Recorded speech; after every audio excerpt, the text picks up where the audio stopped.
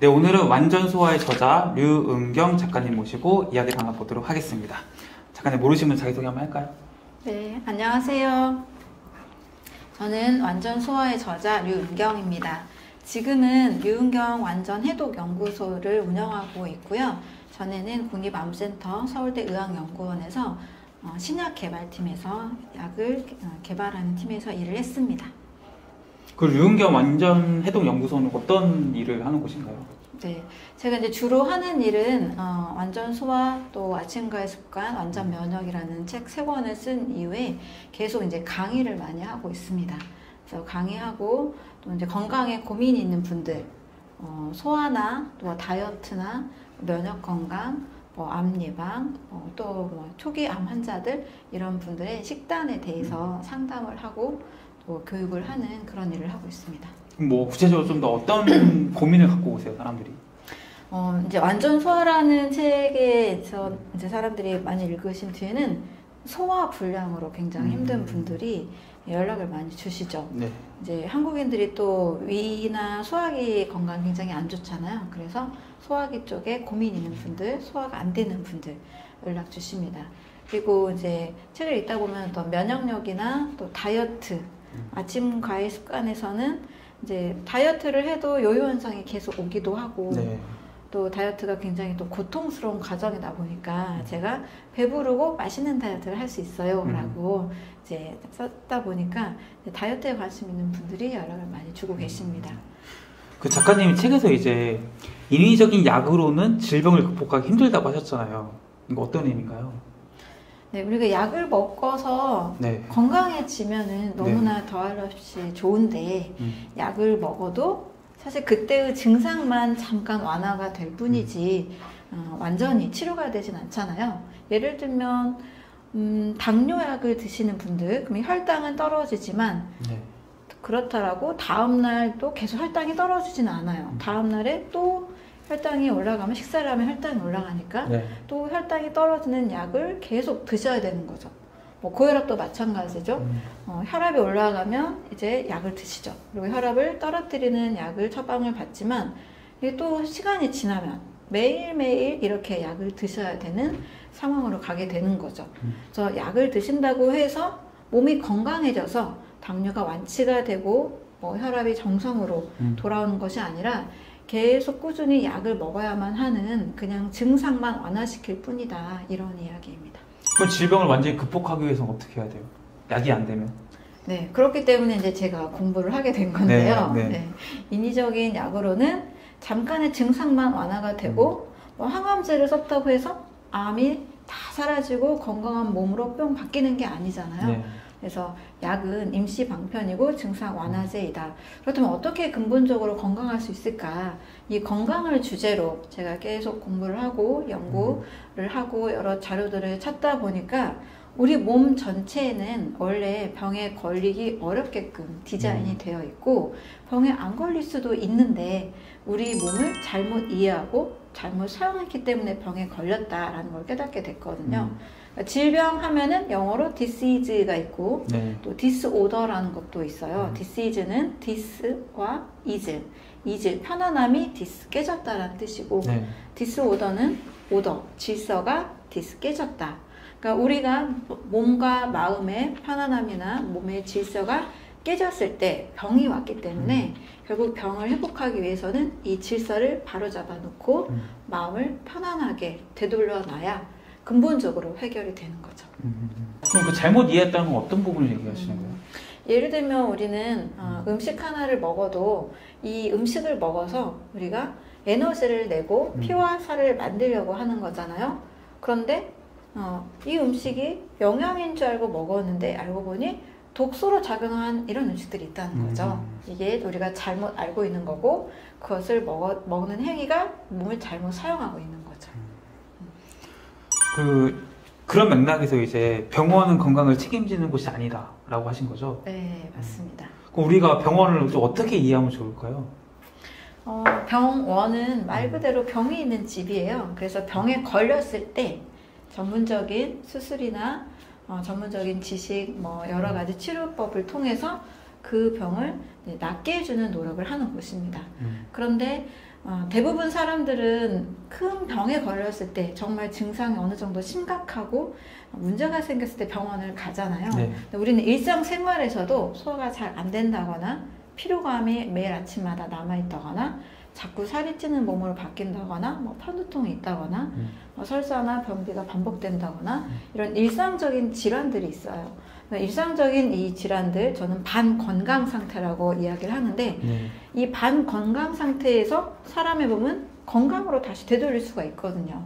그런데 이 건강으로 되돌리는 부분에 대해서는 이 병원에서 다루지 않는 거죠. 그래서 병원은 조금 심각한 질병에 대해서는 치료가 가능하지만 어, 일상적으로 우리가 좀 늘 불편하게 겪고 있는 부분에 대해서는 우리가 좀 우리 몸에 대한 바른 이해와 지식을 통해서 또 저- 제가 이런 부분을 또 강의하고 있고 상담을 하고 있기 때문에 이런 부분들의 노력이 필요한 겁니다. 이제 어떤 의사 선생님께서는 이런 이야기도 해요. 네. 이제 현대 의학은 전쟁 의학에서 유래했다. 전쟁 의학? 예. 네. 전쟁터 우리 2차 세계대전 때나 네. 이런 전쟁터에서 보면 사실 팔다리 부러지고 총알 박혀 있고 네. 응급 상황이잖아요. 그러니까 응급 상황에서는 너무나 훌륭하고 너무 탁월한 정말 꼭 필요한 의학이죠.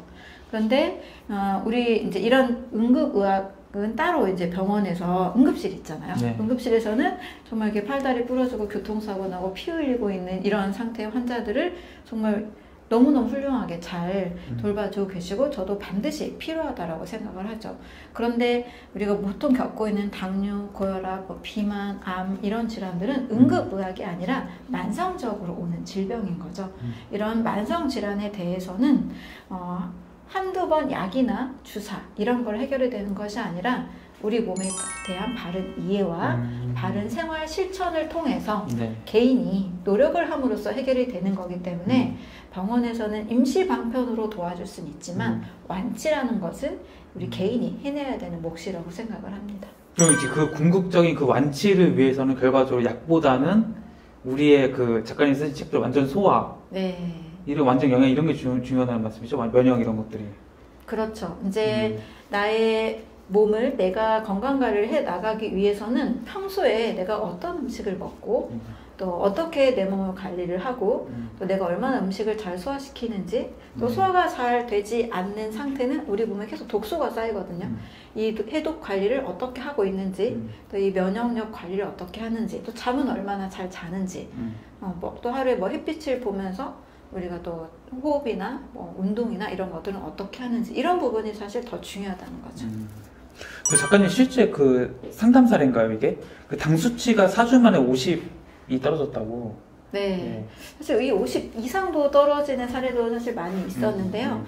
이제 책을 쓰고 독자분들께서 직접 이 책대로 열심히 실천을 하시더라고요. 네, 네. 그래서 되게 기쁜 소식을 이메일로 음. 연락을 주시기도 했는데요. 어, 당 수치는 예, 혈당을 빨리 올리는 음식을 먹었기 때문에 내가 그 먹은 대가로 고스란히 내 몸이 보여주고 있는 거거든요. 네. 그래서 혈당을 빨리 올리는 음식, 뭐 그냥 뭐 액상 과당이 들어있는 가공식품에 들어있는 당분일 수도 있고 또 정제된 탄수화물, 음. 흰 쌀밥이나 흰 밀가루로 만든 밥, 빵, 면, 떡 이런 음식일 수도 있고 음. 이런 음식들을 어, 이제 바꿔주는 거죠. 근데 이 음식들을 무조건 끊어 하면 사람이 굉장히 어렵거든요. 그렇죠. 그래서 저는 무조건 끊는 방식보다 음. 이 음식을 대체할 수 있는 음식을 알려드립니다. 오, 네. 그러면 어떤 음식을 먹어야 될까? 아니 뭐 네. 근데 그거 다 빼면 먹을 게 있나요? 근데 보통 보통 이래요. 진짜 그 구독자분들이 네. 이런 영상을 딱 올리면은 뭐 이런 전문가 나와서 뭐 말씀을 밥 밥이나 뭐 빵이나 떡이나 면 먹지 말라고 하는데 네. 아, 그것 빼면 대체 먹을 게 뭐 있냐? 네, 근데 사실 많이 있거든요. 음. 근데 이게 눈에 보- 많이 보이는 환경에 살았기 때문인 것 같아요. 음. 네, 뭐 현실적으로는 밥빵면 떡 이런 음식이 많이 있긴 하죠. 근데 저 같은 경우에는 장을 볼 때 제가 주로 보는 어, 음식들은 일단은 신선한 과일 네. 그리고 신선한 야채 음.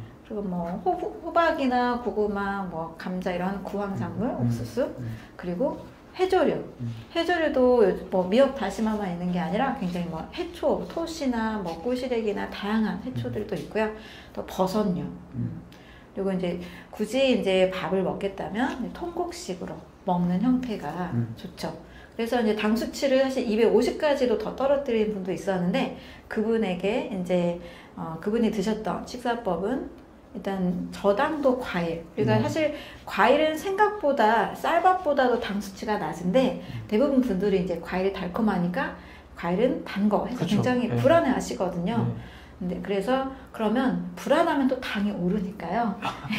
네. 당이 적은 과일을 드세요. 음. 하면 뭐 키위도 있고요, 수박도 음. 있고 딸기도 있고 저당도 과일과 음, 그리고 신선한 이제 야채 음. 많이 드시면서 밥이 먹고 싶을 때는 일단은 통곡식으로 네. 밥과 함께 충분한 해초와 버섯을 같이 음. 드시도록 하죠. 조금은 귀찮을 수 있지만 요거 한 달만 해도 몸이 달라지기 때문에 음. 당뇨로 얼마나 그 나중에 고통을 겪어요. 혈관도 다 무너지고 음. 나중에 이제 굉장히 심각한 질병들을 많이 초래하잖아요. 음. 그래서 그보다는 또 저는 제가 말씀드린 과일, 채소, 통곡식, 해조류, 버섯류 또 견과류까지 정말 배부르게 드세요라고 말씀드리거든요. 음. 이렇게 배부르게 드시고도 네. 당은 떨어질 수 있습니다. 어, 이게 이제 우리가 정확하게 그 올바른 먹거리만 먹으면은 진짜 뭐 많이 먹어도 그런 뭐 당이라든지 이런 것들에서 좀 벗어날 수 있다. 네, 그럼요. 이제 항상 어, 기본은 저는 음. 이제 자연의 질서를 강조하는데요. 음. 기본은 자연 유래의 음식은 탈이 없다. 음. 그런데 여기에서 사람들이 기술이라는 걸 사용하고 네. 또 공장이라는 것을 통해서 음. 가공 처리를 하잖아요. 음. 이 가공하면서 딱 껍- 이제 거친 껍질들을 다 그쵸. 깎아내고 음. 부드러운 형태로 만들어 먹으니까 음. 그때부터 이제 질병이 많이 생기기 시작한 음. 거죠. 음. 네, 자연 유래 음식은 배부르게 먹어도 안전하다라고 음. 생각합니다. 그 이제 약이라는 게 보통 병을 치료하기 위해서 먹는 거잖아요. 네. 근데 약이 이 병을 더 오히려 불러 일으킬 수 있나요? 네. 안타깝게도 어, 약 때문에 또 다른 약을 먹을 수밖에 없는 상황이 되기도 하는데요. 실제 이제 콜레스테롤이 높아서 이제 콜레스테롤을 떨어뜨리는 약을 이제 많이 처방해 주시잖아요. 근데 이 약을 먹으면 이제 스타틴 계열의 약이라고 하는데 이 약을 먹으면 콜레스테롤 수치가 높으니까 그걸 떨어뜨리기 위해서 몸에서 이미 만들어진 콜레스테롤을 녹이는 게 아니라 음.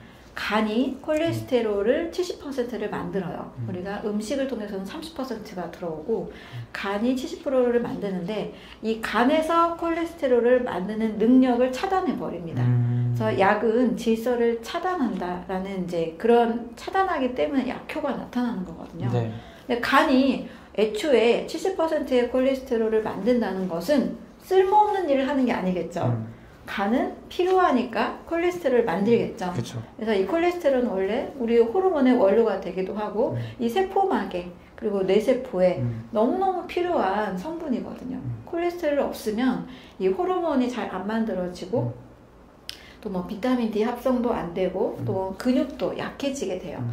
그래서 콜레스테롤을 일부러 억지로 이 떨어뜨리기 위해서 간의 합성을 막기 때문에 이거에 따른 부작용이 또 나타나게 됩니다. 음. 그 부작용으로 콜레스테롤 약이 엄청나게 팔리기 시작한 이후에 네. 또 다른 약이 엄청 많이 팔렸대요. 어. 그 약이 어.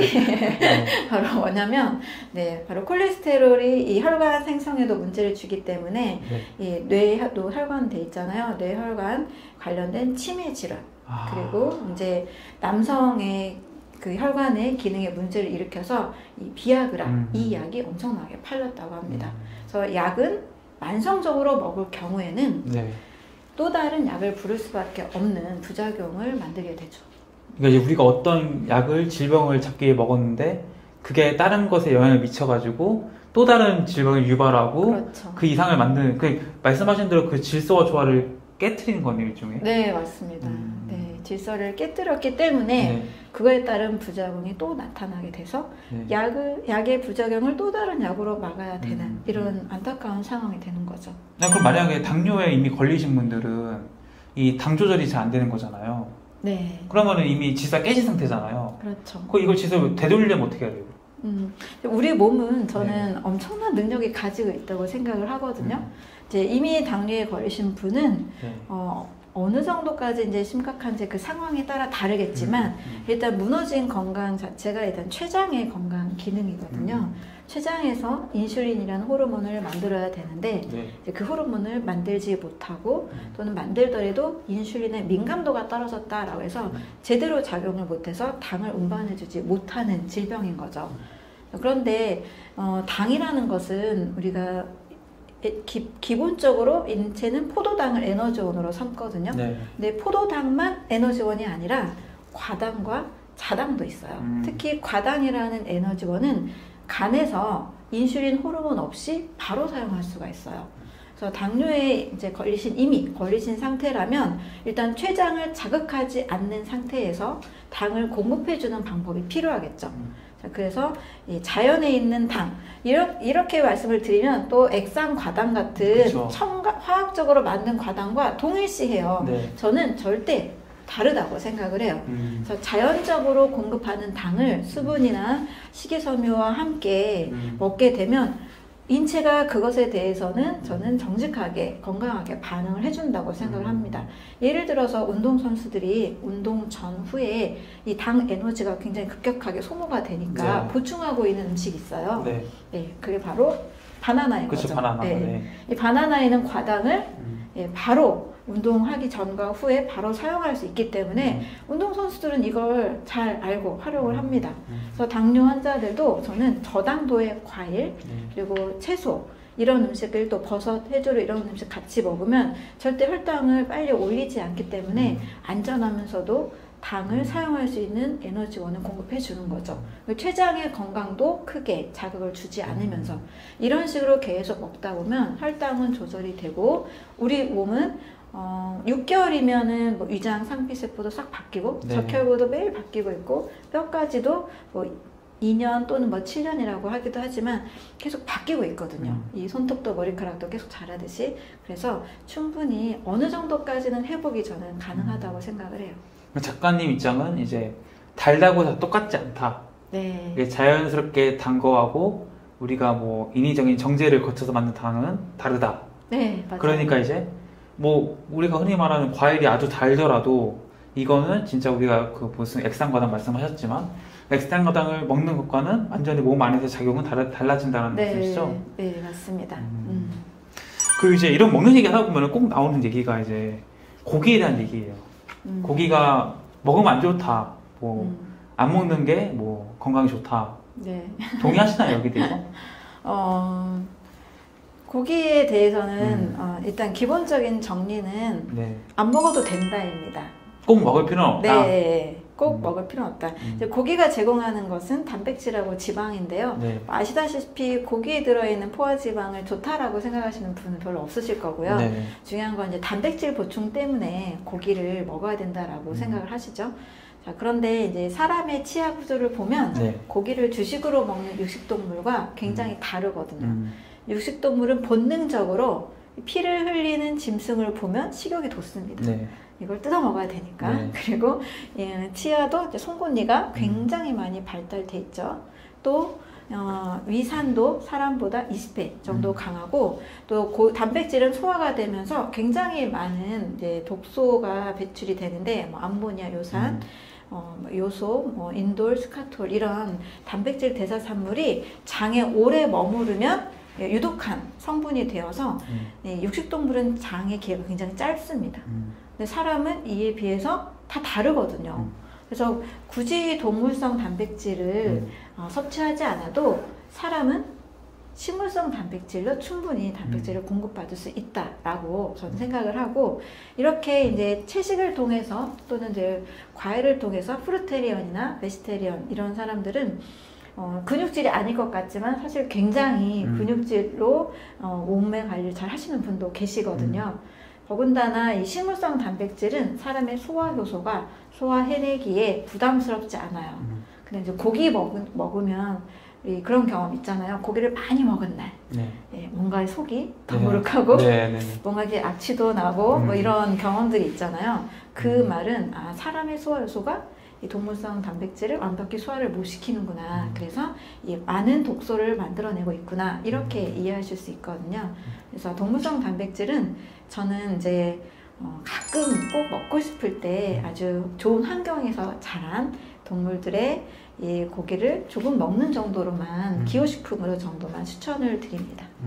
아 그럼 이제 보통 이제 고, 고기를 꼭 챙겨 드시는 분들은 이게 식물성 단백질하고 동물성 단백질이 다르기 때문에 고기를 먹어야 된다. 그러니까 네. 콩으로 단백질 섭취 가능한데 이거는 좀 고기랑은 다르다라는 얘기를 많이 하시거든요. 네. 작가님은 그건 같다고 보시는 거예요? 오히려 더 사람에게 맞는 단백질은 음. 식물성 단백질이라고 음. 생각을 하죠. 어, 이럴 수는 있어요. 우리가 어, 단백질을 소화하고 있는 동안에는 네. 굉장히 많은 열 발생을 합니다. 음. 소화식 그래서 고기를 먹어야 뭐 보양식이 된다 그쵸. 이런 말이 있었던 네. 어, 풀만 먹던 시절에는 음.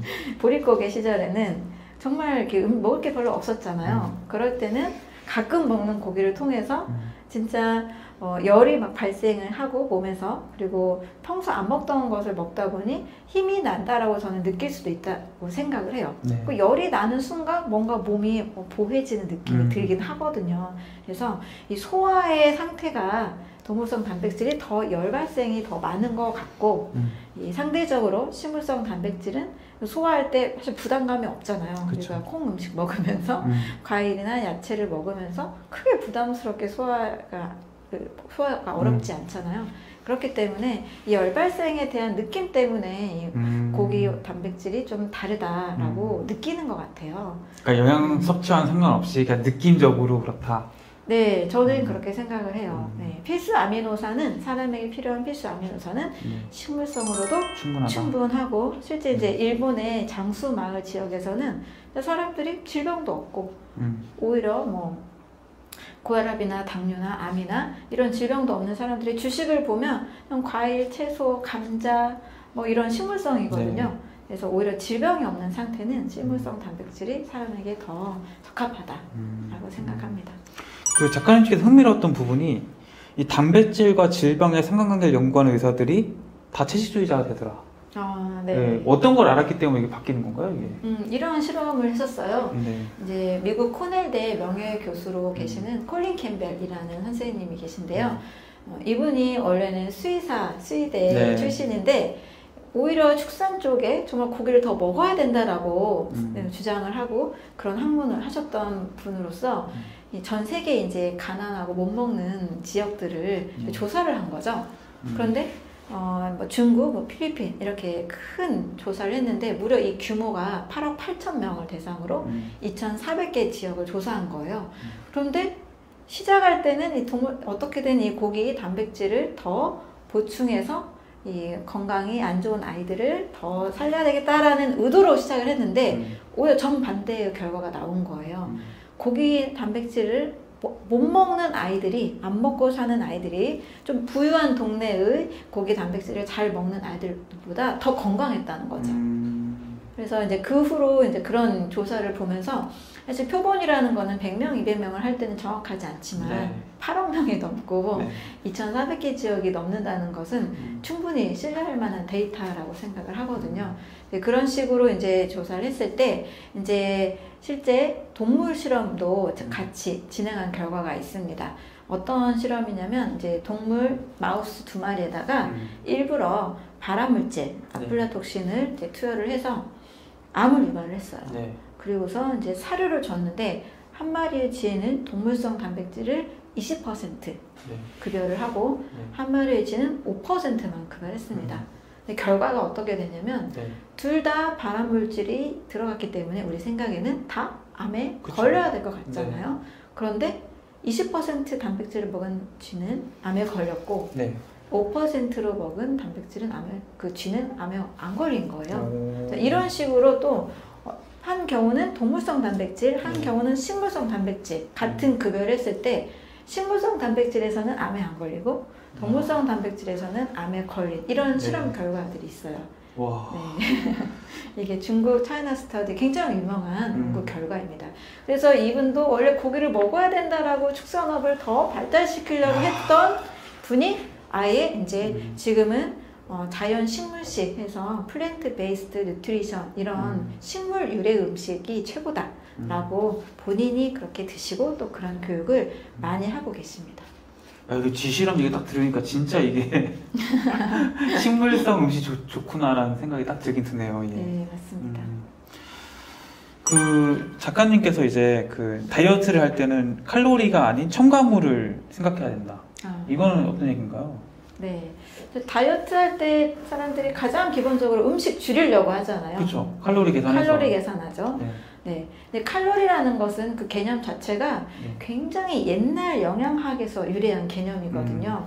어, 뭐 애트워터 계수라고 해서 bomb 음. calorimeter라는 어떤 기계 안에 어떤 음식을 넣어놓고 태운 거예요. 네. 태워서 거기서 발생하는 열을 측정한 건데 탄수화물, 단백질은 4칼로리, 네. 단백질, 아, 지방은 9칼로리 음. 이렇게 각각의 이제 열량을 주는 에너지원을 태웠을 때 이 열을 측정한 거잖아요. 근데 사람은 우리 불 붙여서 에너지가 타는 게 아니잖아요. 사람은 소화 효소로 예, 음식을 소화시키고 에너지를 만드는 건데 이 칼로리의 개념 자체부터 100년 전 영양학이고 이그 측정하는 것 자체가 사람하고는 기준 자체가 맞지 않아요. 음.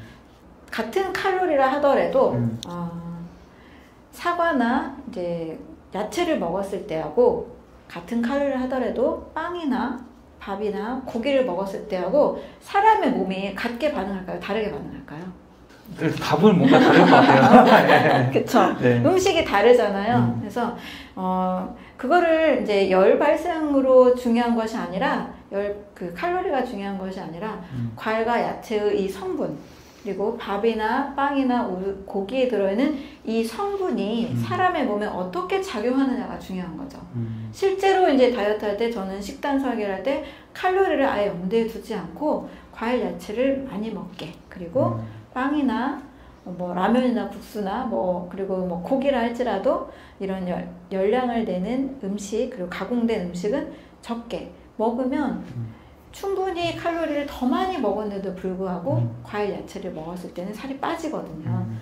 그래서 어떤 음식에 들어간 그 성분이 중요한 거고 심지어 뭐 100칼로리짜리 무슨 뭐 다이어트 국수라고 하다 하더라도 이 오히려 저칼로리 음식을 영양가 없이 먹었을 때는 인체는 나중에 음식을 먹었을 때 이거를 저장하려고 하는 항상성 유지에 음. 의해서 요요 현상이 오게 돼요. 음. 그래서 지나친 저칼로리 다이어트는 반드시 요요가 오기 때문에 절대 건강을 위해서도 하시면 안 됩니다. 음. 아 그럼 우리가 이 칼로리에 대한 개념을 살찌는 거와 상관없다고 이해하면 되나요? 어, 만약에 네. 그 빵이나 네. 고, 뭐 고기나 그런 디저트 가공된 음식으로 음. 고칼로리를 먹으면 살은 찌겠죠. 네네. 네. 근데 살아있는 음식으로는 고칼로리를 먹어도 음. 의미가 없다. 그런 게 핵심이에요. 좀 더 발전시켜 나가면은 네. 뭐 예를 들어 이런 거잖아요. 지금 뭐 우리가 뭐 그냥 극단적인 사례로서 그냥 뭐 상추 깻잎을 뭐만 킬로칼로리 먹었어요. 이제 말도 안 되지만 말도 안 되지만 네. 근데 이제 뭐 초콜릿을 하나 먹었어. 근데 이건 300킬로칼로리야. 예를 들어서 음. 그러면은 작가님 입장에서는 이제 뭐, 뭐 하나로 살이 찌지 않겠지만 그냥 살찔 가능성 봤을 때는 네. 초콜릿이 더 위험하다는 말씀이시잖아요. 네, 맞습니다. 네. 그러면 이게 칼로리 숫자 사실은 거의 의미가 없는 거네요. 네, 저는 칼로리를 네. 그래서 계산하지 마세요라고 음. 말씀을 드리고 살아있는 음식이냐, 네. 이제 죽어 있는 가공된 음식이냐, 네. 그것만 구분하라고 말씀을 드려요. 그러니까 이게 살아있냐 죽었냐만 딱 구분을 한 다음에 살아있는 음식이면은 아무리 많이 먹어도 네. 살이 찌지 않는다. 네. 어, 그리고 어, 사실상 많이 먹기가 어려워요. 그렇죠. 네, 현실적으로 우리가 과식을 하게 되는 이유가 있어요. 음, 네. 뭐 디저트나 우리 밥 같은 거는 고기 같은 것이 과식이 잘 되잖아요. 네. 근데 상추로 과식이 잘 안 돼요. 음, 맞아요. 사과로 과식이 잘안안 돼요. 예. 이 과식을 하는 이유는 어, 살아있는 음식을 통해서 우리는 효소를 섭취하고 싶어 하는데 음, 효소가 결핍된 음식을 먹기 때문에 과식이 되는 음. 거거든요. 그래서 지나치게 유- 가열된 요리된 음식들, 네. 가공식품들, 네. 또뭐 요리된 뭐 고기 요리, 음. 뭐 한국인의 모든 밥상들 대부분 요리가 돼 있죠. 살아있는 네. 음식 빼고는. 네. 그래서 이런 가열된 또 요리된 음식은 효소가 없기 때문에 음. 자꾸 자꾸 과식을 하기가 쉬워지고요. 어, 효소가 살아있는 음식을 단순하게 먹으면 과식 자체가 안 돼요. 음. 그래서 살아있는 음식을 통해서 아무리 많이 먹어도 네. 칼로리 상관없이 예, 충분히 많이 먹어도 다이어트가 된다라고 어. 말씀드립니다. 실제로 이제 많은 이제 찾아오신 분하고 실험을 해보신 거죠 이거는? 그럼요. 음. 네. 배부르게 배부르게 과일 드세요라고 해서 진짜 그렇게 먹어도 돼요? 음. 여러 번 이제 확인을 하시거든요. 음. 진짜 먹어도 돼요. 과일, 뭐 바나나 10개 드셔도 돼요. 음. 사과 뭐 5개 드셔도 돼요. 음. 실제 어, 그렇게까지 많이 먹기는 어려워들 하시지만 네. 어쨌든 원하는 만큼을 드시고도 음. 아니 이렇게 달콤한 과일을 먹었는데도 살이 빠지네요 라는 이야기들을 많이 하시죠. 아, 그, 그 최근에 이제 댓글 달린 거 보면은 이제 그 나는 이미 당뇨 환자다. 근데 진짜 말씀하신 대로 달콤한 그런 천연 과일을 먹어도 상관없느냐 정말 이런 걸 다시 확인차 물어보신 분도 있거든요. 네, 그게 어떻게 생각하세요? 어, 저는 이런 분들 많이 만나봤는데요. 네. 어, 제 책을 읽고 음. 강의를 들으시고 이제 상담을 받으시고 음, 어, 왜 먹어도 되는지를 정확히 이해를 시켜드려요. 음, 네, 당뇨 환자라 할지라도 밥 드시잖아요. 네. 저는 뭐 떡도 드시고 뭐 국수도 드시는 것도 봤거든요. 음, 그 음식들이 가지고 있는 당지수와 과일의 당지수를 비교를 해드립니다. 음. 근데 그 전에 아무리 당뇨 환자라 할지라도 다 드시거든요. 그쵸. 뭔가는. 네, 그쵸. 이 음식들이 훨씬 고당도 음식이에요. 네, 당지수가 훨씬 높아요. 쌀밥, 뭐 라면, 뭐 국수 이런 것들 다 75 이상이거든요. 과일은 굉장히 달콤한 포도도 46밖에 안 돼요. 음. 이렇게 지식적으로 먼저 확실하게 말씀을 드리고 네. 그 다음에 당분 양을 계산을 해드려요. 오, 네. 흰 쌀밥이 60g이에요. 네. 근데 사과 한 조각이 한 20g에서 30g밖에 안 되거든요. 자, 그럼 흰 쌀밥 한 공기를 드시는 거 같고 음. 또 사과 하나 드시는 거고 먹어도 당분이 높아요. 그럼 당연히 이게 흰 쌀밥이 높거든요. 그쵸. 이렇게 당분 양도 같이 비교를 해드리고 음. 먼저는 안심을 시켜드린 다음에 음. 드시라고 말씀을 드려요. 그러면 일단은 그래도 한번 해보시는 분들이 음. 계시죠. 왜냐면 과일에는 당분만 있는 게 아니라 음. 당뇨 환자들은 당연히 많은 비타민과 미네랄 이런 음. 모든 예, 몸에 필요한 그런 조효소의 원료들이 다 부족한 상태거든요. 음. 이런 성분들이 과일에 들어있기 때문에 유익을 주는 성분들이 훨씬 더 많아요. 그래서 이런 성분들을 드시려면 당에 치우치지 마시고 쌀밥보다도 안전하니까 드세요 라고 말씀을 드리면 드십니다. 그래도 불안하시면 정말 더 당지수가 낮은 키위, 네. 딸기, 뭐 토마토 이런 음. 것들은 당지수가 매우 낮잖아요. 네. 그런 과일을 드시라고 말씀을 드려요. 음. 그런데 어, 이제 측정을 다 또 해보시죠. 불안하니까 혈당 그쵸? 체크를 네. 하십니다. 네. 혈당 체크를 해서 어땠어 했더니 정말로 당이 안 올랐네요. 라고 음. 말씀을 하시더라고요. 그래서 쌀밥보다도 더 안전하다. 음. 이것을 직접 체험을 하시니까 이제 신뢰를 하시는 분들은 꾸준히 실천을 하셔서 음. 그래서 정말 혈당 안정이 되신 분들이 많이 계시죠. 우리가 이제 뭐 가끔 이제 특정 음식이 막 땡길 때가 있잖아요. 네. 그거는 이제 뭐 그냥 제가 듣기로는 뭐 음. 그 음식에 필요한 그 영양분들이 내 몸에 필요해서 이제 땡기는 음. 거다라고 하는데 네. 이건 맞는 얘기인가요? 어, 두 가지 있을 네. 수 있을 것 같아요. 어, 진짜로 그럴 수도 있을 것 같아요. 음. 그 특정 영양소가 음. 내 몸이 기억을 해서 음. 그 음식이 당길 수도 있고 음. 또한 가지 요소는 이 사람은 이 추억을 굉장히 또 그렇죠. 네. 마음에 네. 예, 담고 싶고 또 그런 감정에 좋은 기억들을 네. 계속 붙잡고 싶은 마음이 또 있잖아요. 네. 또 추억의 음식이 있단 말이에요. 어머- 어릴 적 어머니가 만들어준 음. 음. 식, 또 그런 비슷한 향이 나는 그런 네. 음식, 그런 추억의 음식을 먹었을 때 정말 기분이 좋아질 수 있어요. 기분이 좋아지면 뭐 행복 호르몬 있죠? 음. 뭐 엔돌핀, 도파민, 뭐 세로토닌 이런 행복 호르몬이 실제 나옵니다. 오. 그럼 이 호르몬이 나오면 진짜 몸에서는 좋은 반응이 일어나거든요. 혈당도 네. 안정이 되고 음. 면역력도 좋아지고 음. 뭐 피곤도 풀리는 것 같고 음. 이 호르몬에 큰 반응이 오기 때문에 이두 가지 측면에서 당기는 음. 음식이 진짜 몸에 좋다라는 것을 느낄 수 있을 것 같아요. 당기는 음식을 먹어주는 게 맞는 거죠? 어, 저는 이렇게 말씀을 네. 드려요. 그 음식이 진짜 해로운 음식이다라고 느껴지면 드시지 마시고, 음. 아, 이 음식 먹으면 내가 진짜 행복할 것 같아. 음. 너무 기분이 좋아질 것 같아. 네. 저는 그러면 드시라고 말씀을 드려요. 어, 이게 조금 뭐 조금 안 좋아도 내가 정말 행복해질 수 있다면은 먹는 게 좋다. 네, 저는 그렇게 음. 말씀드려요. 네. 네. 그 이제 다이어트 단식에 대해서 한번 여쭤보고 싶은데 체지방만 7kg을 감량한 열흘 단식이 있다고 네. 그 열흘 동안 7kg를 감량한 건가요? 네, 맞아요. 음, 제가 네. 직접 경험했었는데. 작가님이 실제 잘해. 네, 제가 진짜 7kg가 빠졌어요. 와, 열흘 네. 만에. 야, 열, 열흘 동안에. 네, 열흘 만에. 조금 힘들기도 했지만 음. 어떤 큰 원리를 배운 경험이었거든요. 네. 이 다이어트의 그, 그 근본 원리는 진짜 음. 칼로리와 운동이 아니구나. 음, 이것을 정말 철저하게 배웠던 경험이에요. 음, 그 근본 원리는 뭐냐면 네. 다이어트라는 것은 우리가 체지방을 빼고 싶은 거지 근육을 빼고 싶은 게 아니죠. 네. 체지방과 함께 몸에 쌓여있는 독소를 제거하는 음. 게 진정한 건강한 다이어트다라고 저는 말씀을 드리는데요. 음. 그러려면 우리 몸은 몸에 이제 질서가 깨진 것이 병이 온다라고 네. 말씀드렸듯이 질서가 깨진 것이 지방 대사가 안 돼서 비만이 온 거다. 그럼 질서를 회복해야 된다.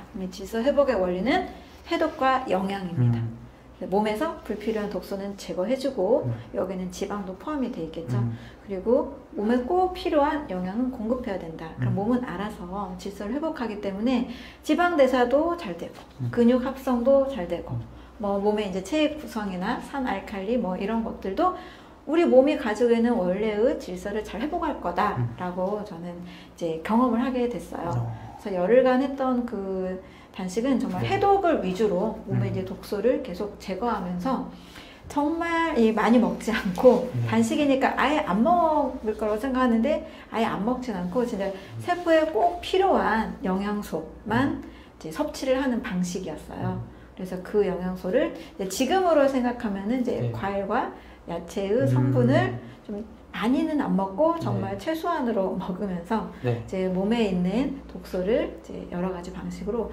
제거하는 예, 그런 경험이었습니다. 어, 그럼 어떻게 보면 이게 체지방 7kg 빠진 게 독소가 7kg 빠진 거네요, 이게. 어, 저는 그런 것 같아요. 네. 어, 이 독소가 또 어디에 모여 있냐면 뭐 네. 간도 우리 몸에 어, 생명을 유지하기 위해서 음. 간에 저장을 해놓고요. 네. 그리고 지방 세포에도 저장이 돼 있거든요. 음, 그래서 지방 대사가 되고 지방이 빠지면 독소가 같이 빠지게 되는 거죠. 음, 그런데 막 운동해서 막 힘들게 칼로리만 소모하려고 하면 네. 그거는 독소가 제거가 되는 것이 아니라 몸이 축나게 되죠. 음, 그래서 다이어트 하려다가 운동 심하게 했다가 오히려 더 지쳐서 더 음. 먹게 되고 그 역효과로 또 살이 찌게 되는 그런 또 잘못된 음. 다이어트도 생기게 되는 거죠. 그래서 독소는 지방과 함께 같이 빠진다.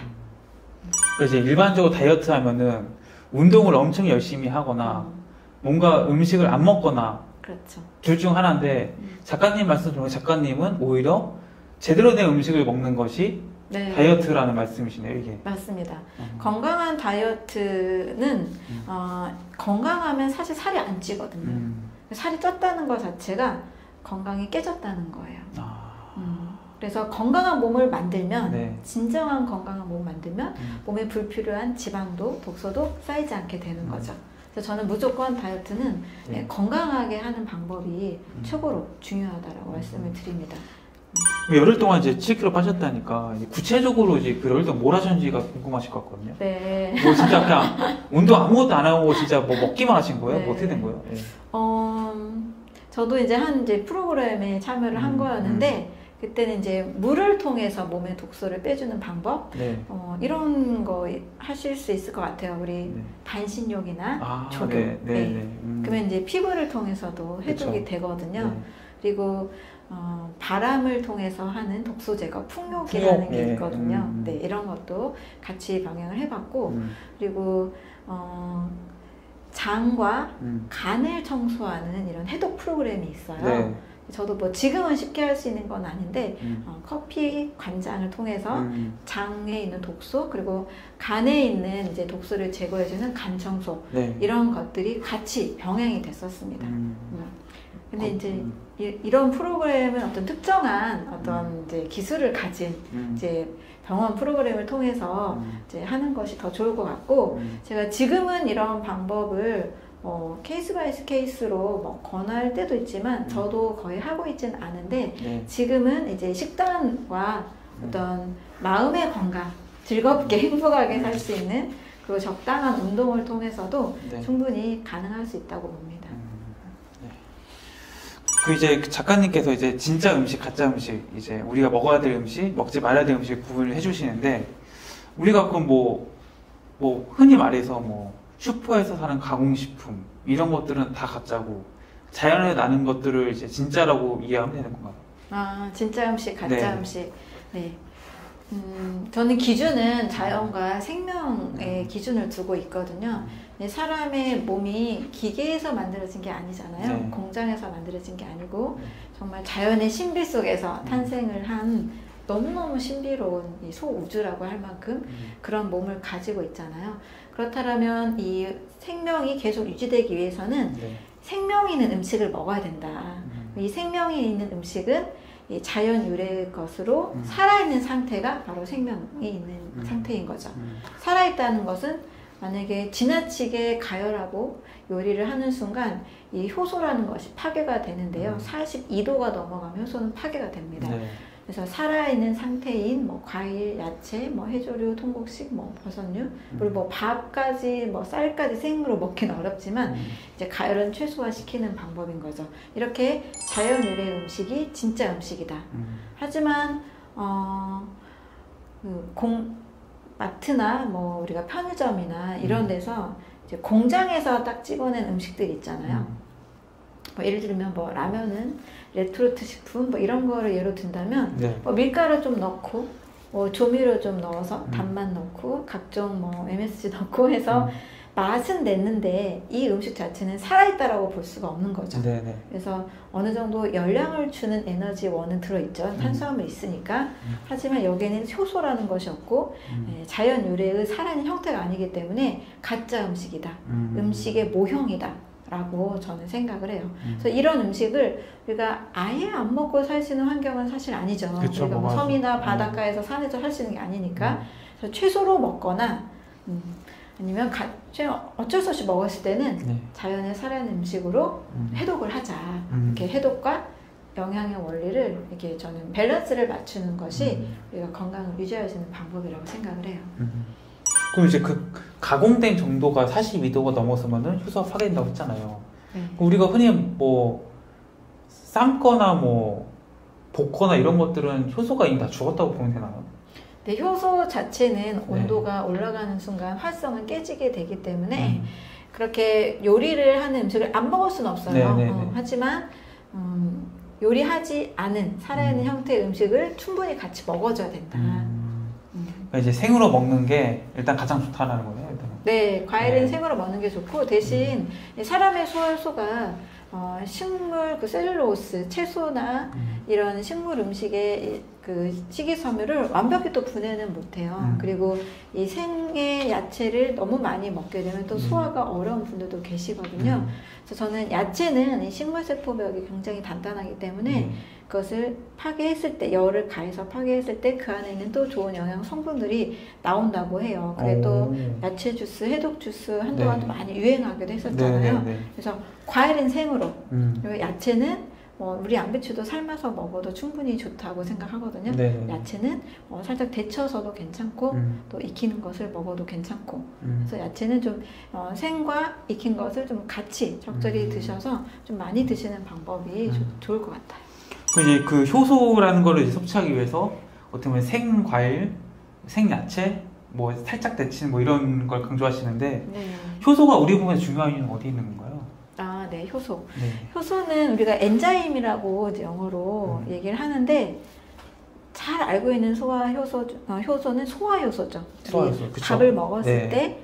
치매는 그렇죠. 네. 아밀라제, 네. 뭐 단백질은 뭐 네. 펩타제, 네. 지방은 리파제 이렇게 소화 효소를 알고 계시는데 네. 이거는 아주 일부분인 거예요. 음. 우리 몸은 세 가지 효소가 있어요. 네. 소화에 쓰는 소화 효소, 음. 그리고 온몸의 대사를 예, 지켜주는 대사 효소, 대사효소. 그리고 나머지 어, 남아서 갑작스러울 때 우리 통장의 비상금처럼 쓰는 잠재 효소가 있어요. 잠재 효소. 예, 음. 네. 잠재된 효소. 네. 이 대사 효소는 지금 우리가 말을 하고 있고 숨 쉬고 있고 눈을 깜빡이고 있잖아요. 네. 이 모든 반응들을 다 효소가 반응을 하는 거예요. 음. 대사 효소가. 음. 동맥 이 혈관 하나에도 70여 종의 효소가 작용을 한대요. 오. 또 우리가 만약에 또 감기가 걸리고 바이러스가 들어오면 네. 또 면역 세포들이 막 또 움직여서 전쟁을 치러야 되잖아요. 네. 또뭐 항체도 만들어야 되고 네. 이런 것들은 다 효소가 에너지원이 되는 거예요. 아. 그래서 인체는 약 13,000가지 효소가 음. 무려 300만 가지가 넘는 일을 한다라고 음. 해요. 음. 효소가 없는 순간 그냥 생명 반응은 끝나고 음. 죽게 되는 거죠. 그래서 아. 이제 나이가 많은 어르신들이나 병이 굉장히 좀 심한 환자분들의 상태는 네. 효소가 거의 없는 상태. 아, 그런데 반대로 우리 성장기 어린이들 있죠. 음. 어린이들은 뭐 입에서 침도 줄줄 흐르잖아요. 네, 네, 네, 네. 이 침이 효소니까 네. 효소가 많은 상태. 왜 음. 성장하고 있으니까 음. 생명력이 왕성하죠. 네. 그래서 생명의 반응을 음. 위해서는 반드시 효소가 필요하기 때문에 음. 효소가 없으면 이제 생명이 끝나게 되죠. 그러니까 이제 효소가 없는 음식은 우리가 이제 죽은 음식이다 네. 이렇게 생각해도 되겠네요. 네, 그럼요. 어, 그래서 효소가 없는 음식만 먹게 되면 네. 인체가 그걸 소화시키기 위해서 음. 에너지를 너무 많이 쓰는 거죠. 음. 그래서 효소도 소화효소, 대사효소, 잠재효소가 있다고 음. 했는데 이 소화에 쓰는 에너지가 막 무려 60%예요. 네. 그래서 우리 식사하고 나면 굉장히 막 배가 부르고 머리가 잘 안 돌아가는 그쵸. 느낌이 있잖아요. 네. 이게 소화시키느라고 에너지를 다 아, 쓰고 있는 거거든요. 음. 그래서 죽은 음식만 먹으면 소화가 굉장히 어려운 거죠. 소화효소를 다 써야 되니까. 음. 근데 살아있는 음식을 먹으면 그 자체가 또 효소를 가지고 있기 때문에 네. 소화시키는데 에너지를 그렇게 많이 안 쓰죠. 음. 예를 들면 과일을 먹어서 소화시키느라 힘들고 막 졸리고 이런 경험 우리가 별로 없잖아요. 그렇죠. 네. 그건 효소가 있는 음식이기 때문에 음, 음. 그 자체로 인체의 소화효소를 많이 사용하지 않아요. 네. 그래서 죽은 음식은 소화효소를 많이 사용해야 되니까 음. 이거는 우리 인체를 노화를 가속화시킨다라고도 볼수 있고 음. 또 질병 상태로 빨리 이르게 한다라고도 음. 볼수 있죠. 효소가 이제 죽어가는 사람 살린다는 건 어떤 얘기예요? 아 이제 동물원의 이제 이야기인데요. 그 네. 미국의 한 동물원에서 음. 어, 동물들을 우리가 지- 집에서도 이제 반려동물 키우시는 분들 보면 네. 사료만 먹이는 분들 계시죠. 그쵸. 네, 얘는 사료만 먹어야 돼. 네. 그래서 사료파와 아니다 자연식 생식도 해야 되는데 생식파 음. 이렇게 나뉘는데 음. 이제 사료만 먹였던 먹이는 것이 저는 옳지 않다라고 생각을 해요. 음. 왜냐하면 어, 미국의 동물원에서 실제로 동물들에게 사료만 먹인 적이 있었거든요. 네. 이 사료를 만들 때도 사람들이 그래도 최선을 다해서 뭐 음. 영양소를 굉장히 균등하게 배합을 했겠죠. 뭐 탄수화물, 단백질, 뭐 지방, 비타민, 미네랄 이런 거 다 균등하게 잘 배합을 했는데 이 동물원의 동물들이 서서히 시름시름 이제 힘을 잃고 이제 병에 걸려가고 있는 상태가 된 거예요. 음. 그래서 뭐가 문제일까 하다가 동물이라면 만약에 사자라면 네. 사료가 아니라 고기를 줘야 되죠. 네, 살아있는 이제 고기, 뭐 네. 생간 네. 이런 것들로 이제 이 동물들의 음식을 살아있는 것들 생식으로 바꿔준 거예요. 음. 이 살아있기 때문에 효소가 가득한 거죠. 그쵸. 사료는 효소가 없었던 거고 그렇죠. 그래서 살아있는 음식으로 바꿔줬을 때 음. 동물들이 다시 되살아났다라는 이 연구 결과가 있어요. 음. 이와 같이 우리도 어, 늘 살아있는 효소 반응이 몸에서 왕성하게 일어나고 있기 때문에 네. 효소가 있는 음식을 먹어야 생명이 유지될 수 음. 있고 오히려 더 건강할 수 있다. 음. 그래서 만약에 반려동물 이렇게 키우신다면 전 반드시 자연식 생식을 병행해야 된다라고 음. 꼭 말씀드립니다. 네. 아, 씨, 효소가 진짜 대단한 거네요, 이게. 그러니까 우리가 보통 이제 생으로 먹는 것들은 뭐 고기 같은 거다 익혀 먹으니까 결과적으로는 뭐 채소 내지는 과일밖에 안 남는 거네요, 사실은. 어 그렇죠. 거기다가 네. 이제 해조류 정도. 해조류 정도. 네, 쌈채 쌈으로 먹을 네. 수 있는 해조류 정도. 요 버섯류는 살짝 익혀서 먹어도 음. 예, 괜찮고요. 음. 어쨌든 열을 가하는 순간은 파괴가 되니까 음. 최대한 그래서 사람은 예, 가장 이 소화효소를 사용하지 않은 네. 과일을 한 식사의 전체 한 40% 음. 정도는 먹는 것이 저는 필요하다고 생각을 해요. 근데 요즘에 이제 좀그 이런 효소도 역시 그 약으로 나오잖아요. 건강기능식품 이런 걸로. 예. 그런 걸로 먹는 건 어떻게 생각하세요? 어, 만약에 내가 하루 네. 중에 정말 거의 효소 음식을 먹을 수 없다. 과일을 전혀 먹을 수 없다. 음. 야채를 전혀 먹을 수 없다. 음. 정말 뭐 빵이나 뭐 흰쌀밥이나 음. 뭐 어쩔 수 없이 고기 이런 것만 먹어야 되는 환경이라면 네. 그런 효소가 들어있는 음식도 도움을 받으면 좋죠. 음. 네, 도움을 받을 수 있다고 생각을 하는데 음. 전적인 의지보다는 어떤 네. 불가피한 상황 또 내 몸에 뭔가 조금 에너지가 없다라고 음. 느껴질 때 네. 비상시에 먹을 수 있는 거라고 생각을 합니다. 음, 네. 그 책에서 비타민 U라는 게 나오더라고요. 이제 비타민 U는 제가 작가님 책에 처음 봤는데 이 음. 비타민 U는 뭘 의미하는 건가요? 네, 비타민 U는 U자가 원래 위궤양의 음, 영어로 위궤양의 얼서인데요. 네. 얼서의 약자예요. 음. 왜 이제 양배추가 비타민 U가 되었냐면 음. 비타민 U라는 건 사실은 없죠. 네. 음. 근데 위 궤양에 너무나 좋은 성분이 들어있다라고 음. 해서 이제 양배추의 별명이 이제 네. 비타민 U가 있다라고 된 거예요. 음, 실제 이제 양배추 즙을 가지고 네. 위궤양 있는 분들을 네. 이제 미국 스탠포드 대학의 가넷 의사 교수 팀에서 실험을 했는데 음, 어, 49명 중에 46명이 낫게 되는 네. 그런 거의 기적적인 사례가 네. 있었거든요. 음. 그래서 위궤양에 좋은 성분이 음, 양배추에 들어있다. 이게 이제 MMSC라고 해서 네. methyl methionine sulfonium이라는 성분이거든요. 음. 이 성분이 위궤양, 위벽, 이 점막을 음. 개선하는 성분이 돼서 건강하게 만들어준 사례들로 유명한 일화가 있습니다. 이- 이렇게 이제 뭐 특정 이제 식품이 뭐 어디 좋다더라 하면은 이제 물론 이건 자연 그대로 먹어도 좋지만 이 특정 성분을 이제 압축적으로 고용량으로 이제 훨씬 더 효율적으로 섭취할 수 있게 약들을 만들잖아요. 네. 꼭이생 양배추를 먹는 것과 양배추 환이라고 해야 되나? 네. 약간 이런 걸 먹는 거 또 양배추 즙으로 즙으로도 만들잖아요. 네.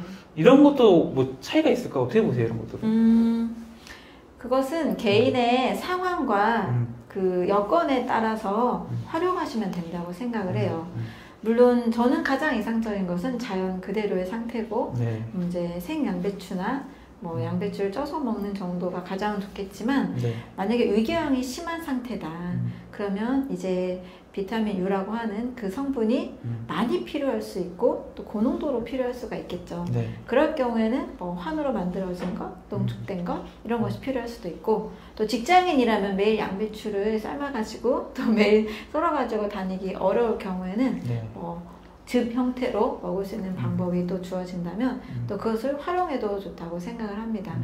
그래서 또는 휴- 주말이나 뭐 일요일 이럴 때 휴일에는 내가 음. 또 식단을 차릴 수 있다면 그냥 양배추 그대로를 또 한번 섭취하는 것도 좋은 방법이고요. 음. 어떤 그 딱 한 가지 답을 가지고 저는 내리라기보다는 네. 사람이 실천할 수 있는 범위가 사실 굉장히 제약이 많거든요. 그렇죠.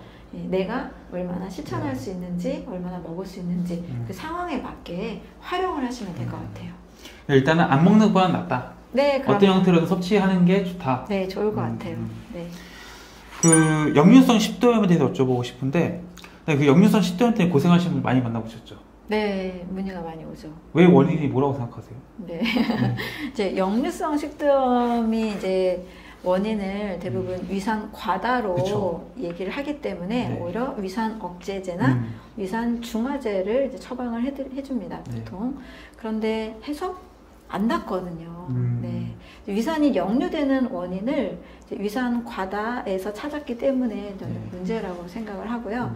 음. 어, 오히려 역류성 식도염에 걸린 분들은 음. 위산 생성이 잘 안 돼요. 그래서 위산이 부족하기 때문에 이 위- 음식에 음식이 들어오는 이 통로를 더 식도하고 위에 조임근을 더 열어서 위산을 필요로 하는 것을 가스트리안 호르몬을 통해서 더 분비를 하도록 합니다. 네, 네. 그러면 이제 이 호르몬이 나오면 음식이 받아들여야 되니까 이게 통로가 열려서 위 내용물이 더 역류가 돼버리는 거죠. 원래는 쪼여져야 되는 네. 위 식도 조임근이 열리기 때문에 여기서 역류가 되는 거예요. 음. 그러니까 원인은 위산이 부족하기 때문에 열어서 음, 더 자극 음식을 더 들여 보내라는 신호인데 네. 이것을 위산 과다로 하기 때문에 위산은 더더더 줄어들게 되는 음, 거죠. 음, 그러니까 오히려 더 반대로 치료를 하니까 네. 이게 문제가 되는 거죠. 음. 그래서 오히려 위산이 있는 산이 있는 음식을 통해서 네. 처방을 했을 때 더 나아지는 결과가 옵니다. 그럼 작가님은 어떻게 이거를 해결해 주세요? 어, 위장에 이제 문제가 있는 분들은 위 점막이 손상되는 상태예요. 네. 그래서 이 시간에 어떤 약을 통해서 하면은 그때만 효과가 있는 거죠. 그래서 계속 위산 위 점막이 튼튼해질 수 있도록 저는 음식을 통해서 개선을 하는 방법을 안내해 드리거든요. 음, 그래서 위 점막은 굉장히 희망적인 게 무려 5일 만에 상피 세포가 새로운 세포로 재생이 돼요. 오, 네. 한 달이면 거의 네 번이 계속 재생이. 돼요.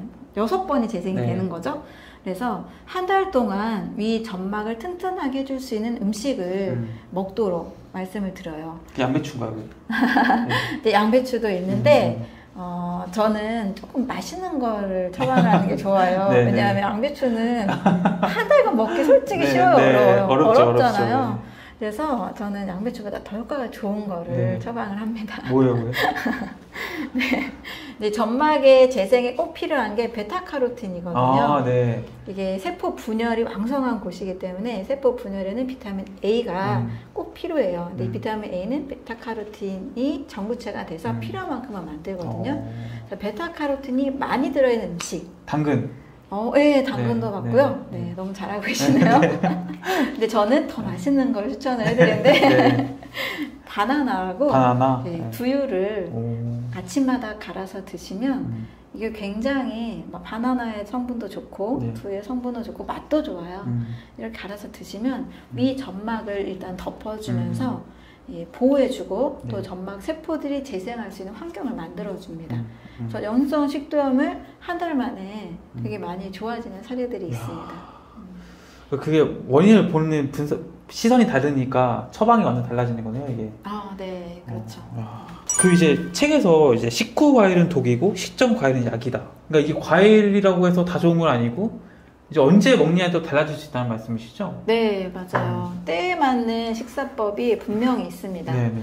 우리 한국인들은 식후 디저트로 과일을 드시잖아요. 음. 그런데 이 식후에 과일을 드시게 되면 식사 때 드셨던 음식물이 위 내용물에 가득하겠죠. 네. 밥도 있고 뭐 김치도 있고 나물도 있고 뭐 물도 있고 여러 가득하게 들어있는 이 음. 음식에 과일에 있는 당분과 과일의 식이섬유가 또 들어오면 또 섞이게 돼요. 음. 이전에 먹었던 이 김치, 나물, 식이섬유와 음. 과일의 당분이 또 추가가 되면서 음. 이때 새롭게 만나는 이 만남은 발효라는 것을 음. 일으킵니다. 우리 발효 있잖아요. 네. 어, 당분하고 설탕하고 만남, 설탕하고 과일 이런 청 만들 네, 때 네. 하면은 뽀글뽀글 가스가 그쵸. 나오죠. 네. 이 발효가 위에서 일어나게 돼요. 아. 그래서 식후에 과일을 드시면 어, 가스가 차요 이런 분들 음. 또는 이게 계속 발효로 오래 지속이 되면 알코올 성분으로 음. 몸에서 인지를 하기 때문에 간 수치가 올라가게 됩니다. 음. 계속적으로 이렇게 드시게 되면 그래서 과일을 나는 몸에 좋다는 과일을 먹었는데 오히려 어, 음. 몸이 불편하고 또 간 수치가 올라가는 분들이 계시거든요. 음. 과일은 반드시 식후에 드시면 안 되고 음. 반드시 식사 전에 음. 공복에 드셔야 돼요. 음. 공복에 먹었을 경우에는 네. 과일은 엄청난 영양 성분이 있거든요. 네. 당분만 있는 것이 아니라 비타민, 미네랄, 식이섬유, 음. 뭐 단백질, 탄수화물, 지방도 소량씩 가지고 있고 네. 또 식이섬유, 아, 파이토케미컬, 식물 영양소와 효소까지 음. 뭐 수분까지 해서 아홉 가지나 되는 어마어마한 영양이 있어요. 네. 이렇게 구대 영양소가 다 있는 음식은 없거든요. 음. 뭐 밥이나 우유나 뭐 고기도 제한된 영양소만 있잖아요. 음. 그래서 이 영양소를 먹었을 때내 몸이 공복에 먹었을 때 다 흡수를 합니다. 음. 아무것도 섞이지 않은 상태이기 때문에 네. 그래서 시- 과일은 반드시 식전에 음. 공복에 특히 배출의 작용이 해독 작용이 왕성한 오전에 음. 아침 식사로 드시면 이 과일은 굉장히 우리 몸에 유용한 성, 효과가 있죠. 아 그럼 이제 반찬 삼아 과일을 먹는 건 별론가요? 반찬으로 네. 그렇죠. 반찬 밥과 함께 네. 밥과 함께 반찬으로 먹는 것은 저는 절대 추천하지 않아요. 음. 밥도 당분이고 네. 과일도 포도당, 과당, 자당 당분이 있기 때문에 네. 추가 당분을 계속 늘리는 거거든요. 네. 또 한국인들이 밥 한 공기는 드셔야 되잖아요. 그쵸. 근데 한 공기 다 드시면 당분이 무려 60g이 넘어요. 음. 그렇게 많이 먹게 되면 몸에서 초과하는 당분이 많아지기 때문에 음. 한국인들이 이렇게 당뇨병 600만 인구 음. 또 당뇨 전 단계가 2,100만이 넘어요. 음. 이렇게 많은 당뇨를 앓고 있- 당뇨 예비 당뇨 환자가 많다라는 것은 네. 분명히 우리는 초과된 당분을 먹고 음, 있다라는 음. 겁니다. 그래서 반드시 과일과 밥은 완전히 따로 드셔야 음. 됩니다. 그 작가님 이거네요. 그러니까 완전히 과일로 식사를 대체하든지 아니면은 식전에 먹든지 네, 이거죠? 맞습니다. 음. 식전에 먹으면 또 어느 정도 포만감이 있기 때문에 밥의 양이 줄어요. 음. 저는 한국인들이 지금보다는 30세기 모두 다 밥으로 먹는 문화 때문에 네. 당뇨 환자가 많은 것 같고요. 음. 쌀밥은 좀 저는 줄여도 된다라고 음. 생각을 해요. 섞어 먹으면 안 된다. 이 그렇죠. 말씀이시죠? 네. 그 과일 이야기 하면은 항상 따라오는 게 껍질을 같이 먹어야 될 것 같고 음. 물론 이제 먹는 게 좋다고 많이 하는데 뭐 네. 반대하시는 분들은 뭐 껍질 농약도 많고 뭐 껍질 먹으면 불편하기도 하고 음. 맛도 좀 없고 뭐 이러니까 네. 이제 하는데 어떻게 생각하세요? 네. 어, 최대한 껍질째 먹을 수 있는 과일은 껍질째 드시라고 음. 말씀을 드립니다. 음. 농약에 대한 안전성 부분에 대해서는 네. 어, 대부분의 요즘 농약은 수용성 농약이라고 음. 해요. 음. 그래서 특별히 뭐 물로 씻거나 음. 또는 저 밀가루 타서 씻거나 식초에 네. 씻거나 다양한 또 과일 세척법이 있거든요. 음. 그렇게 해서 뭐 거의 99% 이상 저는 제거가 된다라고 음. 어, 믿고 있어요. 우리가 그 전에 사실 뭐 가공식품 뭐 스팸도 먹고 라면도 네. 먹고 뭐 햄버거도 먹고 우리 첨가물 많이 들어있는 음식 먹잖아요, 네. 사실.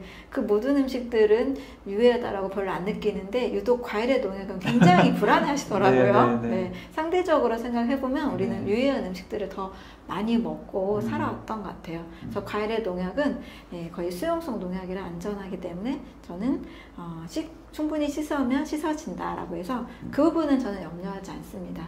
그리고 껍질째 드셔야만 과일의 이 어, 과일이 햇빛으로부터 오는 자외선으로부터 자신을 방어하기 위해서 식물 영양소라는 것을 굉장히 많이 만들어내는데 네. 그게 껍질에 가장 많이 들어있죠. 음. 사과 같은 경우도 퀘리스틴이라는 굉장히 강력한 항염, 항암 성분, 뭐 심장 강화, 근육 강화 이런 성분이 있는데요.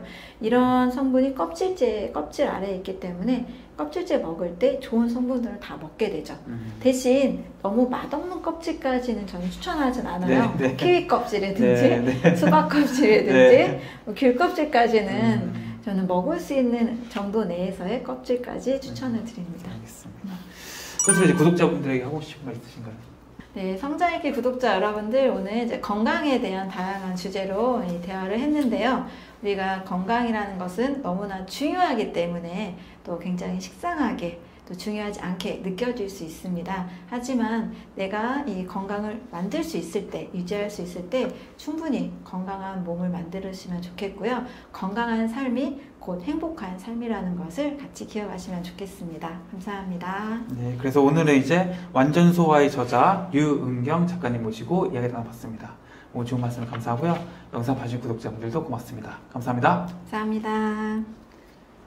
네, 오늘은 완전소화의 저자 류은경 작가님 모시고 이야기 나눠보도록 하겠습니다. 작가님, 구독자분들에게 자기소개 한번 할까요? 네, 안녕하세요. 저는 유은경 완전 해독 연구소를 운영하고 있는 유은경입니다. 저는 완전소와 아침과의 습관, 완전 면역이라는 책을 어, 썼고 강의나 또 상담하는 일을 하고 있습니다. 그럼 최근에 좀 근황 어떻게 지냈어요? 최근 근황이야? 네. 어, 최근에 이제 은퇴학교 이후에 음, 어, 또 많은 분들이 또 연락을 주셔서 음. 어, 굉장히 많이 이제 상담을 하고 있고요. 음. 어, 재미있게도 이 상담하는 분들의 연령대가 한 네. 10대에서 80대까지 와. 굉장히 다양합니다. 네.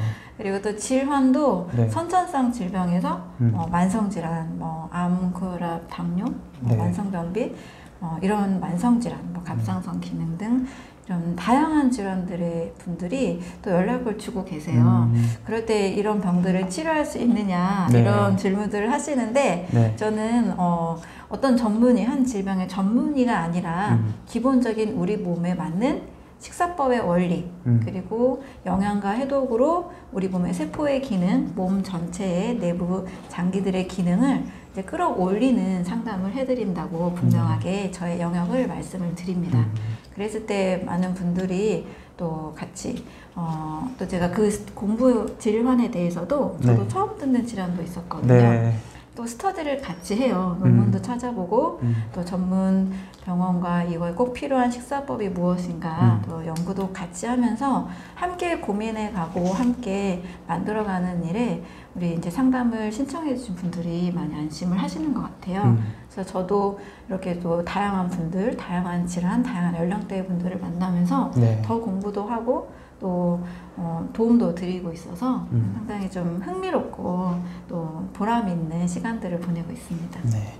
혹시 그 최근에 이제 뭐 상담을 했거나 만났던 환자분들 중에서 좀 기억이 나시는 분 있을까요? 아, 네. 음.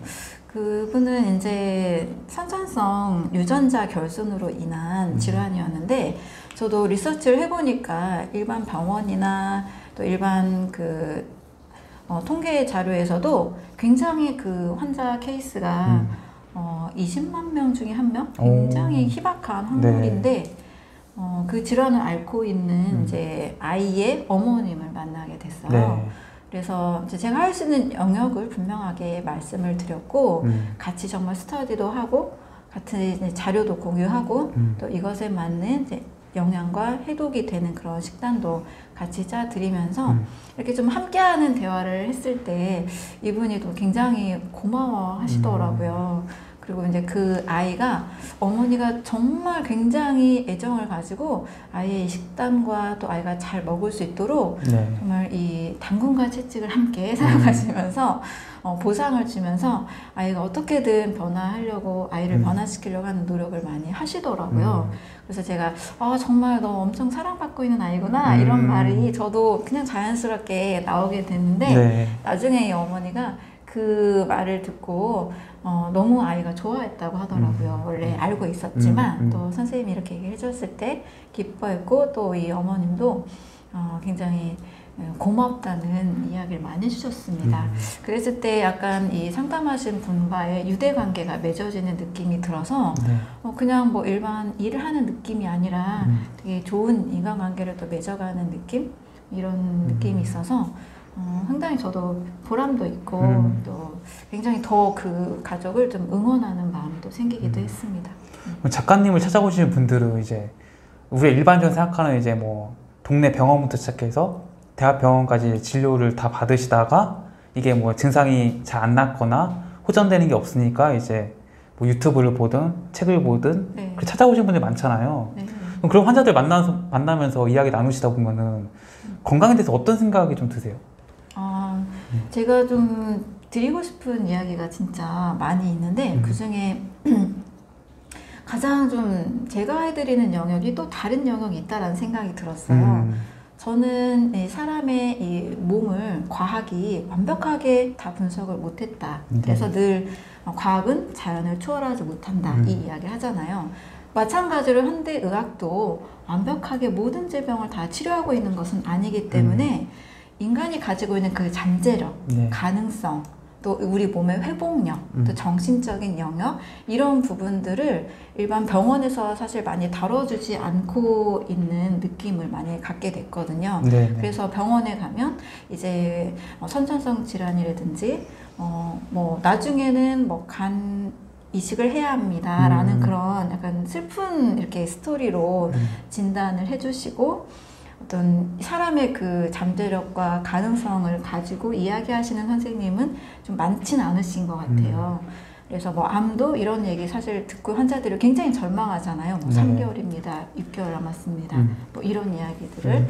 그래서 그런 이야기들을 좀 쉽게 어 물론 뭐 여러 가지로 이렇게 통계적으로 말씀하셨겠지만 음. 환자들의 입장에서는 너무 쉽게 이야기를 하신다라고 느낌을 그렇게 받고 굉장히 절망하시고 힘들어하시는 분들을 많이 봤거든요. 음, 그래서 제가 드- 어, 드리고 싶은 이야기는 어, 우리 조 디스펜자라는 그 척추뼈가 여섯 개가 음, 교통사고로 자전거를 타다가 네. 부러져, 부러졌는데도 현대의학으로는 뭐 거의 뭐 식물 인간으로 진단을 내렸는데 음, 이제 그분의 어떤 상상력과 가능성 그런 긍정적인 생각으로 12주 만에 일어나는 음. 이런 케이스가 있었잖아요. 네.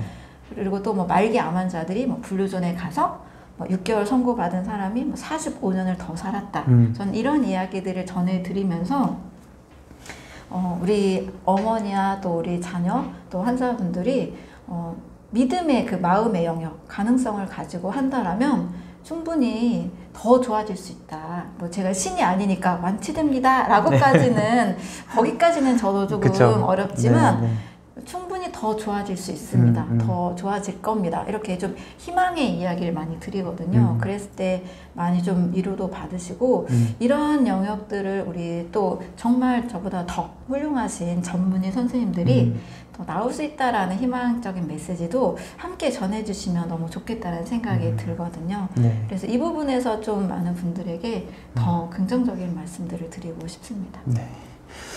어, 이번에 그 완전 소화라는 책에서 제가 좀 더 질문을 뽑아봤거든요. 그래서 책에 대한 좀 질문들 드리도록 해보, 하겠습니다. 네. 일단은 이제 우유. 사실 우유는 제가 이제 만날 때마다 물어보기도 하고 네. 많은 의사 선생님들한테 물어보는데 네. 아직도 사실 잘 모르겠어요. 우유요? 우유가 이제 먹어도 되는 건지 네. 네. 이게 절대 먹어서는 안 되는 건지 네.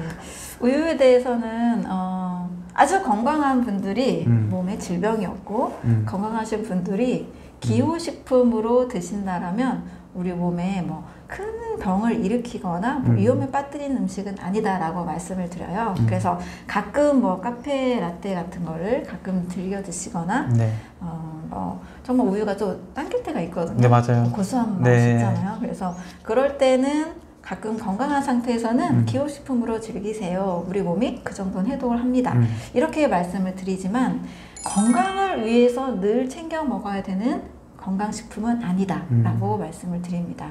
그 이유는 한 다섯 가지 정도 되는데요. 네. 우리가 우유를 대부분 선택하는 목적이 음. 잘 자라라고. 이 맞아요. 우유에 있는 칼슘 때문에 예, 잘 키 성장을 위해서 선택을 많이 하시고 음. 또 어르신들의 경우에는 이제 골다공증, 골감소증을 예방하기 네. 위해서 이 우유를 선택을 하시는데 어, 우유를 오랫동안 연구한 결과 키 성장과는 무관하다. 오히려 어, 골 감소증, 어, 골 다- 골다공증을 유발하는 것으로 이제 결론이 났습니다. 결론 난 거예요, 이거는 확실하게?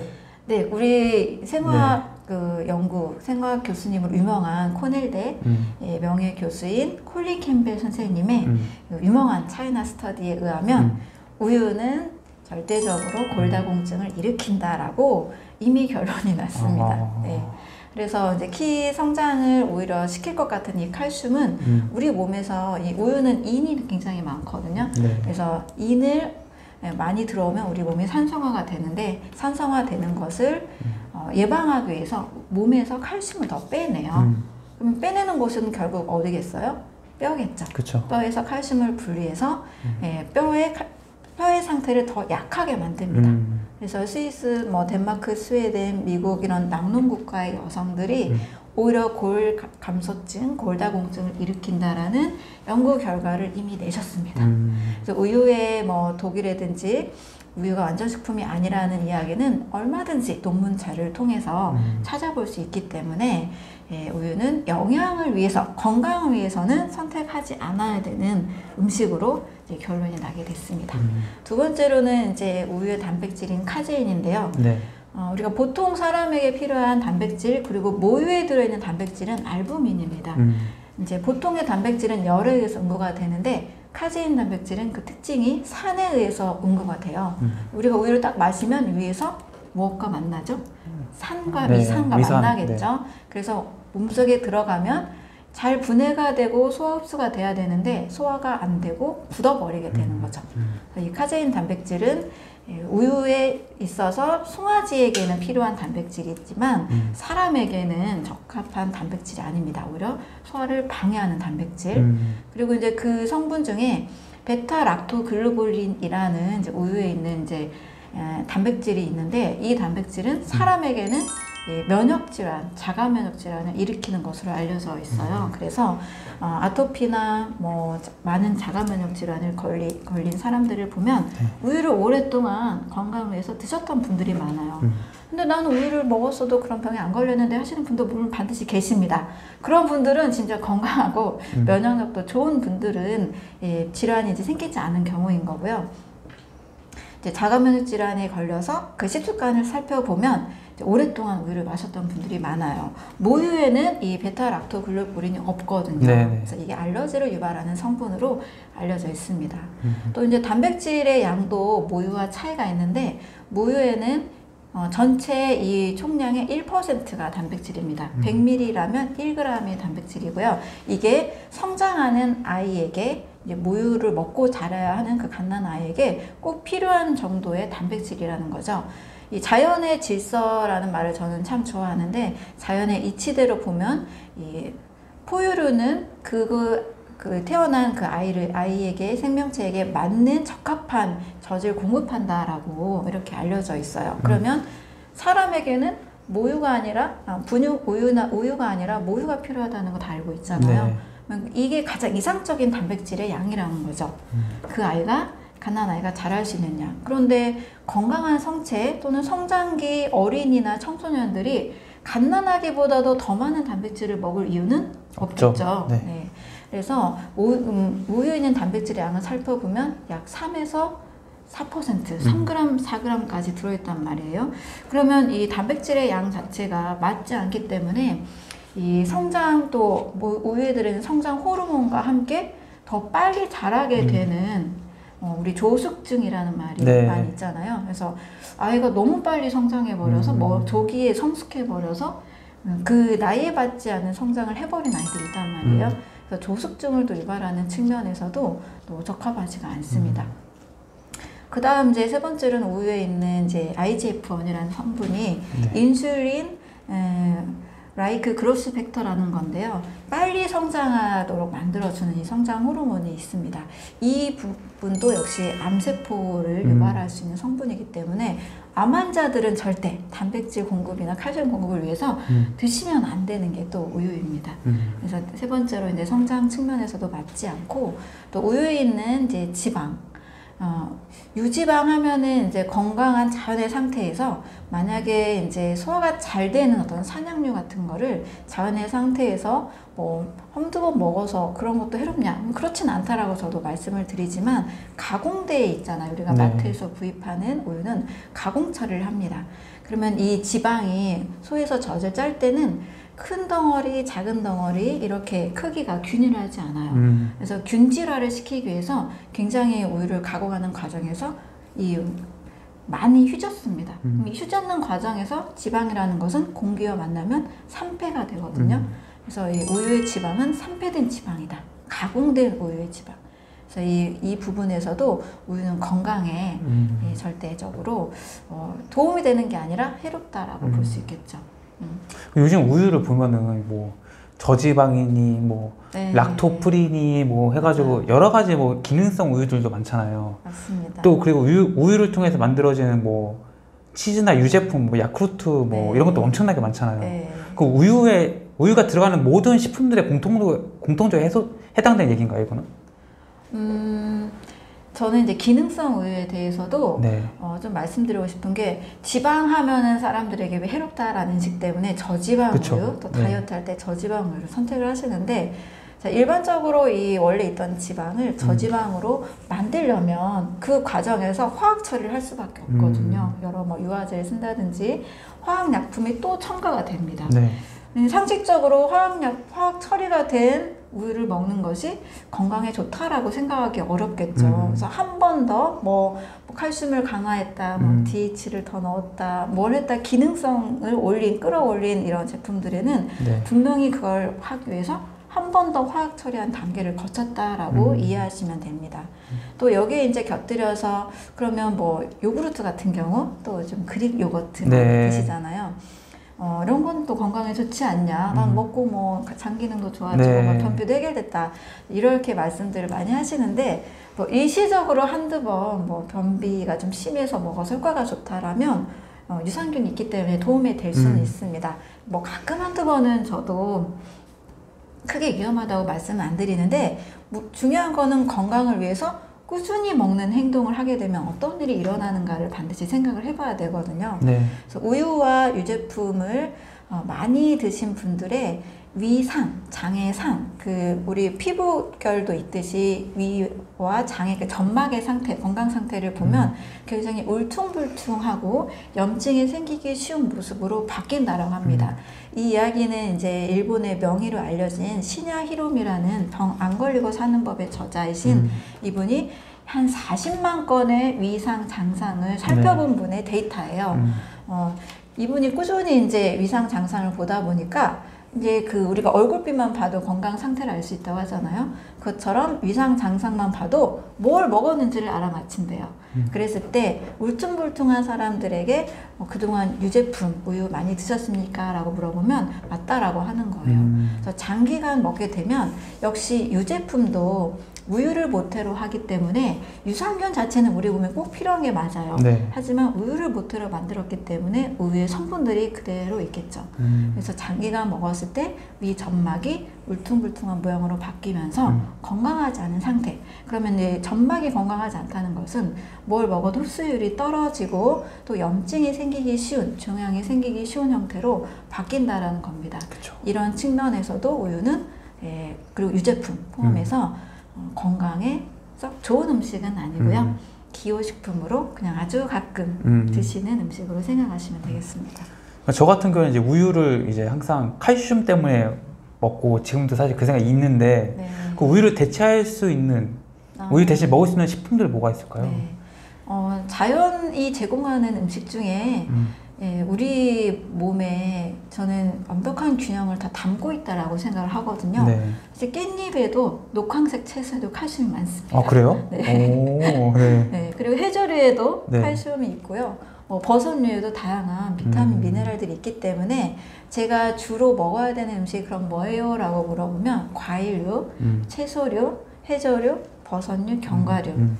네, 자연에서 우리가 구하기가 어려운 음식들이 아니잖아요. 네. 이런 음식들만 하루에 살아있는 음식을 50% 정도만 먹어줘도 음. 칼슘이 부족하지는 않은 것 같습니다. 음. 자연의 음식을 통해서 보충해 주시고 어, 건강한 이 성, 성체 성인이 다 자란 성인이 다른 생명체 포유류의 젖을 먹어야 될 이유는 음. 없다고 봅니다. 음. 그래서 우유를 우리말로 풀면 소젖이잖아요. 네. 소젖, 소젖은 송아지 거죠. 음. 송아지가 먹을 수 있도록 음. 남겨두고 어, 사람은 우리가 자연이 제공해주는 이런 음식들로 충분히 균형 잡힌 건강을 유지할 수 있다고 생각을 합니다. 네. 그 콜레스테롤 이제 이 혈관 질환하고 미- 밀접한 연관이 있잖아요. 네, 그렇죠. 근데 이제 콜레스테롤이 심혈관 질환, 질환과는 무관하다라고 네. 책에 쓰셨더라고요. 네, 맞습니다. 이건 어떤 이유에서인가요? 네. 콜레스테롤에 대한 인식 자체가 사실 굉장히 좀 잘못된 음. 케이스인데요.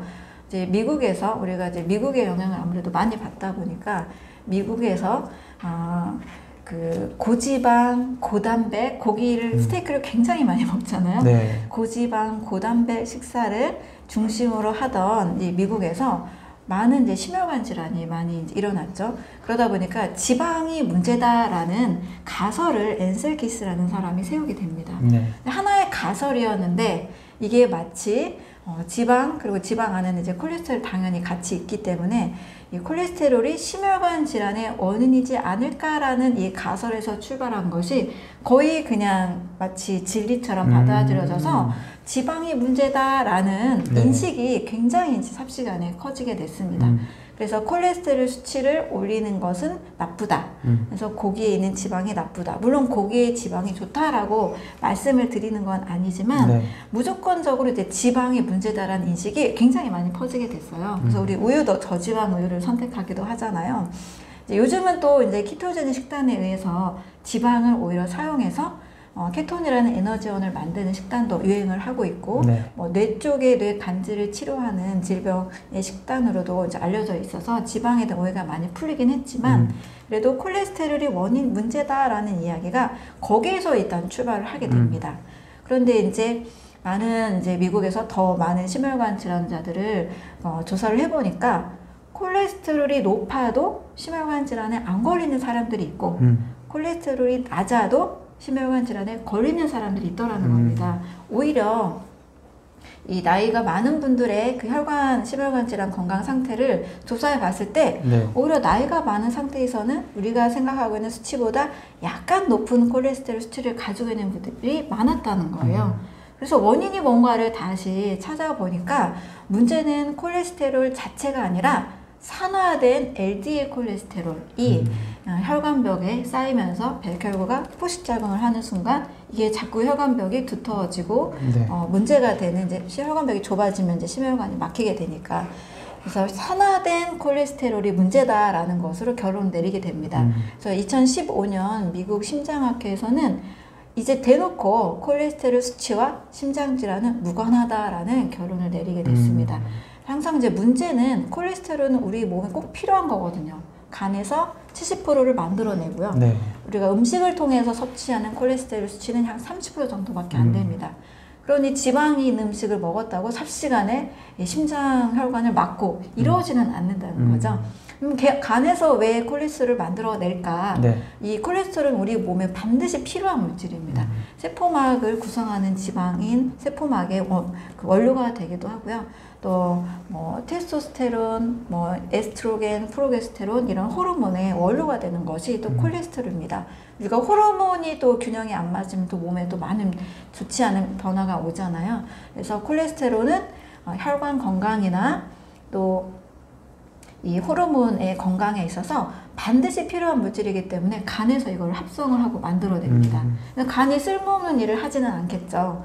그래서 반드시 필요한 물질인데 이것을 인위적으로 낮추면 간에서 이 필요한 물질들을 만들지 않는 시스템을 차단해 버립니다. 그렇죠. 간에서 차단을 해버리기 때문에 콜레스테롤이 만들어지지 않아서 결국 어떤 일이 일어나느냐 네. 혈관에 필요한 콜레스테롤이 공급되지 않아서 음. 혈관 질환 뇌 쪽에 이제 혈관 질환 또 문제를 일으켜서 음. 어, 또 2차 질환으로 치매가 생기기도 하고 네. 또 남성들은 발기부전이 생기기도 하면서 어. 여러 이제 이 콜레스테롤을 낮추는 약들이 부작용들이 일어나게 됩니다. 음. 또뭐 근육도 이렇게 녹이는 횡근 융해증이라는 것도 이제 부작용을 일어나서 네. 이제 근무력증이 오거나 네. 팔다리 힘이 없어지는 이런 것도 생기고 음. 또 이제 어, LDL 콜레스테롤이 또 원래 면역력하고도 관련이 있거든요. 네네. 또 이런 것들이 잘 합성이 되지 않아서 면역력이 떨어져서 뭐 방광염이 오기도 하는 음. 이런 2차 질환들이 또 생기기도 합니다. 그러면 또 질환이 생기니까 또 약을 먹게 그쵸. 되고 네. 이런 악순환이 또 생기게 되는 거죠. 음. 그럼 그, 그 말씀을 이제 뭐 계란 노른자, 뭐 오징어 이런 거 우리가 콜레스테롤 좀 잘 좀 기피했던 네. 물건 음식이 음식이잖아요. 네. 먹어도 된다라는 거죠, 그냥 그렇죠. 많이 먹어도 되나요, 그럼?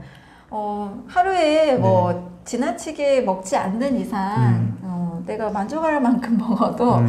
이 음식으로 섭취하는 콜레스테롤이 우리 네. 몸의 콜레스테롤 수치에 큰 영향을 저는 미치지 않는다라는 음. 입장에 가깝습니다. 네. 그 이제 콜레스테롤 중에서 산화된 LDL이 LDL 콜레스테롤이 문제다라고 네, 하셨잖아요. 맞습니다. 그럼 왜 산화가 되는 거예요? 아, 산화되는 이유는 네. 우리 몸에서는 산소를 마시면 음. 약2% 정도는 활성산소라는 것으로 바뀌게 됩니다. 네. 어, 산소를 마시면 이제 이산화탄소는 내보내게 되죠. 음. 그런데 이 활성산소가 2% 정도 생기는 것은 굉장히 자연스러워요. 음. 이 활성산소는 우리 몸에서 어, 긍정적인 기능도 하고 부정적인 기능도 하는데 뭐 적정량이 생기는 이 활성산소는 세균이나 바이러스를 공격해서 음. 우리 몸을 더 정화시켜주는 일을 합니다. 근데 문제는 이 활성산소가 과하게 생겼을 때 네. 우리 몸의 건강한 세포, 면역 세포 또 이렇게 콜레스테롤을 산화시키는 일을 합니다. 음. 한마디로 우리 몸에서 해결해야 되는 어, 자연스럽게 만들어지는 내 독소인 셈인 거죠. 이 활성산소가 많이 생기는 환경을 만들 때 바로 염증이 많이 생기고 음. 또 LDL이 산화가 돼서 백혈구가 이렇게 포식작용 하잖아. 이게 바로 음. 염증이 되는 거죠. 음. 근데 몸속 미세 염증들을 많이 늘려가는 것이 바로 활성산소입니다. 음. 그럼 그 활성산소 때문에 우리 몸이 염증에 가득 차 있다. 이건가요? 맞습니다. 맞, 어. 맞아요. 그럼 그 염증을 가득 차 있으면 뭐 줄이거나 네. 네. 없애야 되지 않나요? 그렇죠. 염증을 반드시 해결을 해야 되죠. 우리가 음. 어, 쉽게 뭐 역류성 식도 염 할 때 염도 염증이고 네. 뭐 위염, 음. 뭐 대장염, 뭐 음. 장염 음. 여러 염증성 질환으로 굉장히 많이 고생을 하시는데 큰 문제는 바로 활성산소라는 것이 우리 몸을 공격하는 것이 원인인데 그 이전에 왜 활성산소가 많이 생길까? 네. 이거를 또 해결을 해야 되겠죠. 네. 어, 활성산소는 자연스럽게 생기지만 독소 음식을 많이 먹었을 때 과하게 발생을 합니다. 음. 이 독소 음식이라는 것은 우리 몸에 불필요한 음식 또는 어, 소화가 덜 된 음식의 찌꺼기, 음. 대사산물이 또 독소로 작용하기도 합니다. 네. 음, 한마디로 이제 가공식품을 먹게 되면 우리가 가게 뭐 편의점이나 마트에서 이제 식품 이제 만들어진 식품을 먹게 되면 뒷면에 음. 굉장히 많은 첨가물들이 있어요. 뭐 색소도 있고 뭐 보존제도 있고 뭐 산도 조절제 네. 여러 이 첨가물들이 우리 몸에서 사실 약이 되고 영향이 되는 건 아니겠죠. 음. 이런 물질들을 뭐 가끔 한두 번은 우리 몸이 버텨내지만 음. 이걸 너무 매일 일상적으로 하루에 꼭 편의점 음식을 한두 번 이상씩 먹는다. 음. 이런 환경에서는 활성산소가 생길 수밖에 없습니다. 왜냐하면 그런 첨가물들은 우리 몸에서 만약에 뇌와 심장으로 들어간다고 생각을 하면은 굉장히 위험한 거거든요. 음. 그래서 간이라는 장기가 꼭 해독을 해냅니다. 음. 근데 간이 불필요한 이런 첨가물들을 너무 많이 해독을 해낸다라면 간이 일을 많이 하겠죠. 그쵸. 일을 많이 하는 환경은 산소를 많이 사용하게 되고 음. 활성산소도 더 많이 늘어나게 되는 거죠. 음. 그래서 불필요한 가공식품을 많이 먹었을 때, 네. 또 과산화 지질이라고 해서 좀 길에서 파는 튀긴 음식을 너무 자주 먹게 되면 역시 과산화 지질도 우리 몸의 독소가 됩니다. 음. 이것도 이제 해결을 해야만 하는 이제 염증 질환을 일으키는 원인이 될 수 있습니다. 음. 그리고 이제 과하게 먹는 그런 음식 중에 과식, 과식을 하는 것, 또 과음을 하는 것, 음. 그리고 뷔페식 같은 데 가면 음식을 굉장히 다양하게 또 많이 먹게 되잖아요. 네. 그랬을 때 우리 소화 잘 되나요? 안 되죠. 네. 소화가 안 되고 네. 뭐 트림이 나오기도 하고 방귀가 나오기도 음. 하고 또 더부룩해서 오히려 골고루 잘 먹었는데 불구하고 더 불편한 그쵸. 소화시키느라고 음. 오히려 더 어지럽고 막 음. 나른해지고 힘들어지잖아요. 그 이유는 다양한 음식을 동시에 먹으면 우리 몸의 소화 효소가 음. 완벽하게 소화하기가 어렵습니다. 우리 몸의 소화 효소는 어, 한 가지 영양소를 한 가지 소화 요소만 작용을 하거든요. 음. 탄수화물은 아밀라아제는 소화 요소에 의해서만 작용을 네. 하고 단백질은 프로테아제라는 소화 요소에 의해서만 음. 지방은 리파아제라는 소화 효소에 의해서만 이렇게 한 가지 만능 소화 요소가 없습니다. 그래서 단순하게 먹어야 되는데 동시에 많이 먹게 되면 이 소화가 엄청나게 괴로워지는 거죠. 음. 그래서 인체 에너지 중에 뭐 소화에 쓰는 에너지가 약 60%다라고도 하는데 소화에 온몸이 집중돼 있다 보니까 이 뇌에 산소 공급 안 돼서 그쵸. 졸리게 되기도 하고 음. 여러 문제가 생기죠. 그러면 이 소화를 시키기 위해서 장기도 굉장히 소화 장기도 소화 기관도 굉장히 힘들게 네. 지치게 일을 하게 되면서 산소를 또 많이 사용하게 되니까 음. 활성산소가 또 늘어나게 되는 음. 겁니다. 그래서 우리 몸에 이 소화로 인해서도 이제 활성산소로 인한 독소가 많이 생기기도 하고 음. 또 단백질이 또 과하게 동물성 단백질을 과하게 먹게 되면 암모니아나 요산 요소, 뭐 인돌, 스카톨 이런 단백질 대사산물이 많이 늘어나게 됩니다. 음. 이것들은 또 직접적으로 굉장한 독성이 강하거든요. 음. 그래서 육식 동물조차 이 독성이 오래 머무르지 못하도록 장의 길이가 짧거든요. 음. 그래서 이런 물질들은 빨리빨리 내보내야 되는데 많이 먹고 또 복잡하게 먹을수록 독소가 우리 몸에 많이 차기 때문에 염증이 많이 생기기 쉽죠. 음. 그래서 독소가 되는 음식을 일단 줄여야 음. 염증이 줄고 또 활성산소도 많이 나오지 않아서 음. 건강한 몸을 만들 수가 있습니다. 독소로 비롯해서 염증이 생기는 거군요. 네, 이 맞아요. 염증이 그러면은 해독하는 과정에서 자연스럽게 일어나는 현상이라고 이해하면 되나요? 오, 네, 맞습니다. 어. 네, 염증을 사람들이 네. 무조건 또 나쁘게 얘기를 하는데요. 음. 우리 몸이 방어를 하기 위해서 네. 전쟁을 치르고 있는 그 과정을 염증이라고 보시면 음. 돼요.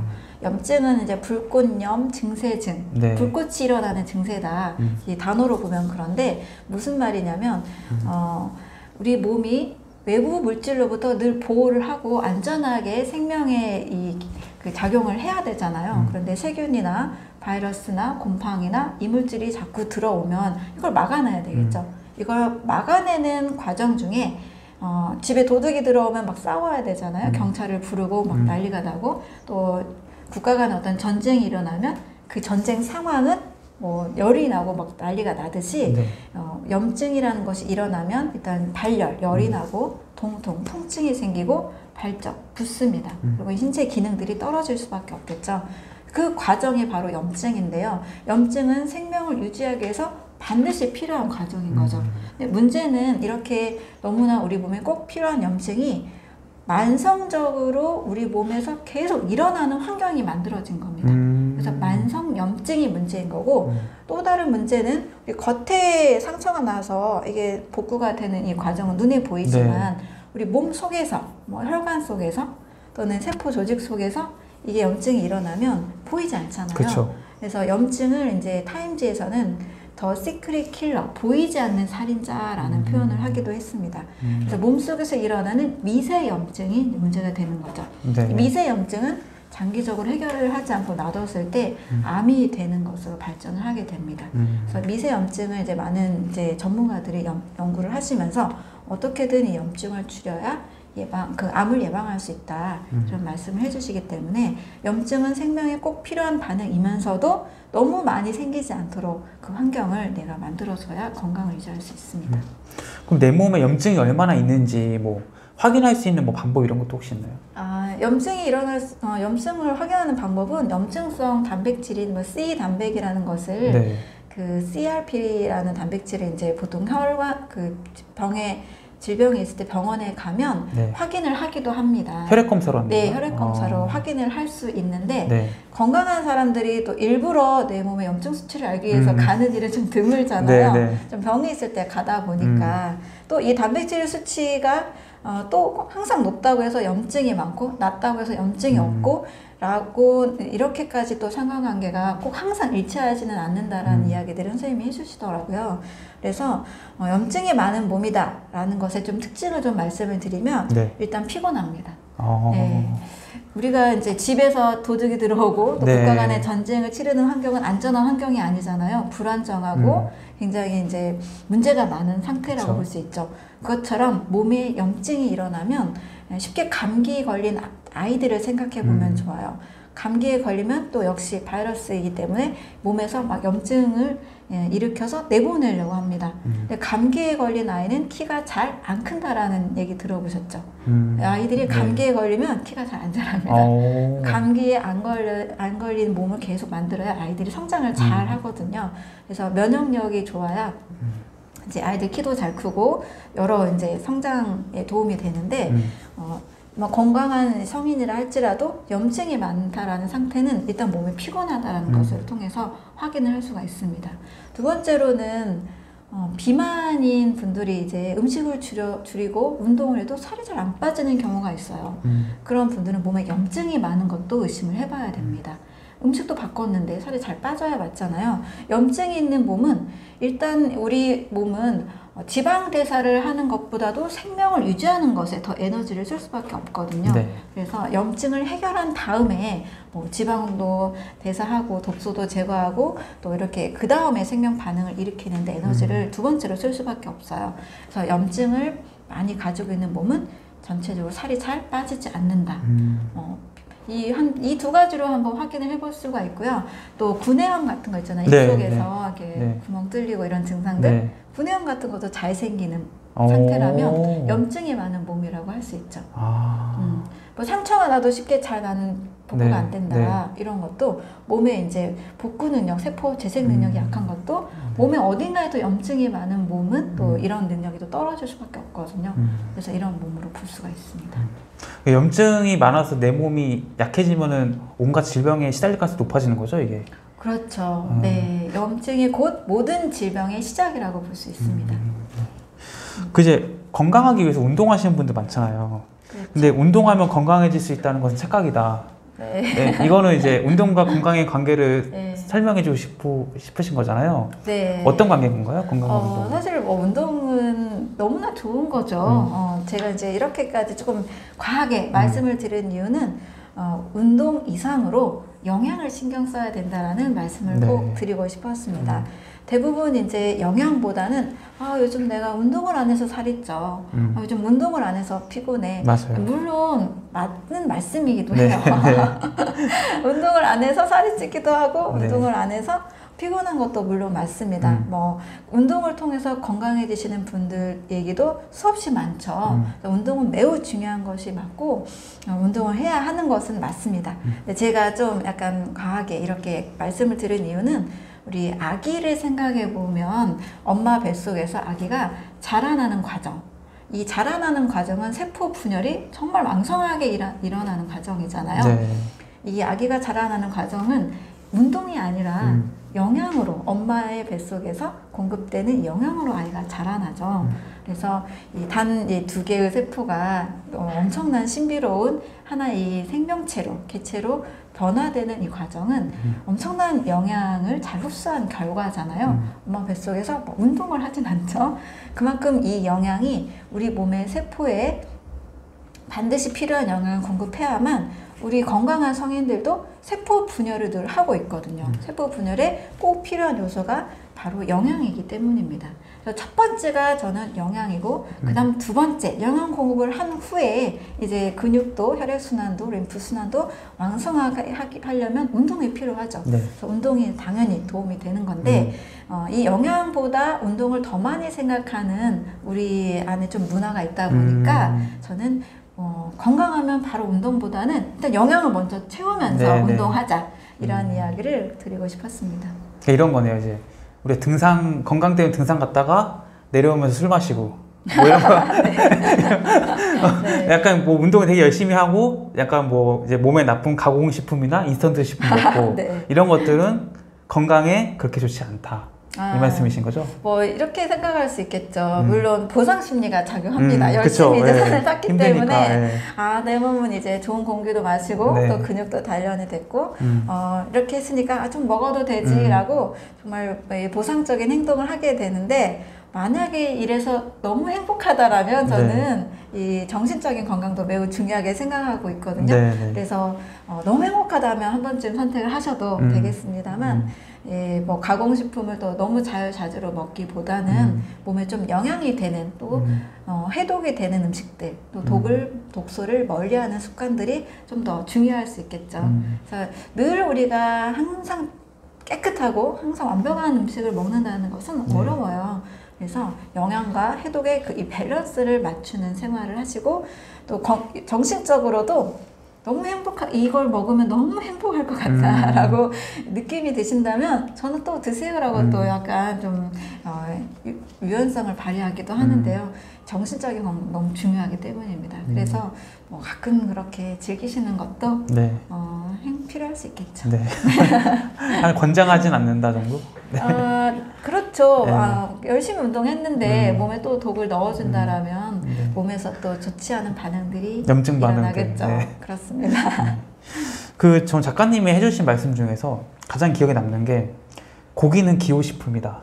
네. 라는 게 되게 인상적이었거든요. 음, 이제 고기가 이제 필수 영양 음식이 아니라는 거잖아요. 네, 네, 어떤. 의미에서 그럴까요? 네.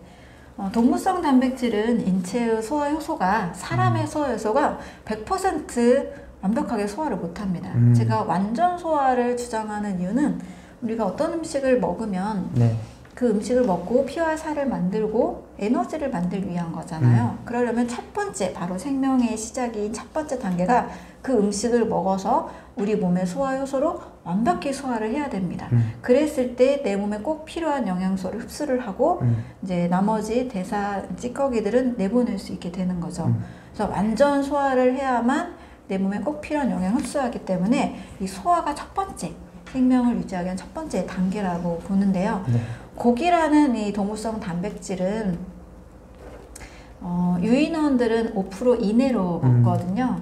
어, 이제 사람과 해부학적 구조와 또 유전자 구조가 뭐 무려 99.6% 음. 일치하는 유인원들은 그 식이 습관을 보면 5% 이내입니다. 네. 그래서 이걸 이제 기준으로 어, 실험을 했는지 모르겠지만 이제 어, 차이나 스터디라는 동물성 단백질과 질병의 상관관계를 연구한 대규모 음. 연구가 있습니다. 이제 콜린 미국의 이제 코넬대 콜린 캠벨이라는 교수님에 의해서 네. 이 연구 결과를 발표를 해주셨는데 어, 무려 이제 2,400개 지역의 8억 8천 명을 대상으로 동물성 단백질이 인체에 미치는 영향 음. 그리고 이 표본 조사와 함께 동물 실험도 같이 병행을 음. 했거든요. 이랬을 때 동물성 단백질의 섭취가 많을수록 어, 암이나 뭐 고혈압, 당뇨, 심혈관 질환, 많은 만성 질환이 많은 결과를 확인을 하게 됐습니다. 음. 그래서 미국에서는 이제 과일과 채소, 뭐 해조류, 뭐 견과류, 버섯류 중심의 이 식물 중심의 식사, 채식을 하는 의사 선생님들 굉장히 많고 어, 이걸 선택하는 것이 훨씬 건강하다라는 결론을 내리기도 했죠. 존 맥두걸이라는 음. 빌 클린턴 대통령의 주치의였던 이분도 본인의 이 중풍을 고등학교 때부터 겪었던 중풍을 식물성 식단으로 음. 완벽하게 이제 해결을 하기도 했거든요. 네. 그래서 동물성 단백질은 인체에 맞지 않은 단백질이기 때문에 5% 이내로 음. 기호식품으로만 추천을 드리고요. 과하게 먹을 경우에는 이 동물성 단백질의 대사산물인 뭐 암모니아, 요산, 요소, 인돌, 스카톨 이런 성분들이 음. 또 요산이 쌓여서 뼈에 쌓여서 생긴 게 통풍이잖아요. 네. 여러 신장 결석이나 신장 질환, 또 통풍 질환 이런 질병들의 원인이 되기도 합니다. 음. 그래서 최소한으로 음, 줄여서 드시면 몸이 또 해독을 하니까 괜찮지만 음. 네. 너무 과하게 매일매일 드시는 것은 추천하지 않습니다. 우리가 이제 보통 고기를 먹는 이유는 단백질 섭취를 위해서잖아요. 네. 식물로도 충분해요, 이게.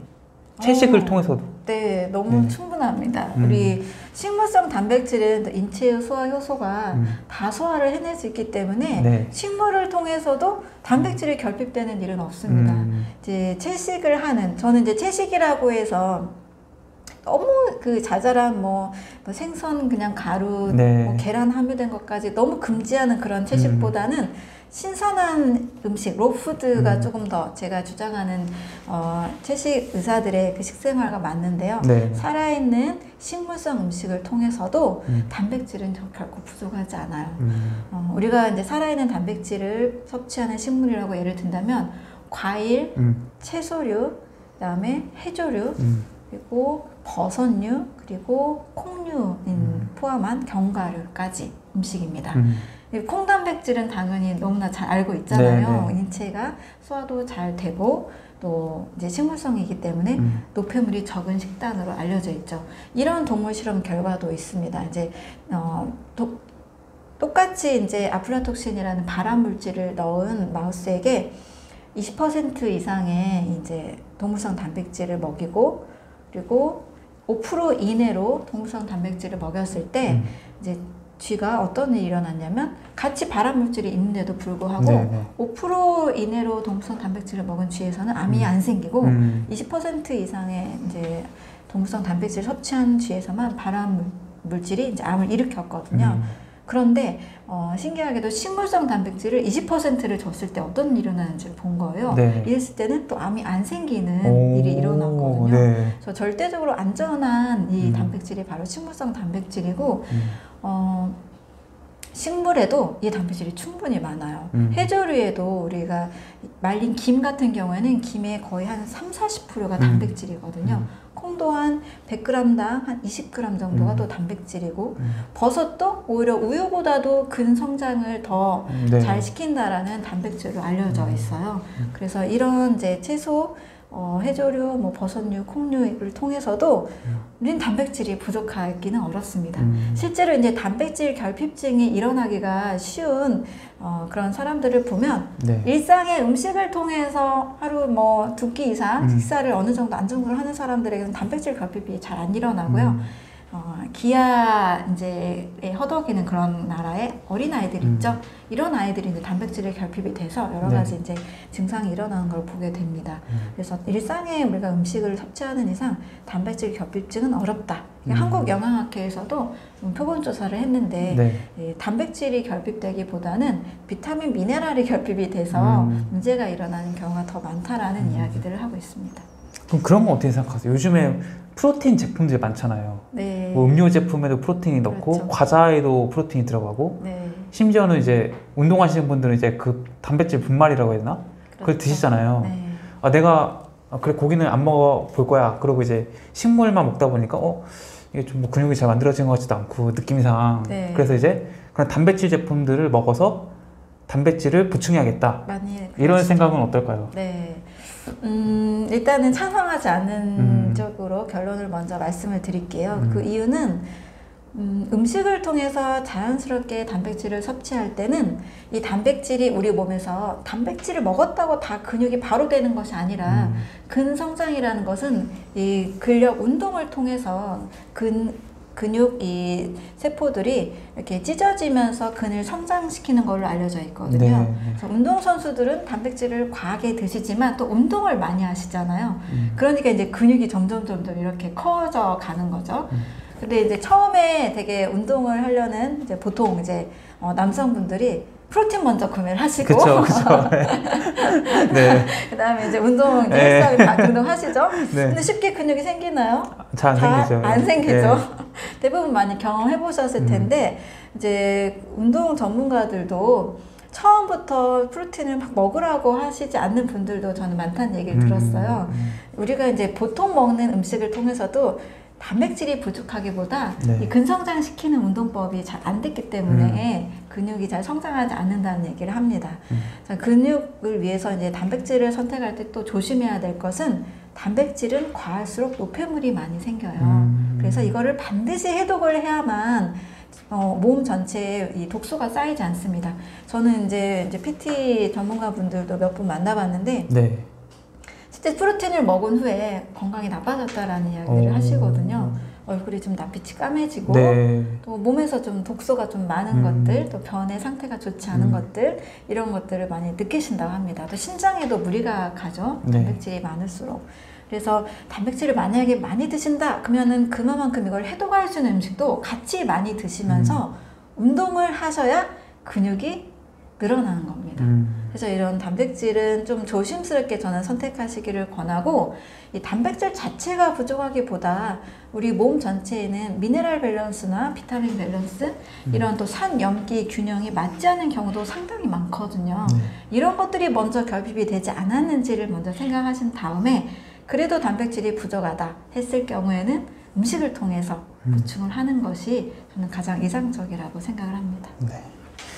그 탄수화물 한번 여쭤보고 싶어요. 뭐 가장 많이 먹는 게 탄수화물 아닐까 싶은데 뭐 밥도 탄수화물이고 빵도 탄수화물이고 근데 이제 탄수화물 중독이라는 단어가 있잖아요. 네. 이 중독은 뭐 객관적인 기준치가 있는 건가요? 어, 중독이라고 한다면 음. 내가 끊지 못하는 게 중독된 상태잖아요. 저의 경우에 저도 탄수화물 중독이 있었는데 너무 이제 스트레스를 많이 받고 음. 또뭐 좀 공허하고 이럴 때 어, 이제 빵을 네. 하나만 먹는 것이 아니라 막 두 개, 세 개, 네, 원거푸 그쵸. 먹, 어요 네. 그것도 엄청 또 빨리 먹어요. 네. 이게 또 중독 증상이라고 음. 볼수 있습니다. 음, 내가 좀 스스로 조절이 안 되는 것을 음. 중독이라 할 수 있고, 그로 인해서 삽시간에 아주 빠르게 뱃살이 늘어나거든요. 음, 음. 체중이 갑자기 늘어나요. 그러면 몸에서 뭐 적당하게 근육이 성장하면서 체중이 늘어나고, 뭐, 뭐, 미, 뭐 몸의 뭐 미네랄 밸런스가 잘 맞으면 상관이 없는데, 네. 배- 지방만 늘어나는 게 문제죠. 음. 체지방만 빨리 늘어나고, 음. 또 체지방이 몸에서 많은 상태 음. 이게 이제 탄수화물 중독증의 모습이라고 볼 수가 있습니다. 그럼 탄수화물에 많이 중독됐다. 그럼 우리 몸 안에서는 어떤 변화들이 생기나요? 아, 근데 정제된 탄수화물의 경우 중독이 되게 쉬운데요. 네. 정제 탄수화물을 음, 많이 먹게 되면 네. 어, 빠르게 이제 정제 탄수화물이라는 것은 쉽게 흰빵, 뭐 흰 쌀밥, 그다음에 뭐 면. 면 종류, 음. 그쵸, 떡 종류, 뭐 케이크 과자 음. 이런 음식을 좀 과하게 먹었을 때 음. 예, 많이 먹게 되면 이제 우리 몸에서 이게 분해 속도가 빨라서 혈당이 빠르게 상승합니다. 네. 혈당이 빠르게 상승하면 인체는 고혈당으로 가면 의식을 잃고 좋지 않기 때문에 혈당을 낮추려고 노력을 하죠. 음. 혈당을 낮추려는 노력은 바로 인슐린이라는 호르몬이 나와서 이 당을 운반해 갑니다. 음. 근데 이게 혈당이 빨리 올라가니까 인슐린도 빨리 나와서 빨리 또 운반을 하거든요. 그렇죠. 그러면 이 당은 원래 우리 몸에서 뭐 음. 근육세포나 여러 곳에 에너지원으로 사용을 해야 되는데 음. 어, 빨리 내리고 빨리 운반하다 보니까 사용되지 못하고 바로 글리코겐 형태로 전환을 시키고 음. 이제 간에 축적을 하게 됩니다. 음. 그러면 이게 글리코겐이 또 간에서는 지방으로도 축적이 되거든요. 네. 그래서 어, 혈액에 이게 많아, 많아지면 고지혈증이 되고 음. 간은 지방간이 됩니다. 그래서 탄수화물 중독증은 2차 질환으로 이제 음. 고지혈증, 지방간을 유발하고 이것을 만약에 수개월, 수년을 반복하게 된다면 음. 이제 인슐린 저항성이라는 것이 오게 됩니다. 인슐린이 저항을 한다는 뜻이에요. 네. 이 당을 운반하지 못하고 음. 인슐린의 기능을 제대로 못하게 됩니다. 인슐린 저항성이 와서 당이 필요한 곳에 운반을 하지 못하는 일이 음. 일어나게 돼요. 그러면서 당이 요로 빠져나가게 되죠. 음. 그게 바로 당뇨. 당뇨병이 되는 네. 거죠. 예, 그래서 당뇨병을 또 잠재적으로 일으킬 수 있는 큰 원인이 되는 것이 탄수화물 중독증이라고 할수 음. 있습니다. 그럼 작가님도 이제 탄수화물 중독에 빠졌던 때가 있으셨다고 하셨으니까 네. 어떻게 벗어나셨어요? 아, 네. 어, 그 당시에는 음. 이제 좀 이제 건강에 대한 공부를 깊게 하기 전, 저도 음. 연구소 시절에는 뭐 여러분들과 똑같이 음. 일반 사람들 똑같이 지식이 어, 별반 다를 게 없었어요. 그때는 어, 저는 이제 살찌는 것에 대한 두려움, 강박이 좀 강한 편이라서 음. 탄수화물 중독증이 오면 아 이대로는 안 되겠다. 한 3, 4kg가 일주일 만에 찌는 거예요. 네. 그러면 아, 안 되겠다 하고 저는 딱 이제 그때부터는 엄청난 이제 의지를 발휘해서 네. 굶고 저녁 식사를 안 하고 네. 이제 헬스장 다닙니다. 굶고 뛰면서 또는 뭐 요거트 하나 정도 먹고 음. 그때는 해결했었는데 음. 사실 굉장히 좀 고통스럽기도 하고 음. 또 별로 행복하고 좋은 방법은 아니었던 음. 거죠. 근데 이제 지금도 저는 어, 밀가루를 좋아하고 면 네. 종류와 이제 빵을 좋아하는 분들의 마음을 너무 잘 네. 이해를 하는데 제가 너무 좋아하기 때문에 네, 네. 어, 저도 지금도 좋아합니다. 음. 근데 지금은 그렇게 유혹에 심하게 넘어지지 않아요. 음. 별로 크게 요즘은 뭐 빵을 맛있게 먹거나 뭐, 음. 뭐 면종류 음식을 즐기거나 그러지 않는데 그렇게 될 수 있는 있었던 방법은 지금도 상담을 이렇게 하거든요. 어, 빵 밀- 밀가루 너무 이제 좋아하시는 분들에게 음. 아 일단 이것을 억지로 끊기보다 그 전에 음. 과일을 먼저 드세요. 음. 또는 뭐 해독 주스를 먼저 과일과 채소를 음. 갈아서 어, 먼저 드세요. 하고 그 다음에 빵을 드셔보세요. 하면 음. 대부분 이 연습을 진짜 제 말을 잘 듣고 실천을 하시면 네. 어, 빵이 그렇게 맛있지 않아요 라는 얘기를 해주십니다. 음. 그리고 빵이 어, 적게 먹게 됐어요. 네. 줄였어요. 근데 음. 줄이다 보니까 과일 저는 이제 맛있는 과일을 많이 드세요. 내가 음. 좋아하는 과일을 찾아서 많이 드세요라는 말씀을 드립니다. 이것을 이제 식전에 또는 이제 아침 공복에 먹으면 포만감도 있고 그 달콤함 때문에 어, 빵에 대한 또 밀가루에 대한 이 관심 많이 줄어들거든요. 음. 그래서 이 유혹에서 벗어날 수 있는 방법은 먼저 과일을 먹자. 음. 또는 과일 채소를 먼저 스무디 형태로 갈아서 먹자. 네. 이렇게 많이 말씀을 드리고 음. 저도 이렇게 많이 해봤는데 빵이 별로 안 맛있더라고요 이제 오. 그래서 뭐 거의 안 먹거나 네. 뭐 빵을 일부러 사 먹는 일은 음. 거의 없게 됐습니다 그러니까 이제 뭔가 내가 탄수화물 음식이 땡길 때는 이제 과일을 먼저 먹어주고 먹더라도 먹어라. 맞아요 이 말씀이시죠? 네 음. 맞아요 그 이제 과일 하면은 당이 아무래도 좀 달잖아요. 그래서 이제 그렇죠. 내장 비만에 대한 우려를 하시는 분도 있거든요. 네 근데 이거 상관이 그렇죠. 없는 건가요? 네, 어, 굉장히 이제 큰 오해라고 생각을 음. 합니다. 물론 이 말씀을 하시는 어, 이유를 알아요. 음. 왜냐하면 이제 과일에 들어있는 과당이다. 음, 과당은 맞아요. 간에서 중성지방을 네. 쌓는다. 이렇게도 얘기하시는데 네. 어, 과일의 식사법에 큰 오해가 있는 것 같습니다. 과일을 드실 때는 식후에 먹으면 그렇게 돼요. 음. 식사 중에 우리가 쌀밥을 먹죠. 당을 굉장히 많이 섭취한 상태에서 음. 또 과일에 추가적인 당이 들어오니까 이제 당분이 많아지게 되는 거죠. 음. 이 당분이 많아진 상태에서는 아까 설명드린 것처럼 우리 몸에 축적이 됩니다. 그래서 식후 과일을 먹으면 내장 비만의 우려가 있다라는 음. 이야기는 어느 정도 일리가 있어요. 음. 하지만 저는 식후 과일은 독이다라고 음. 분명하게 말씀을 드리고 있고 네. 그러면 과일은 언제 먹어야 되느냐라는 말, 물음에 대해서는 과일은 반드시 공복에 음. 아침 식사 또는 식전에 네. 식사 전에 드시라는 겁니다. 이랬을 때 과일의 과당이 과연 중성지방을 일으킬까? 음. 우리가 어, 쉽게 생각하면 운동 선수들이 네. 운동 전후에 바나나를 드세요. 음. 그러면 이 바나나의 과당이 네. 중성지방을 가- 관에서 만들까? 음. 이 질문을 던져볼 수 있는데 이 과당, 과일에 들어있는 과당이라는 에너지원 자체에 대한 음. 이해가 좀 바르게 돼야 될 것 같아요. 음. 추가적으로는 과일, 당분이 쌓이면 당연히 지방으로 전환이 되지만 음. 어, 우리가 공복에 과당을 섭취하게 되면 과일의 과당입니다. 이건 액상 과당이 아닙니다. 음. 이 과일을 드시게 되면 이 과당은 간에서 인슐린의 운반 없이도 음. 바로 사용되는 에너지 효율이 굉장히 높은 에너지원입니다. 음. 그래서 사용이 되기 때문에 쌓이지 않죠. 네. 음, 문제는 축적된 음. 과다한 당분 섭취가 문제인 것이고 과일의 과당은 우리가 전체 과일을 섭취하게 되면 그 양이 굉장히 적어요.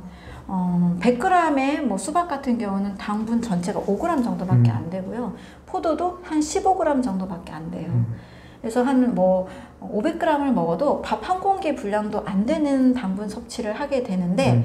또 드시게 되면 수분도 많이 과일의 90%는 수분이니까 수분이나 뭐 식이섬유나 뭐 여러 효소, 비타민, 미네랄과 함께 골고루 이 균형 잡힌 영양을 섭취하니까 이게 과당으로 우리 몸에서 중상지방으로 쌓일 일은 저는 없다고 음. 봅니다.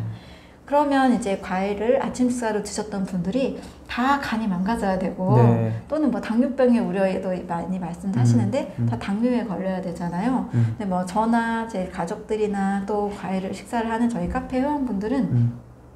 과일 먹고 당뇨 걸렸어요 라고 저에게 시비 거는 분이 네. 단한 분도 안 계시더라고요. 음. 그랬을 때 어, 뭐 7년, 8년 되게 오랫동안 해오던 습관인데도 불구하고 이 과일로 인해서는 살이 더 찌는 경우보다는 음. 살이 오히려 더 빠지게 되고 음. 또 간도 굉장히 건강해지는 걸 볼 수가 있습니다. 네, 과일을 먹는 것도 중요한데 이제 언제 먹는가가 중요하다. 맞아요. 그래서 언제- 식 전에 먹어야 된다는 음. 말씀이시죠? 맞습니다. 음.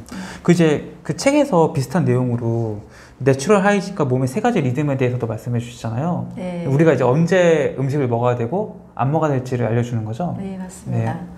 어, Natural Hygiene이라는 것은 이제 미국에서 생겨난 이제 음. 자연 위생학이라는 학문인데, 음, 미국에서 이제 의학의 이제 트렌드가 많이 이제 여러 번 바뀌었잖아요. 네. 즉 약이나 주사, 수술만으로는 한계를 느낀 이제 음. 학자들에 의해서 우리 몸 전체의 환경을 건강하게 만들어주는 방법이 없을까라는 음. 것을 이제 연구하시던 분들에 의해서 만들어진 이론이에요. 그래서 우리 몸은 어, 자연도 이 질서가 있듯이 음. 우리 몸도 질서가 있다. 아침에 해가 뜨고 저녁에 해가 지듯이 우리 몸도 질서가 있을 텐데 어떤 음. 질서가 있을까를 연구를 한 거죠. 또 이제 음양 오양하고도 이 질서가 좀 맞는 것 같습니다. 네. 우리 몸은 어, 아침에 일어나면 먼저 화장실을 가고 배출을 하잖아요. 그래서 새벽 4시부터 12시는 배출의 주기. 음. 이때는 음식을 막 섭취하고 소화효소를 자극하는 음식보다는 내보내는 것에 용이한 음. 음. 식을 먹거나 또는 먹지 않는 것이 더 좋다라는 이야기들을 음. 합니다. 이 아침 4시부터 새벽 4시에서 정오 12시까지고요. 두 번째로는 정오 12시부터 저녁 8시까지는 섭취 주기. 음. 우리가 저- 점심 식사 또 저녁 식사가 껴 있죠. 그래서 이때는 비로소 이제 몸에서 이제 몸이 소화 작용이 활발하게 일어날 수 있는 워밍업을 배출해 주게 음. 마치고 소화 작용이 준비가 됐다라는 이제 시기로 이제 소화시킬 수 있는 음식들을 잘 식사하시는 것, 점심 식사, 저녁 식사가 포함이 되죠. 음. 그 다음에는 저녁 8시에서 새벽 4시까지는 동화주기라고 해서 음. 동화는 우리 몸이 계속 세포 분열, 세포 재생을 하고 또 머리카락, 손톱도 항상 자라잖아요. 네. 합성하는 시기입니다. 음. 뭐 신경 전달 물질도 만들고 호르몬도 만들고 음. 내 몸에 들어온 이 영양 성분들을 가지고 동화하는 시간. 음. 그래서 동화주기라고 해서 저녁 새벽 아, 저녁 8시부터 새벽 4시까지 음. 이때는 잘 자고 숙면을 취하고 또 야식을 하지 않으면 몸이 이제 재생하고 치료하고 복구하는 일을 한다라는 음. 겁니다. 음. 그래서 암세포를 뭐 우리가 하루에 3,000개에서 5,000개 생긴다고 하잖아요. 이것을 또 처리하고 또 세포 분열을 또 일으키는 준비를 하는 것도 이 동화주기. 그래서 잘 자는 것이 몸에 좋다라는 것도 이 동화주기가 잘 활발하게 일어날 수 있는 그런 준비가 되는 거죠. 음. 이렇게 세 가지 리듬에 맞춰서 어, 몸을 이제 식사를 하거나 일반 일, 일상생활을 하게 되면 건강한 몸을 우리가 유지할 수 있습니다. 그 이제 최근에 이제 상담 오신 분 중에서 암 환자분도 계셨잖아요. 아, 네. 네, 이제 그 암 환자분들 상담하시면서 이제 그 책 보니까 이제 암 환자분들에게 좀 권할 만한 음. 거슨 식사법이라고 음. 있더라고요. 네. 어떤 식사법인가요? 아, 암 환자들은 반드시 첫 번째로 해야 되는 것이 바로 해독입니다. 음, 몸에 독소가 많이 쌓인 상태에서 간의 기능이 이제 많이 약해지고 음, 어, 면역력이 이제 상실된 상태이기 때문에 어, 몸에 이제 먼저 독소를 빼내는 것을 첫 번째. 이 독소를 빼내는 것은 뭐 가만히 숨쉬고 물만 마신다고 빠지는 것이 아니라 네.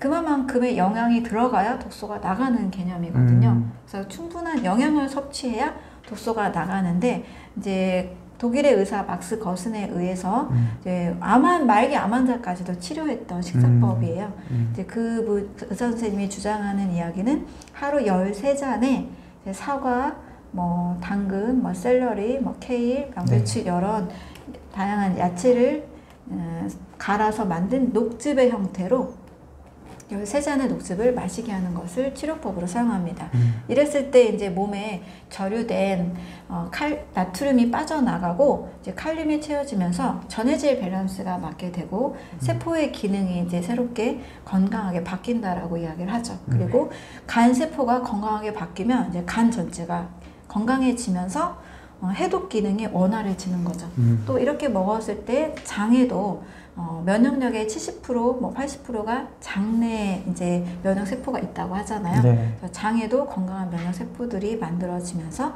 면- 건강한 이제 면역력이 생기는 거죠. 음, 또 이제 장에서 이 나쁜 이제 물질들이 계속 나가야 되는데 장내 마이크로바이옴, 장내 미생물도 균형을 찾게 되는 이런 여러 좋은 효과들이 있습니다. 이 거슨 식사법이라는 게 내가 모든 현대의학적인 그런 병원의 약이나 이런 걸 거부하고 이 식사법만 했다는 게 아니고 같이 한 거죠? 아, 네. 독일의 이 막스 거슨은 음. 어, 사실 병원 치료가 안 되는 환자들 거의 음. 이제 말기라 네. 아무것도 이제 손쓸 방법이 없다. 아. 네, 모든 네. 뭐 수술 뭐 여러 가지 음. 항암 치료를 다 하고 나서 병원에서 더 이상 해드릴 게 없습니다 라고 하는 음. 분들 있죠. 이렇게 병원에서 포기한 분들을 대상으로 어. 이 식사법을 시행을 했을 때 네. 기적적인 그런 치료가 일어나게 된 아. 케이스입니다. 먹는 것만 바꿔도 이제 암이 나을 수 있다라는 거네요, 이게. 네, 이제 이 치료에 의하면 네. 몸에 이제 영양, 세포의 영양과 음. 엄청난 해독 기능을 통해, 통해서 세포를 엄청나게 재생시키고 네. 면역력을 끌어올린 거죠. 음. 이제 그렇다고 어, 현대 의학을 완전히 무시하고 이것만 하자. 네. 이것을 저는 이제 주장하는 것은 아니고 음. 병원에서 해야 될 역할들은 병원에서 하기도 하고 표준 치료라는 것을 네. 하잖아요. 어, 또 표준 치료도 그 사람에게 이제 맞게 음. 어, 내가 너무 이 종양을 반드시 제거해야 음. 나는 마음이 편하고 행복할 것 같다. 네. 종양은 제거하고 대신 이제 막스것은 치료나 온 몸을 온몸의 암세포를 제거하는 기능은 몸의 면역력을 반드시 회복을 해야 되거든요. 독소를 제거하고 면역력을 전체에 끌어올려서 이 암의 씨앗까지도 제거하는 음. 예, 그런 몸 전반적인 이 건강 상태는 반드시 같이 저는 병행을 해야 한다고 생각을 합니다. 네. 그 우리가 이제 뭐 거의 매일 두는 이제 변의 모양을 보고서도 내 건강 상태를 알아볼 수 있다고. 그때 한번 제가 인터뷰했을 때 놀랐던 거는 이제 그 변이 뜬다라는 게 참 아직도 너무 인상, 인상적이긴 한데 어, 내 변이 이제 어떤 상태여야지 좋은 건가요? 예. 어, 내 변은 우리가 네. 어린 아이를 키우는 어머니들은 황금변을 봐야 한다라는 그쵸. 이야기를 잘 아실 거예요. 네. 그래서 아이가 소화를 잘 시키면 음. 황금변을 봅니다. 음. 그래서 어, 바나나 똥이라고 하는데요. 음. 바나나 모양의 굵기의 그 네. 색을 가진 변이 음. 이제 물에 뜨는 형태로 네. 나오면 네. 정말 우리가 먹은 음식이 완전히 소화되고 연소가 돼서 찌꺼기만 나간 상태라고 볼 수가 있습니다. 음. 그래서 물에 뜨는 바나나 변이 음. 변의 이상적인 건강한 상태. 음. 근데 이제 제가 상담을 하면 네. 어, 하루 아침에 뭐 한 하루 과일만 먹었다고 이걸 또 바라는 분들이 계세요. 그렇죠. 예. 근데 우리 몸은 내가 기존에 먹었던 음식과 또 음. 나의 라이프 스타일에 의해서 만들어진 장내 미생물의 환경이라는 게 다 다릅니다. 음. 저도 다르고 피디님도 다르고 사람이면 그쵸. 다 다를 거예요. 그래서 한 사람의 이 몸은 모든 사람과 다르기 때문에 똑같은 식사, 똑같은 음식을 먹었다고 해서 음. 이 장내 미생물이 똑같지는 않습니다. 장내 미생물의 상태에 따라서 바나나 변은 어, 내 몸에서 만들어지는데 좀 시간이 걸리기도 하고 또 이제 간의 건강 상태, 또 음. 장 점막의 상태, 또 점막의 흡수 능력이 약하면 음. 또이 바나나 변이 오기까지도 또 시간이 걸릴 수 있기 때문에 음. 너무 조급해 하기보다 아, 내 변이 좀 냄새가 많이 안, 나, 안 나게 줄었다. 네. 또 변의 상태가 예전엔 뭐 굉장히 뭐 너무 딱딱했는데 음. 좀 이렇게 연해졌다. 또는 너무 묽었는데 좀 음. 단단해졌다. 음. 이렇게 변 해가는 과정에 있다라면 건강한 몸이 되어가는 상태니까요. 네. 안심하고 계속 실천을 하시면 될 것 같습니다. 우리가 이제 변을 났을 때 굉장히 냄새도 고약하고 막 변도 막 시커멓다 네. 이런 거는 건강 상태가 아주 안 좋은 거겠네요. 어, 네, 그렇습니다. 음. 이제 고기를 혹시 많이 드셔보신 날 네, 있으시죠? 네. 그랬을 때 다음날 변의 느낌이 변도 잘 안 나오고 많이 예, 다르죠. 좀 시커먼 것 그쵸? 같아요. 네, 이제 고기에 있는 제가 말씀드린 예. 음. 어, 우리 사람 몸의 소화효소가 고기 단백질을 완벽히 소화를 못 시키기 음. 때문에 그 찌꺼기 덜 소화된 음식물 찌꺼기까지 대사산물까지 같이 이제 나가게 되는 거죠. 음. 그래서 변의 상태가 악취가 심하다는 것은 음. 어, 장내 미생물에 의해서까지도 다 음. 소화가 안 된 상태라고 볼 수 있고 음. 이게 몸속에서 부패된 겁니다. 음. 한마디로 변질된 거죠. 소화가 된 게 아니라 변질이 된 거예요. 음. 어, 집에 이제 식탁 위에 만약에 고기, 불고기를 해놓고 일주일간 이걸 놔뒀다 네. 라고 생각을 한다면 분명히 변질이 되고 음. 이상한 악취가 날 거예요. 아마 과일을 일주일 이상 놔뒀을 때 네. 또는 채소 일주일 이상 놔뒀을 때의 변질 상태와 네. 다를 겁니다. 음. 그쵸? 우리 느낌으로도 네. 생각이 드 느낌이 다르죠. 근데 이제 네. 고기라는 것이 몸속에서 부패되고 변질이 되면 음. 그게 이제 장내 미생물마저도 다 음. 소화시키지 못한 채로 이제 나가게 되니까 뭐 색깔이 또 그렇게 음. 달라지기도 하고 악취가 나기도 하고 그래서 음. 좀내 몸에서 내가 먹은 음식이 부패됐구나 네. 변질됐구나 음. 아 이렇게 계속 먹으면 안 되겠구나 음. 이런 좀 자각을 하시면 좋죠. 그럼 과일하고 채소를 만약에 먹었어요? 네. 그럼 그런 음식을 뭐 먹는다고 해서 막 냄새가 아예 없나요? 그럼? 어, 네. 제가 이제 한 경험과 여러분들의 네. 이야기를 종합해서 말씀을 드리면 네. 어, 믿으실지 모르겠지만 네. 좀 고소한 냄새가 아, 뭐 납니다. 과일 향이 나고 뭐 이런 건가요? 어, 아. 제가 이제 일주일간 네. 어, 100% 과일식만 할 때가 있었어요. 네, 네. 실제 이제 제 주변 사람들에게 과일 향이 난다라는 어. 이야기도 들은 적이 네. 있고 어. 진짜 변해서 악취는 없어요. 음. 일단 그리고 뭐 약간의 이제 향은 있는데 약간 음. 구수한 어떤 음. 약간 누룽지 향 같은 이런 네. 느낌도 나고 어. 일단 악취가 안 나는 변 상태를 볼 수 있게 됩니다. 음. 그런데 어, 채소를 또 과하게 과일과 같이 먹게 될 음. 경우에는 또 채소라는 것은 채소의 셀룰로스, 이 식이섬유가 네. 사람의 소화에서 완벽히 소화를 못해요. 음. 그래서 어, 갈아서 소량 먹는 경우에는 상관이 크게 없지만 음. 내가 소화시키지 못하는 분량만큼 또 많이 드시게 되면 이것도 역시 좀 설사 같은 묽은 변을 보기도 하고 네. 이게 바나나 변이 잘 안 돼요라는 이야기들을 음. 하시기도 합니다. 그 에스키모인들은 심장병에 걸리지 않는다고 하셨던데 네. 왜, 왜 그런가요 이거는? 아 이제 에스키모인들의 이 네. 환경이라는 걸 보면 음. 어, 자연의 그 왜, 북극의 이 환경에서 그쵸. 먹을 수 있는 음식이 네.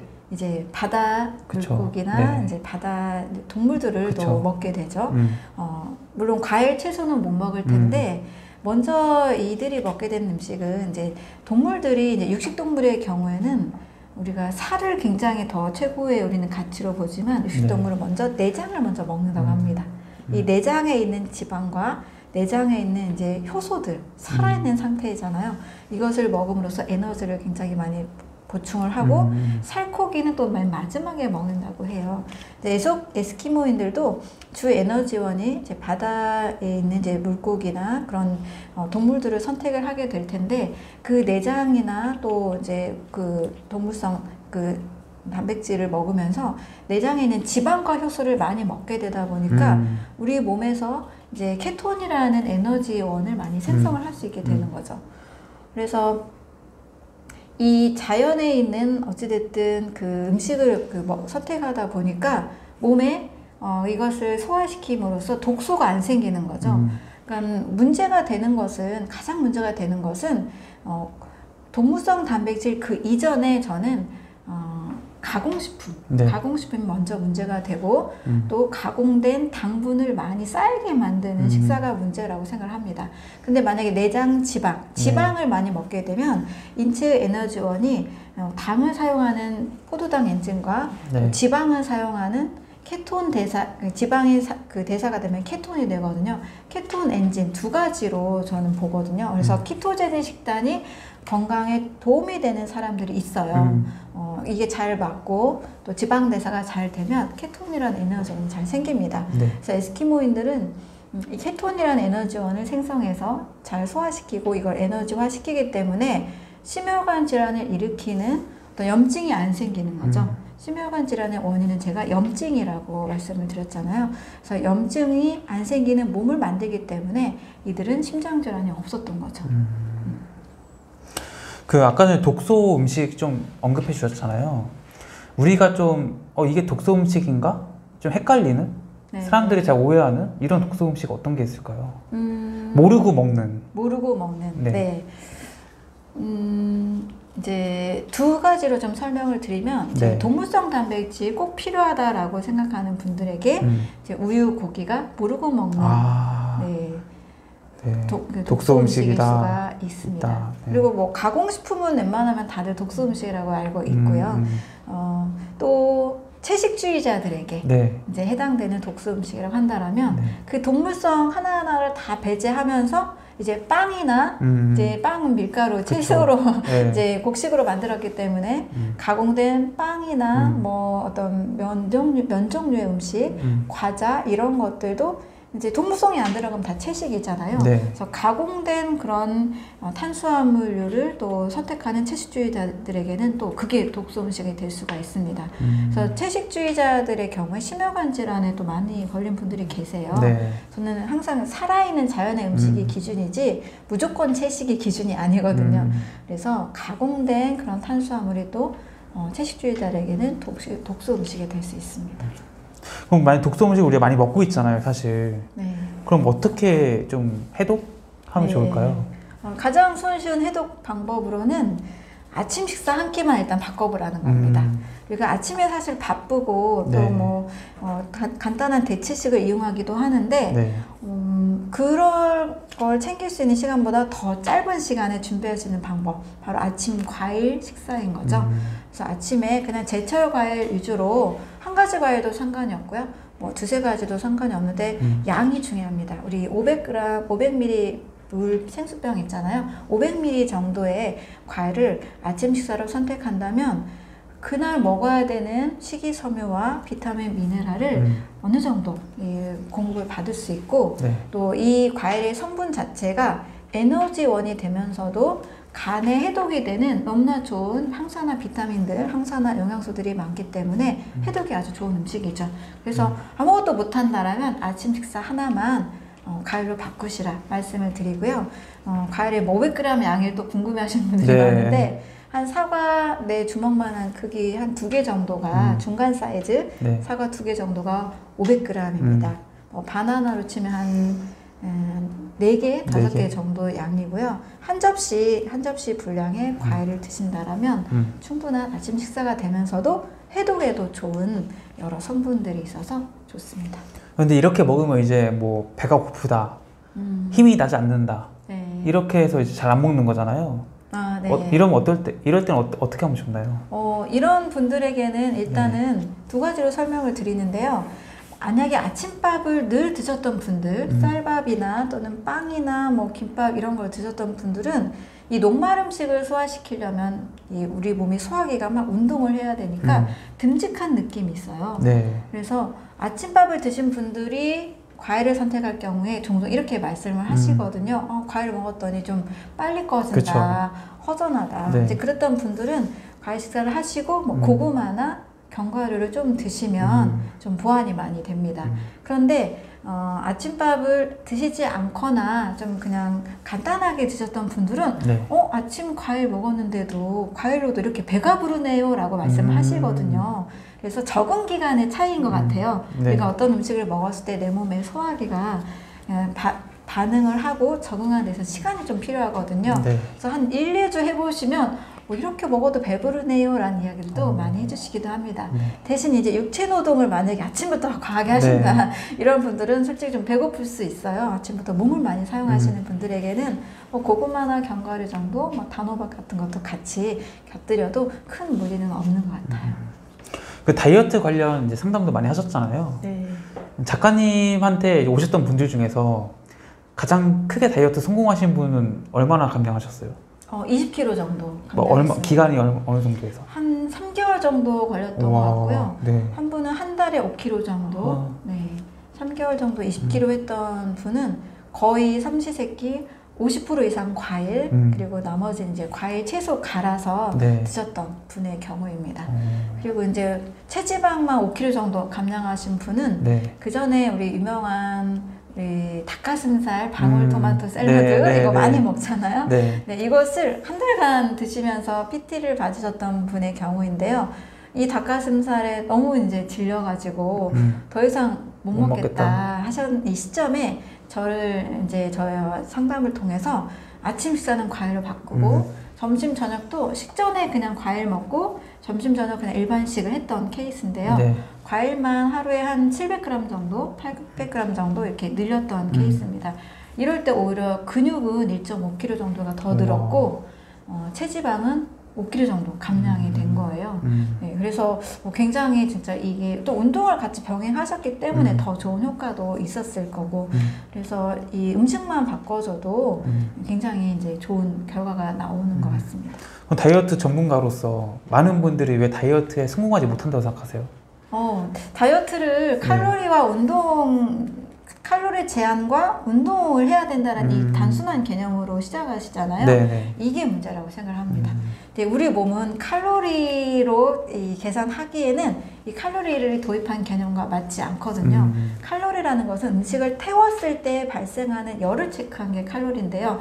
사람은 이 불을 질러서 에너지를 내는 게 아니라 그쵸. 소화 음. 효소가 에너지원을 이 소화시켜서 에너지가 발생하는 거잖아요. 네. 절대 칼로리로 제한하시면 칼로리로 접근하시면 안 됩니다. 음. 단 예, 우리 몸에 살아있는 음식을 얼마나 많이 먹느냐의 차이고요. 음. 과일, 채소류 그리고 뭐 견과류나 뭐 버섯류, 해조류 이런 살아있는 음식만 충분히 먹어도 음. 우리 몸에서 꼭 필요한 영양이 들어오면 내 몸의 장기들이 시간이 지나면 계속 건강해집니다. 음. 특히 다이어트에 있어서는 외부적으로 이 지방을 뭐 분해하기도 하고 운동으로 이렇게 태우기도 하는 접근을 많이 하시지만 네네. 이보다는 우리 몸 속에 음. 지방을 대사하는 장기, 간의 건강을 가장 중점적으로 두신다면 음. 근본적으로 살이 찌지 않은 체질이 될 수 있는 거죠. 음. 그래서 다이어트 하실 때는 칼로리와 뭐 운동보다 더 먼저 생각해야 될 것은 음. 지방을 대사하는, 지방을 분해하는 장기인 간 건강을 챙기시는 것. 음. 이간 건강에 좋은 음식들을 많이 드시는 것. 네. 이것이 가장 첫 번째라고 생각을 합니다. 음. 그럼 칼로리가 우리가 살찌는 거와 상관없다고 한다면은 이 채소하고 과일 그 작가님이 좋아하시는 그건 아무리 먹어도 살이 안 찌나요? 어, 채소 과일은 네. 아무리 먹기가 사실 어렵습니다. 근데 칼로리가 네. 어, 적용이 되는 음식들이 있죠. 죽은 네. 음식은 칼로리 신경 써야 됩니다. 음. 이제 면 종류나 네. 뭐 고기나 네. 뭐 어쨌든 요리한 음식은 음. 칼로리를 많이 먹으면 당연히 찔 수밖에 음. 없는 그냥 당연한 이야기고요. 네. 대신 살아있는 음식, 살아있는 음식, 과일, 채소를 만약 500칼로리를 먹은 거하고 네. 어, 빵을 500칼로리 먹은 거하고 네. 우리 몸은 같게 반응을 할까요? 다르겠죠? 네, 네. 바로 그 차이입니다. 제가 음. 칼로리를 무시하라는 이야기는 살아있는 음 식을 기준으로 할 때는 칼로리를 신경 쓸 필요가 없다라는 음. 이야기예요.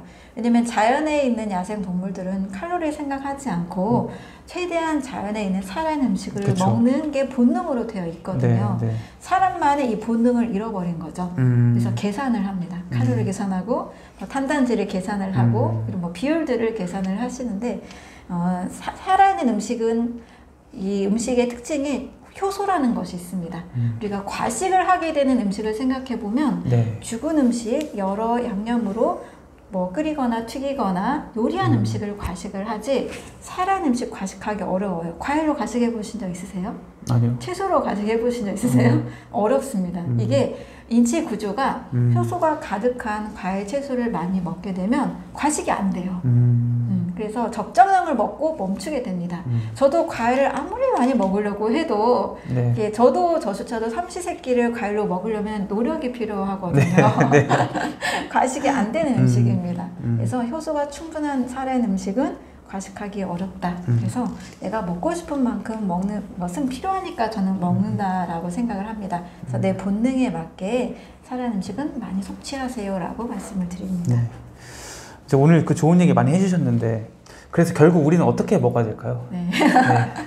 네, 우리가 가장 손쉽게 실천할 수 있는 건강 식단이라고 한다면 아침 식사 하나는 일단 바꾸시면 좋습니다. 음. 아침 식사는 과일로 제철 과일 뭐 가장 뭐 추천하는 과일로는 뭐 사과가 장 건강에 좋기 때문에 음. 아침 배출을 돕는 이 사과 드시면 좋고요. 또 과일을 뭐 제철에 나는 여름에는 전 포도 굉장히 또 좋아하거든요. 포도 추천을 드리고 내가 맛있게 먹을 수 있는 과일로 어, 아침 식사를 500g 정도 드신다면 가장 손쉽게 실천할 수 있는 건강식이 되겠습니다. 그리고 이제 점심과 저녁에는 일단 혹시 더 실천할 수 있는 분은 한 끼 정도 더 과일을 드셔도 좋습니다. 오, 네. 하루 두 끼까지 드시면 어, 고혈압, 당뇨, 뭐 비만, 다이어트, 음. 또암 예방에도 굉장히 좋기 때문에 두 끼까지 저는 추천을 드리고 저도 할 수 있으면 그렇게 하려고 노력을 음. 합니다. 어, 하지만 이제 밥을 너무 좋아한다, 한식을 좋아하는 분들은 식사 전에 과일을 뭐 사과 반 조각이라도 음. 더 드시고 또 식사는 한식 위주로 raw food, 뭐 해조류나 채소류, 그다음에 버섯류를 좀 신선한 상태에서 음. 먹을 수 있는 식단을 꾸린다라면 아주 좋은 건강 식단이 될 수가 있습니다. 이렇게 점심 저녁은 식전 과일과 raw food 한식 위주로 드실 때 어, 건강한 식단을 우리가 먹을 수 있게 되죠. 네. 그 이제 과일 하면은 요즘에 탕후루가 되게 유행이더라고요. 아, 네. 아니, 그 과일 과일 꼬치잖아요. 네. 탕후루에 대해서 어떻게 생각하세요? 네. 네. 탕후루에 대해서 네. 아주 어, 불안한 느낌입니다. 음, 왜냐하면 과일 자체는 좋아요. 네. 저는 과일은 늘 어, 씹어서 소화시키라 소화시키는 게 제일 좋다라고 음. 네. 말씀을 드리고요. 과일을 갈아서 드시는 것도 혈당을 올리기 때문에 음. 과일만 가는 것은 또 추천하지 않습니다. 네. 근데 만약에 환자다. 그럼 어쩔 수 없이 뭐 씹, 씹을 힘도 없다 이럴 때는 네. 간 과일을 갈아서 아주 천천히 드시는 것은 또 괜찮습니다. 음, 중요한 건 혈당 상승이 빠르게 되는 것은 모두 다 음. 인체와 맞지 않는 습관이라서 예, 조심하는 것이 좋죠. 근데 탕후루 같은 경우에는 네. 과일은 좋지만 그 겉을 또 설탕 시럽으로. 이렇게 둘렀잖아요. 먹는 순간 당이 빠르게 음. 상승을 합니다. 음. 그래서 탕후루를 뭐 가끔 한 번씩 드신다라면 큰 문제 없지만 또 네. 너무 자주 드시거나 또 너무 빠르게 드시면 음. 예, 문제가 되죠. 만약에 너무 드시고 싶다면 아주 천천히 음, 네, 천천히 드시거나 물이랑 같이 네. 드셔서 혈당 상승을 올리지 않게 드시는 것이 안전하겠습니다. 이제 끝으로 구독자분들에게 해주고 싶은 말씀 있으시다면. 네. 어, 건강의 길은 어, 어려운 것처럼 보이지만 저는 우리 몸의 예, 본능 욕구인 달콤한 단맛을 가지고 있는 과일 한 가지 좋아하는 것으로도 쉽게 시작할 수가 있습니다. 음. 그래서 과일을 너무 어렵게 생각하지 마시고 또 식후에는 절대 드시지 마시고 음. 아침 식사 하나로만 과일 식단을 선택해도 지금보다 훨씬 피로도 줄이고 또 몸의 체지방도 분해하고 면역력도 좋아지는 유익한 효과가 있으니까요. 여러분들도 아침 식사 한 끼 과일 식사 하시면서 건강한 삶을 만들어 가시면 좋겠습니다. 여러분 건강하세요. 네, 그래서 오늘은 이제 완전 소화의 저자 류은경 작가님 모시고 이야기 나눠봤습니다. 오늘 좋은 말씀을 감사하고요. 영상 봐주신 구독자분들도 고맙습니다. 감사합니다. 감사합니다. 네, 오늘은 완전 면역의 저자 류은경 작가님 모시고 이야기 나눠보도록 하겠습니다. 작가님 구독자분들의 자기소개 한번 할까요? 네, 안녕하세요. 저는 유은경 완전 해독 연구소를 운영하고 있는 유은경입니다. 완전 소화, 아침과의 습관, 완전 면역이라는 책 세 권의 저자이기도 합니다. 여러분 반갑습니다. 최근 어떻게 지내셨는지 근황 근황 토크. 네. 아, 최근요? 최근에는 어, 상담하고 강의 음. 이제 위주로 어, 계속 시간을 보내고 있고요. 음. 또 새로운 이제 책들도 좀 살펴보면서 네. 어, 공부도 같이 하고 있습니다. 음, 근데 상담하면서 또 이제 다양한 이제 증상들, 네. 질병들, 또 다양한 연령대 음. 이런 분들 만나서 음, 제가 이제 가지고 있는 이제 식단과 또 그분에게 이제 맞춤을 맞춤 식단을 짜드리면서 네. 상당히 좀 빠른 이런 좋은 호전되는 결과들이 나와서 어, 아주 보람도 있고 음. 또 새로운 또 경험도 하면서 잘 지내고 있습니다.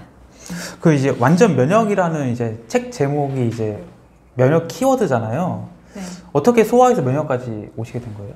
음, 완전 소화를 통해서는 어, 건강의 가장 기본을 말씀을 드리고 싶었어요. 음. 어, 완전히 소화시켜야 우리 몸의 피와 살과 에너지를 만든다. 소화 불량은 독이 된다.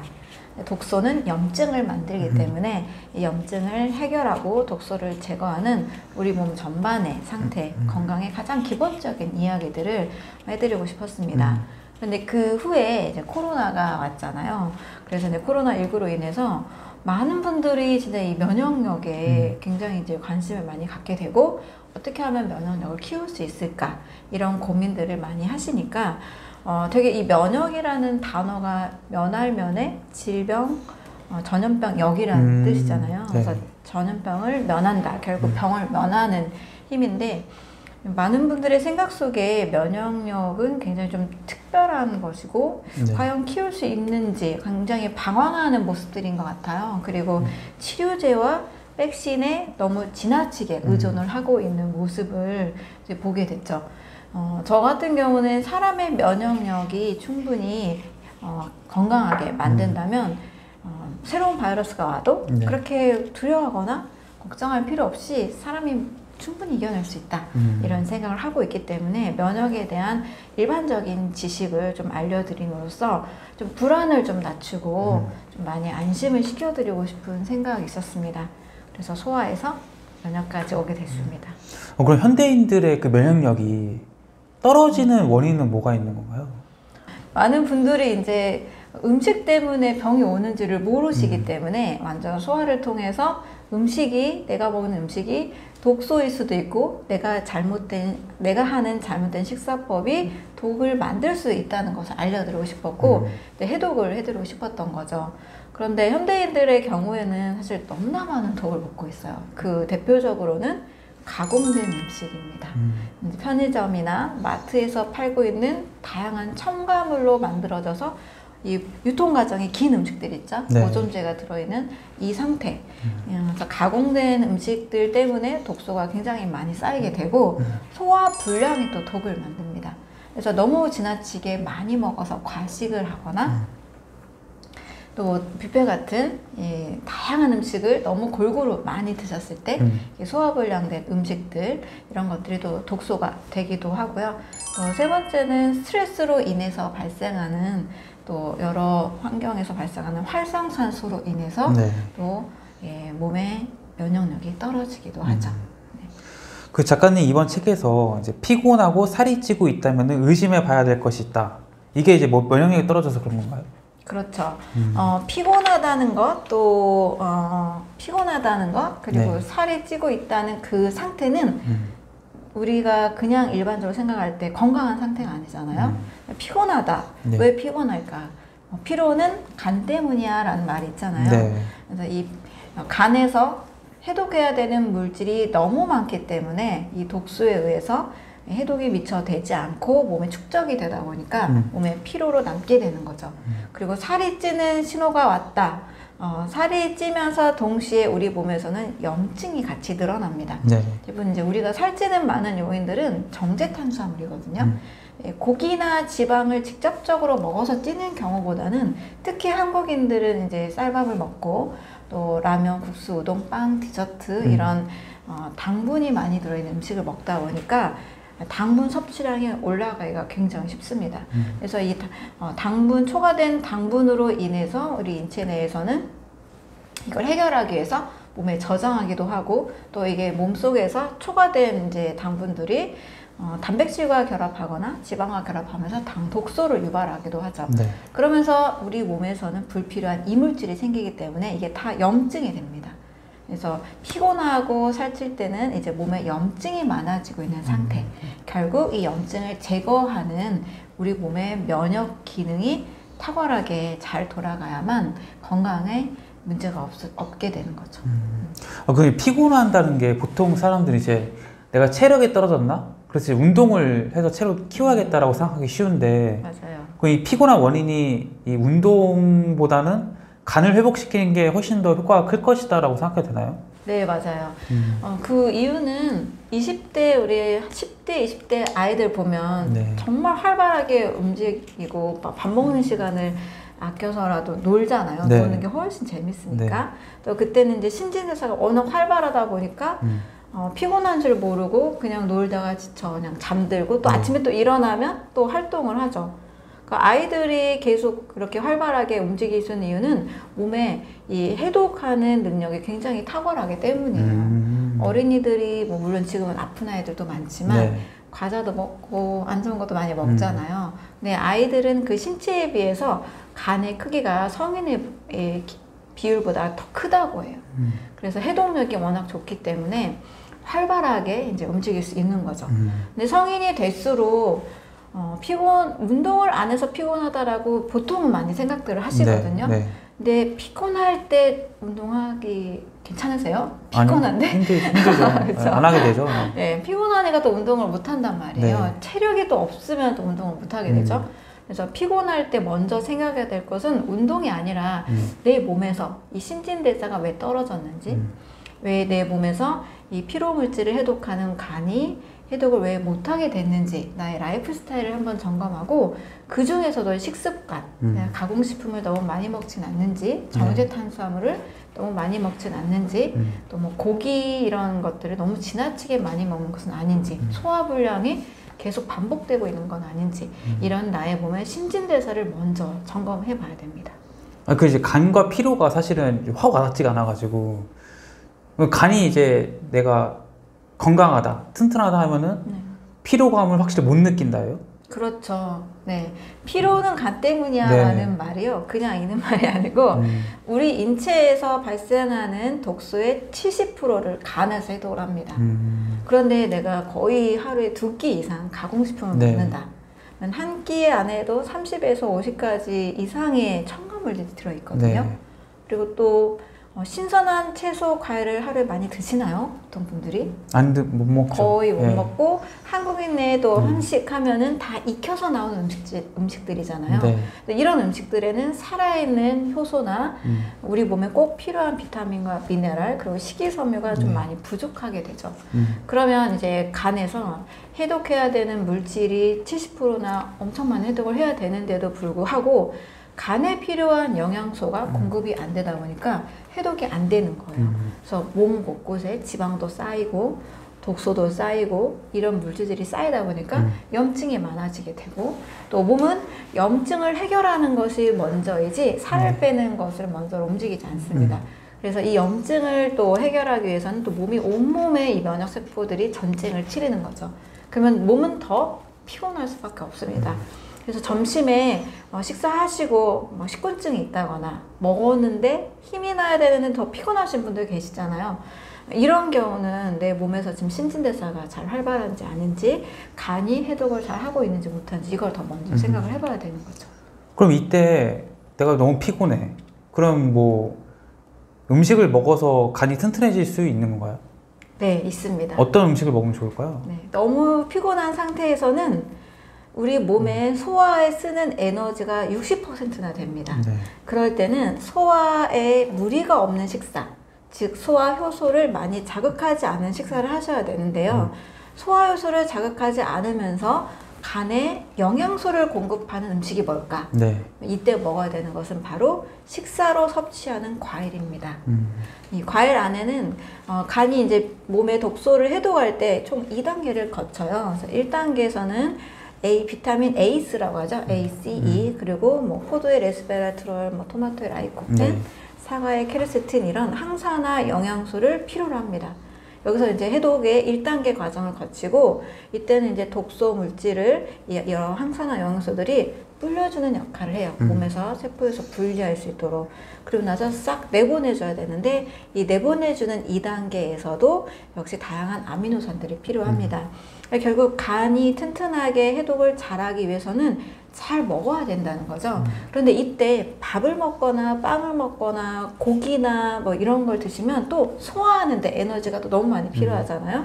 그러면 소화 효소를 위에서 소장해서 췌장에서 또 간이 너무나 많은 일을 해야 돼요. 이러한 일들을 하지 않, 않아- 않아도 많은 영양소를 섭취할 수 있는 음식이 바로 과일입니다. 음. 과일에는 9대 영양소. 저는 이 하나하나로 치면 뭐 비타민 A, B, C 뭐 이렇게 여러 가지로 치면 과일의 영양소, 뭐 사과 하나의 영양소는 500가지가 넘는다. 네. 1000가지가 넘을 수도 있다. 이렇게까지 바라보고 있기 때문에 이 간에 해독에 꼭 필요한 음식은 과일, 또 소화 효소를 자극하지 않고 소화 에너지를 아낄 수 있는 가장 이상적인 식사로 과일을 할 수 있습니다. 음. 사람들이 이제 건강을 이제 챙기려고 약을 먹는다든지 병원을 이제 많이 가게 되잖아요. 근데 네. 이렇게 약과 병원에 의존하는 태도가 오히려 몸을 망가뜨릴 수 있다고. 이건, 뭐- 네. 이건 어떤 의미인가요? 약이 만약에 치료제 역할을 잘 해준다라면 네. 약을 의지하는 것이 맞겠죠. 음. 근데 약은 어, 사실은 예방도 아니고요, 음. 치료도 아닌 증상 완화제일 뿐입니다. 증상 완화. 그렇죠. 만약에 당뇨 환자가 있어요. 네. 혈당이 이렇게 너무 빨리 오르기 때문에 또 인슐린에 또 도움이 필요해서 네. 혈당 강화제나 네. 인슐린을 맞게 되잖아요. 어, 그래서 완치가 되면 좋겠는데 음. 사실 잠깐의 혈당을 내리는 역할, 또는 인슐린을 잠시 공급해주는 역할만 해줄 뿐이고 근본적으로 내 몸의 췌장이 인슐린을 잘 만들어내게끔 하는 역할은 또는 혈당을 잘 조절하게 하는 역할까지 해주지 못하잖아요. 네. 그래서 약은 예방도 아니고 치료도 아닌 증상을 완화시키는 증상 완화제다. 음. 따라서 증상 완화제인 약을 음, 통해서는 건강을 얻을 수 있는 것이 아니라 잠시 위험을 면할 수 있는 그런 좋은 수단이 되는 거죠. 네. 예, 너무 지나치게 혈당이 올라갔을 때 문제가 되기 때문에 혈당을 안정화시켜주는 역할을 해주는 겁니다. 따라서 건강을 유지하기 위해서는 어, 약에 의존할 것이 아니라 왜 그러면 혈당이 올랐을까? 그 원인을 찾아봐야 되는 음. 거겠죠. 혈당을 오르게 하는 대부분의 우리 한국인들의 원인은 정제된 탄수화물이거든요. 흰 쌀밥, 음. 라면, 국수, 우동, 밥빵, 면떡 이런 정제 탄수화물 때문에 혈당이 오르는데 이 정제 탄수화물을 계속 먹으면서 혈당 강화제만 맞는다고 네. 원인 해결이 안 되겠죠. 예, 식습관을 바꿔서 음. 이 혈당을 안정화시켜주는 것이 근본 해결책이기 때문에 약을 의지한다고 해서 예, 바- 그렇게 우리가 건강해질 수 없는 거죠. 음. 대신 우리 몸은요 신호를 보내줘요. 저는 그 신호를 보내주는 증상을 뭐 소화불량이라든지 뭐 피로가 좀 느낀다든지 뭐 좀 두통이 있다든지 화장실에 잘 못 가는 변비가 조금씩 생긴다든지 이렇게 신호를 보내줄 때를 저는 반건강 상태라고 이야기를 합니다. 이 반건강 상태에서 다시 라이프 스타일을 좀 점검을 하고 식습관만 바꾸면 그렇게 우리가 심하게 당뇨병에 걸릴 이유도 없고 음. 뭐 고혈압, 고지혈증, 여러 뭐 심혈관 질환, 뭐 암 같은 만성 질환까지 갈 이유가 없다는 거죠. 음. 그래서 만성 질환은 약이나 병원이 해결해 주는 것이 아니라 나의 라이프 스타일을 다시 교정함으로써 음. 해결할 수가 있습니다. 그러니까 이제 병의 근본 근본적인 치료는 이제 어떻게 보면 자가 치유네요. 그러니까 네, 스스로 해야 되는 네, 거죠. 약이 뭐 어떻게 네. 이- 없애주고 이런 게 아니고 맞습니다. 그래서 이제 그 면역력이죠 그게 결국에는 맞나요? 네, 몸 치료 치유력이 면, 면, 치유하는 힘, 내 네. 병을 이기는 힘은 면역력이니까 그- 크게 보면 그렇게 음. 얘기할 수 있죠. 그럼 이제 그게 이제 음식으로 우리가 이제 좋은 음식을 뭐 과일이나 네, 이런 신선한 살아있는 음식들을 먹음으로써 음. 그 힘을 키워주면은 네, 질병도 치료하고 예방도 되고 네. 이 말씀이시죠? 네, 맞습니다. 그 이제 질서를 회복하면 면역력도 커진다고 하셨는데 네. 여기서 회복돼야 하는 질서는 어떤 걸 얘기하는 건가요? 음, 질서라는 것은 우리가 자연부터 한번 생각을 해보면 되는데요. 지구도 일정하게 공전과 자전을 계속 네. 반복하면서 우리가 살 수 있는 환경을 만들어 주잖아요. 이게 자연의 질서인데 이 사람의 몸도 원래 병이라는 뜻의 어, 의미 자체가 질서가 깨졌다는 겁니다. 음, 우리 병하면 영어로 disease라고 하죠. 네. dis-ease거든요. ease 편안함이 dis 깨졌다는 거고요. 음. 또 metabolic disorder라고 해서 대사 질환, 음. disorder가 또 병입니다. 이 오더가 질서란 뜻이 있어요. 그래서 지- 질서가 깨진 것이 병이기 때문에 병을 회복하는 것은 질서를 회복하는 거죠. 음. 우리 몸에서 질서를 회복한다 하면은 좀 느낌이 별로 안 하잖아요. 네. 질서를 회복하는 게 무엇인가? 한마디로 우리 몸의 이 건강을 조절하는 각 오장육부의 기능들이 음. 제 기능을 하도록 만들어주면 됩니다. 음, 어, 쉽게 이 질서를 회복하는 방법으로는 저는 세 가지 몸의 주기를 말씀을 드리는데 네. 이세 가지 몸의 주기를 통해서 어, 새벽 4시부터 12시까지 배출 주기, 음, 12시부터 저녁 8시까지 섭취 주기, 음. 8시부터 또 새벽 4시까지 동화 주기라는 이 세 가지 몸의 질서가 있습니다. 그래서 우리 몸에서 내보내야 될 것은 내보내는 시간이 배출해 주기고요. 또 꼭 먹어야 먹어서 영양을 흡수해야 되겠죠. 그게 섭취 주기. 그런데 우리는 영양을 가지고 매일매일 우리 몸은 세포도 만들고 이렇게 머리카락, 손톱도 매일 자라잖아요. 음. 이게 바로 동화 주기입니다.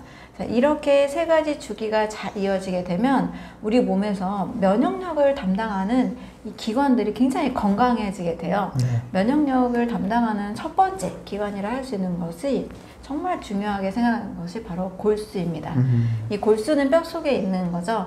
뼈 속에서 이 조혈 모세포가 적혈구도 만들고 이제 백혈구도 만드는 거죠. 그래서 이, 어, 우리 몸에 피가 없이는 건강할 수 없잖아요. 네. 이 피를 만드는 골수의 기능이 건강하게 잘 돌아가는 것. 어, 두 번째는 면역 세포의 약 70%, 약 음. 80%가 이 장에 있다고 해요. 골수에서 이제 적혈구도 만들고 백혈구도 만들고 하는데 백혈구가 바로 면역 세포인 거죠. 이 면역 세포들이 이 소장에 있는 Peyer's patch, 뭐 파이어판이라고 하는 그 림프 안에 그 점막 안에 면역 세포의 7, 80%가 여기 있습니다. 네. 소장으로는 여러 가지가 흡수가 되죠. 이런 이물질들을 다 정화하는 역할을 합니다. 자, 그래서 장이 튼튼해져야 어, 장이 질서를 회복하면 또 장이 튼튼해지고 면역 능력이 올라가는 이런 원리가 있습니다. 세 번째로는 림프의 순환인데요. 어, 림프가 우리 몸에서 노폐물을 또 거, 배출하는 역할 그리고 면역 세포들이 이동하고 또 어, 지용성 비타민, 지용성 영양소들이 이동하는 그런 통로가 되기도 합니다. 그래서 몸에서 이게 붓기, 잘 마사지만 해도 순환이 잘 돼서 붓기도 빠지고 그 몸이 개선되는 그런 효과들 있잖아요. 네. 림프 순환이 잘 이루어졌을 때 이렇게 골수 또 장 면역 림프 순환이 어, 몸의 질서를 회복해서 잘 이루어지게 되면 이제 우리 몸은 건강에 자연히 따라오게 되는 거죠. 그럼 그렇게 이제 면역력이 있는 상태에서 이물질 이물질이 우리 몸에 들어왔다. 어떤 일들이 생기나요, 우리 몸에서? 면역이 있는 상태에서 네. 이물질이 들어왔다. 네, 지금 이 순간에도 우리는 지금 코로 음, 이물질들이 계속 들어오고 있거든요. 네. 또 우리가 먹는 음식이 100% 순수한 상태, 피오한 상태가 아니다 음. 보니까 우리 입으로도 계속 이물질이 들어오고 있습니다. 이 이물질이란 것은 세균, 바이러스, 곰팡이 당연히 알고 있는 것들일 텐데 그 외에도 어, 음식을 통해서 또 공기 중에는 또 무수히 많은 뭐 미세먼지도 포함되고요. 네. 무수히 많은 이물질들이 늘 들어오고 있죠. 음, 그래서 이 눈, 우리가 눈곱이 끼는 것도요, 예, 눈썹이 있고 눈곱이 끼는 것도 이물질을 방어해주는 역할을 하기도 하고요. 음. 또 코에도 코털이 있잖아요. 또 기관지에도 기관지 섬모들이 있습니다. 다 이물질을 걸러주는 역할을 음. 하죠. 어, 이 피부도 뭐 피부 장벽이란 단어가 있잖아요. 그래서 피부도 일차적으로 이물질을 보호하고 있는 가- 우리 몸의 외피계죠. 음. 가장 몸을 둘러싸고 있는 것. 이 몸 속에는 또 점막이 있어서 이 점막 안에 있는 여러 림프 그 세- 면역 세포들 또 점, 위도 위에서 나오는 위 점액 물질, 네. 위산 이런 것들이 우리 몸을 다 지켜주고 있습니다. 음, 한마디로 우리 몸은 온몸이 그냥 면역 체계라고 할 수 있어요. 네. 네, 온몸이 우리 몸을 지켜주고 있다. 그래서 이런 어, 상태에서 이물질이 들어오면 대부분은 가장 일차적인 것들은 그냥 바로 걸러내고 처리를 하는데 문제는 이제 병원성 있는 세균이나 바이러스가 들어왔을 때 우리 몸은 전쟁을 치르게 됩니다. 또 음식 속에 들어있는 다양한 알러, 알레르기를 일으킬 수 있는 불필요한 성분, 첨가물 음식 이런 것들도 우리 몸이 다 걸러내주는 역할을 하게 되는 거죠. 면역 세포들이 이물질, 세균, 바이러스 여러 이물질들에 대해서 어, 대식세포 같은 경우는 포식 적응을 해서 처리를 하고요. 또 이렇게 해서 처리가 안 되는 것들은 특히 뭐 암세포라든지 돌연변이 세포나 또 다양한 이 세포들이 또 NK 세포 같은 것들이 음. 해결을 해주기도 하고요. 또 바이러스에 대해서 우리가 또 굉장히 공부를 많이 하고 경험을 많이 했잖아요. 이 바이러스에 대해서는 항체라는 것이 필요합니다. 음. 그래서 이 항체는 바로 어, 또 리- 백혈구 중에 또 림프구에 있는 T세포, B세포들이 서로 합동 작전을 하면서 음. 그 바이러스에 최적화된 맞춤 무기인 항체를 딱 만들어내죠. 그래서 이런 식으로 우리는 외피부터 해서 몸속 모든 이 내부 장기와 또 혈액에 있는 백혈구까지 다 몸을 방어하는 면역 작용이 아주 활발하게 일어납니다. 그럼 만약에 면역력이 약해지거나 없어지면은 바로 질병에 걸리게 되는 건가요? 어, 만약에 면역력이 없다. 네. 그런 사람들이 이제 어, 가끔 무균실에 음. 있는 경우들 있잖아요. 네, 이런 분들은 이제 아예 면역력이 어, 많이 약하기 때문에 균이 없는 상태에서 살 수밖에 없는 거죠. 음. 네. 그럴 때는 병을 이기는 힘이 상대적으로 거의 없게 되는 거죠. 음. 음. 근데 이제 만약에 뭐 감기 바이러스가 내 몸에 침투가 됐다고 한다면은 네. 면역력이 강하신 분들은 이 바이러스 싸워서 이제 감기 안 걸리게 될 거고 근데 뭐 말씀하셨듯이 면역이 없거나 약한 사람들은 감기에 걸린다는 거죠. 음. 그이 감기의 증상이 좀 심해지면서 뭐 네. 사망에 이르기까지 하는 건가요? 음, 사실 감기라는 것은 조금 더 깊게 얘기를 하자면 우리 몸에서는 마치 우리 몸에 이렇게 지문이 다 다르잖아요. 이 지문이 다른 것처럼 이 면역을 이루고 있는 MHC라는 어떤 클래스가 있습니다. 음. 그래서 이 클래스 안에서 사람마다 지문이 다르듯이 네. 예, 바이러스에 대항하는 대처법이 다 다른 거예요. 감기 같은 경우로 감기로 죽었다라는 사람 들어본 적은 없으시죠? 네. 네. 어, 폐렴으로는 네, 그쵸. 사망을 폐렴 있죠. 하는데 예, 감기 바이러스로 사망에다는 음. 사실 거의 없고 독감 사망이나 폐렴 사망이 좀 음. 있죠.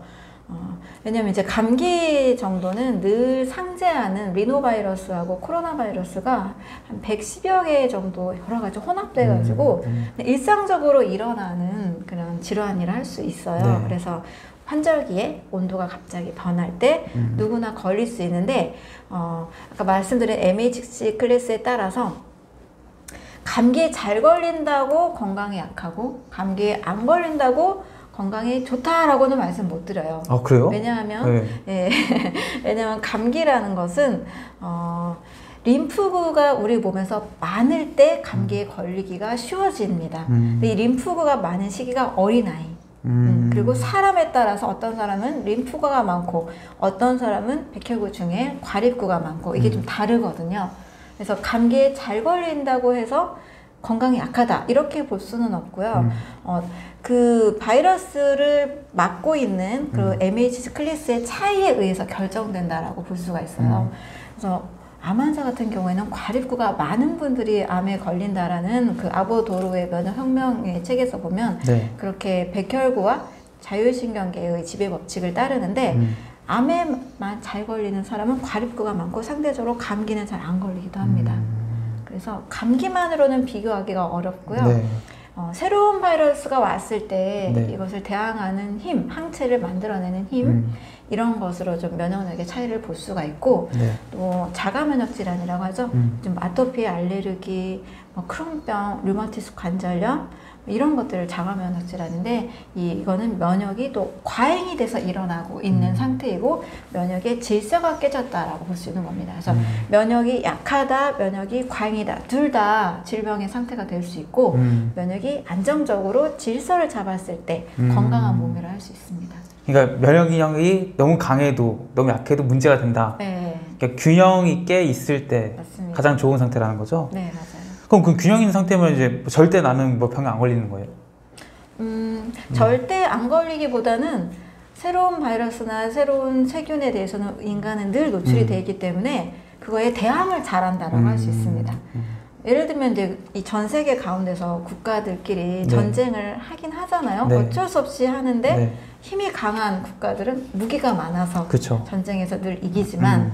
힘이 약한 국가는 음. 지잖아요. 네. 이런 식으로 생각을 할 수가 있습니다. 네. 그 이제 제가 이제 암 관련된 뭐 책도 읽고 저자분들 만나 인터뷰 해보면은 이제 항암, 항암 제가 여러 가 종류가 있더라고요. 네. 뭐 표적을 치료한다는 것도 있고 뭐 면역 항암제라고 해서 이런 것도 있던데 네. 이 면역 항암제가 대체 뭐길래 노벨상을 받은 건가요? 아, 항암제를 보면 지금까지 한 3세대 항암제가 개발이 됐는데요. 1세대 항암제는 세포 독성 항암제죠.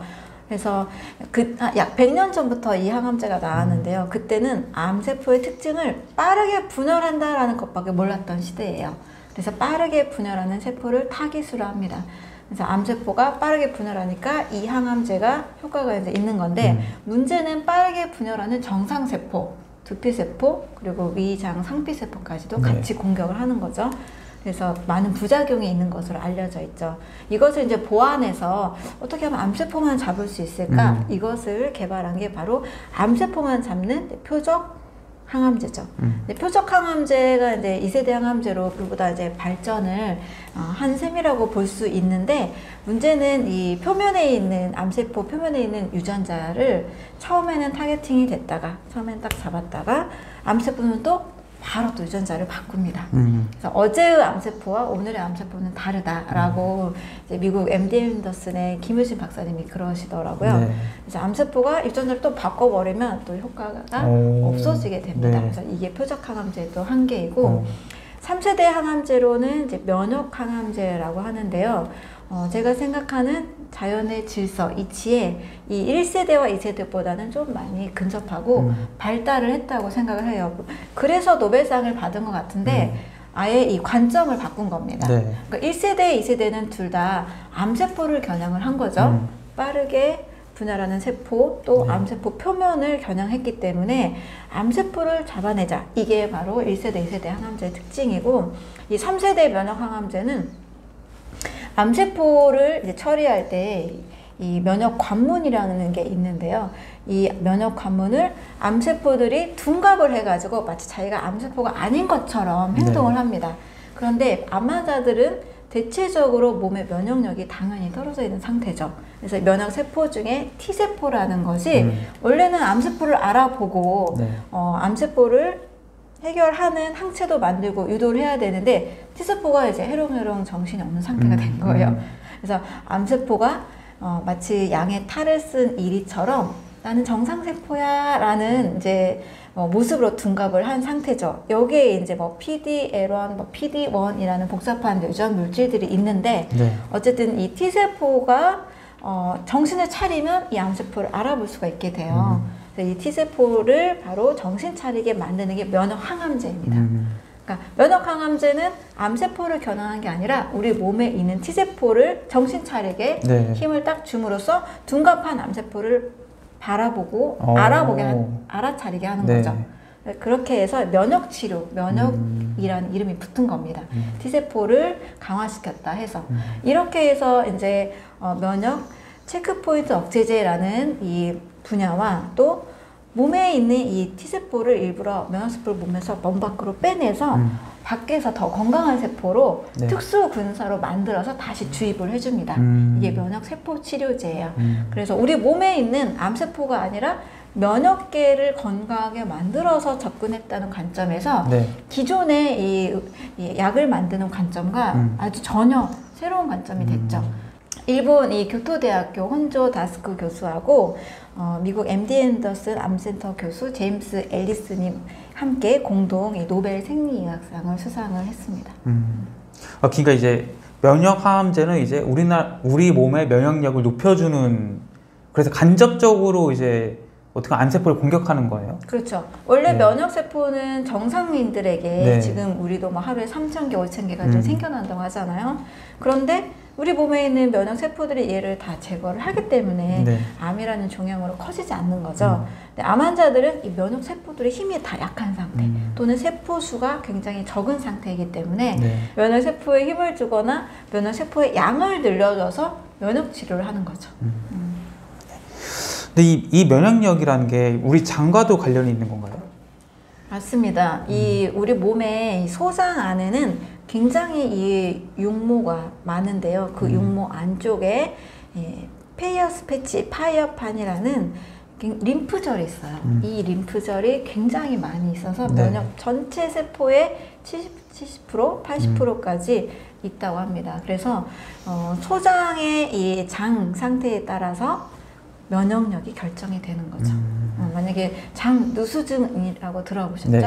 이 장은 이렇게 세포들이 타이트한 결합을 하고 있는데 음. 이렇게 벌어지는 거예요. 벌어지면 장에 있는 음식물의 이물질들이 틈을 타고 나오죠. 그렇죠. 그래서 장, 몸 아- 속에서 여기는 면역 깨끗한 상태, 네.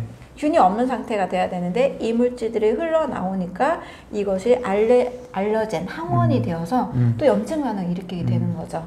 근데 이런 기능들에 만약에 소장 점막에서 면역세포가 타이트한 이 세포 정션을 하고 있고 음. 세포 결합을 하고 있고 이 안에서 이제 음, 이물질들을 계속 제거를 해준다라면 몸 밖으로 이런 항원 물질들이 유해 물질들이 나오지 않게 되는 거죠. 음. 장 밖으로. 네. 아 그러면은 이제 장만 보고도 이 사람의 면역 상태가 어떤지를 알 수 있는 건가요? 아 장만 보고요. 네. 네 맞아요. 음. 그 일본의 시냐 히로미라는 의사 선생님이 네. 어, 위장 내시경을 30만 건 이상 했던 네. 굉장히 유명한 선생님인데요. 네. 이분은 위와 장의 이 상태만 봐도 내시경만 봐도 음. 먹은 음식을 알 수 있고 또 건강 상태를 알 수 있다고 음. 합니다. 음, 이제 장 내벽이 울퉁불퉁하고 딱딱할수록 네. 암이 잘 생길 수 있는 이제 가능성이 있고 말랑말랑하고 선홍색으로 이게 굉장히 투명하게 음. 보일 때는 건강한 장의 상태라고 합니다. 음. 그런데 이제 장이 요즘 주목받고 있는 것이 장과 면역의 상관관계가 알려지면서 장내 미생물, 음. 장 microbiome이라고 하죠. microbiome은 micro, 작은 거, biome, 생태계라는 뜻으로 장내에 있는 미생물과 그 환경을 전체를 이야기하는 말입니다. 이 장 microbiome이 우리 몸에서 어, 예전엔 100조개라 그랬는데 음. 최근엔 또 38조개로 네. 더 정확한 숫자가 나왔어요. 네. 그래서 이 38조, 38조개의 이 음. 장내 미생물이 우리 인체에도 거의 37조 7조 개의 세포로 이루어져 있다고 하는데 거의 1대1의 비율로 음.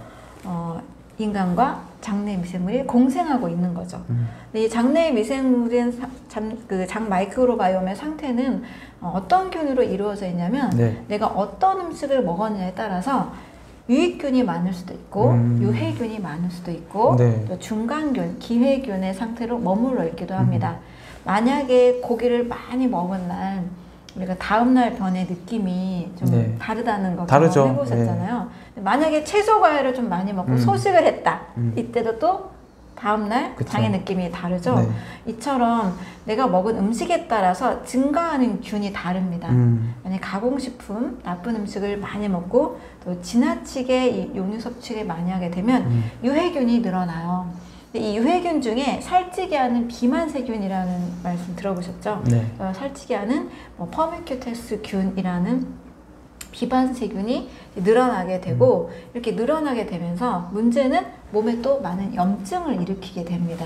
나쁜 이제 음식들, 독소들이 이제 많이 쌓이게 되면서 유해균과 유익균의 비율이 굉장히 중요한데 유익균이 85%, 음. 유해균이 15% 이내로 있어야만 장내 건강한 면역 환경을 만들어준다고 해요. 음. 그래서 사실 장과 질병의 상관관계를 연구하는 분들이 많이 계시는데요. 어, 뭐 고혈압, 당뇨, 암, 뭐 심혈관 질환은 네. 물론이고, 뭐 파킨슨, 음. 뭐 아토피, 뭐 크론병, 뭐 뇌 쪽에 관련된 뭐 질환들, ADHD 이런 음. 질환들, 우울증까지도 심지어 이 장의 건강 상태가 안 좋은 사람들이 이런 질병에 걸린다라는 이야기들을 많이 합니다. 음. 그 이유는 장에 유해균이 많고 음. 독소가 많으면 온몸에 사실 예, 독소를 계속 내뿜게 되는 거죠. 음. 이게 혈액순환을 통해서 예, 뇌까지도 이어질 수 있다는 얘기가 되거든요. 음. 그래서 이 장이 건강하고 깨끗해야 이 몸이 건강할 수 있고 또 그 중에서 장 마이크로바이옴에서도 유익균이 많이 있는 상태가 돼야만 몸이 건강할 수가 있습니다. 우리 요즘에 그 장 건강을 생각해서 유산균을 많이 먹잖아요. 네. 그 유산균을 먹는 것이 내 면역력에 도움을 주는 건가요? 이거?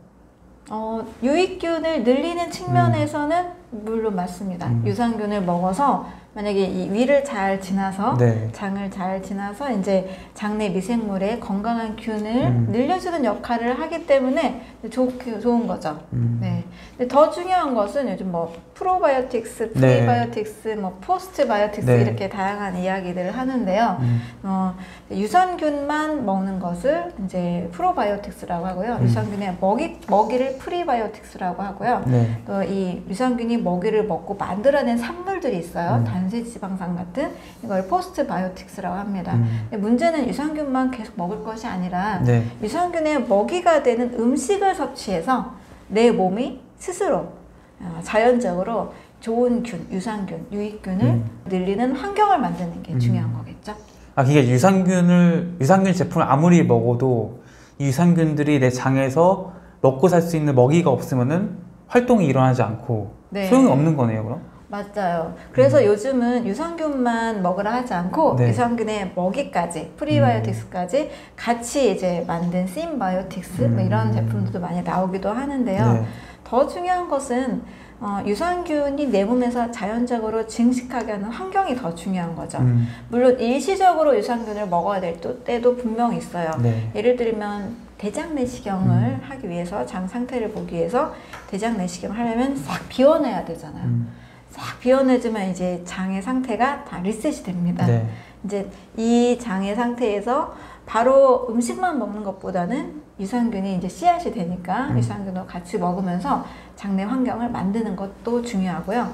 또 항생제를 또 많이 먹게 되면 또 장내 위생물에도 초토화가 됩니다. 음. 이 항생제를 많이 먹은 후에도 또는 네. 먹는 동안에도 유산균을 같이 먹는 것도 음. 중요하죠. 근데 더 중요한 것은 우리가 매일 먹는 음식 속에 유산균의 먹이가 있거든요. 네. 유산균의 먹이는 비싼 음식이 아니에요.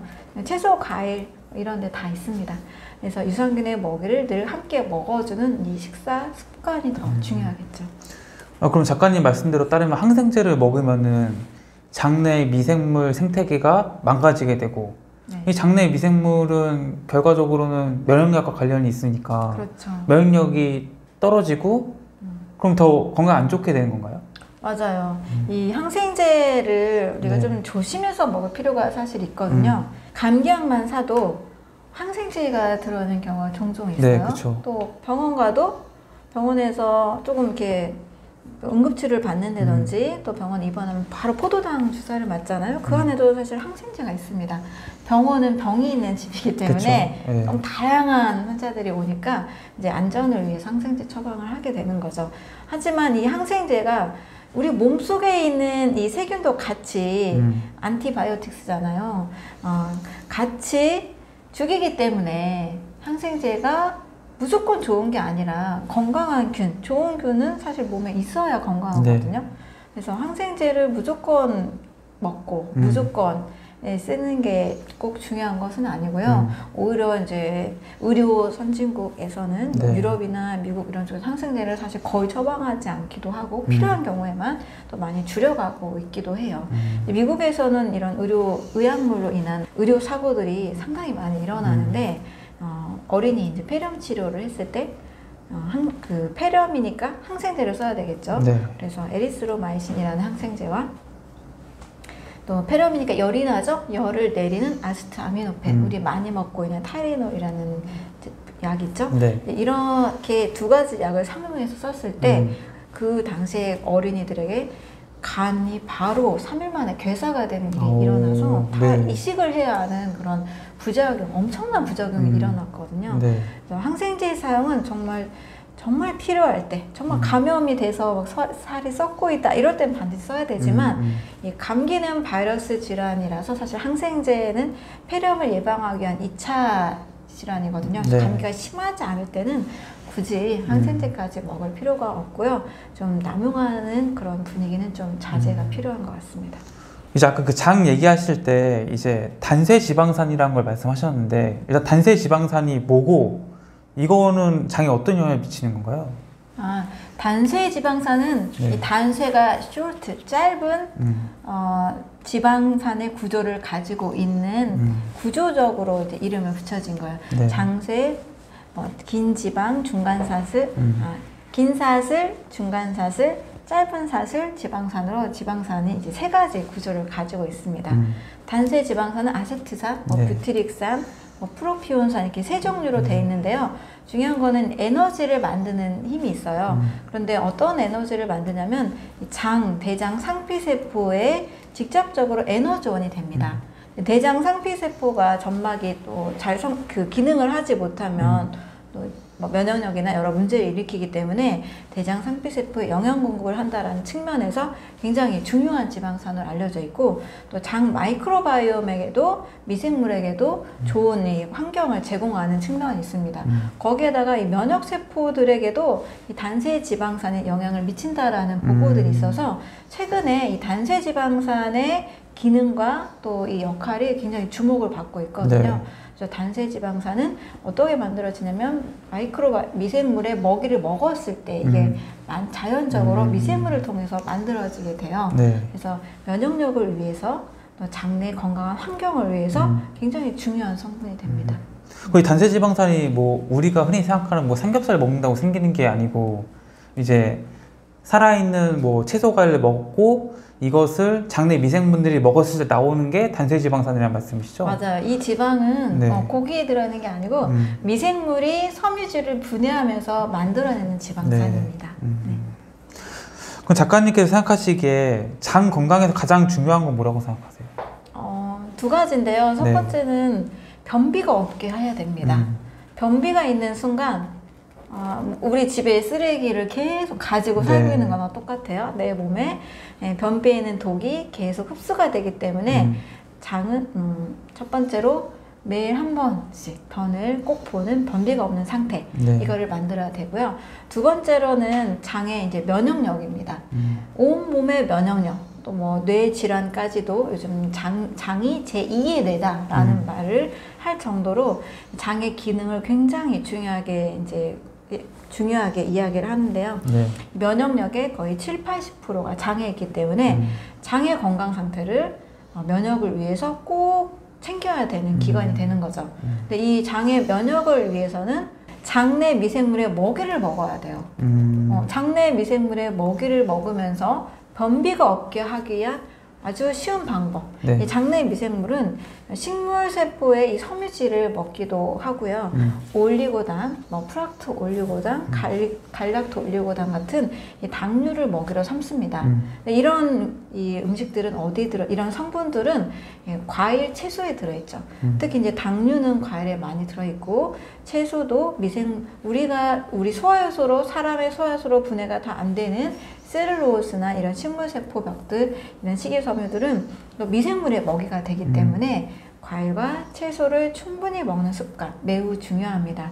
또 과일에 들어있는 수용성 식이섬유는 직접적으로 이 물을 흡수해서 변의 이 고형물을 만드는 역할을 하거든요. 네. 그래서 이 장의 장내에서 변이 쌓이지 않도록 변을 내보내주는 데 아주 중요한 성분이 이 과일의 수용성 식이섬유이기 때문에 매우 중요합니다. 또 이 수용성 식이섬유는 과일에는 펙틴이 있지만 음. 해조류에 알긴산이 있어요. 네. 이 다시마나 미역의 끈적끈적한 성분 있죠? 이게 음. 바로 해조류에 있는 수용성 식이섬유입니다. 그리고 음. 버섯에 베타글루칸이라는 네. 성분이 있어요.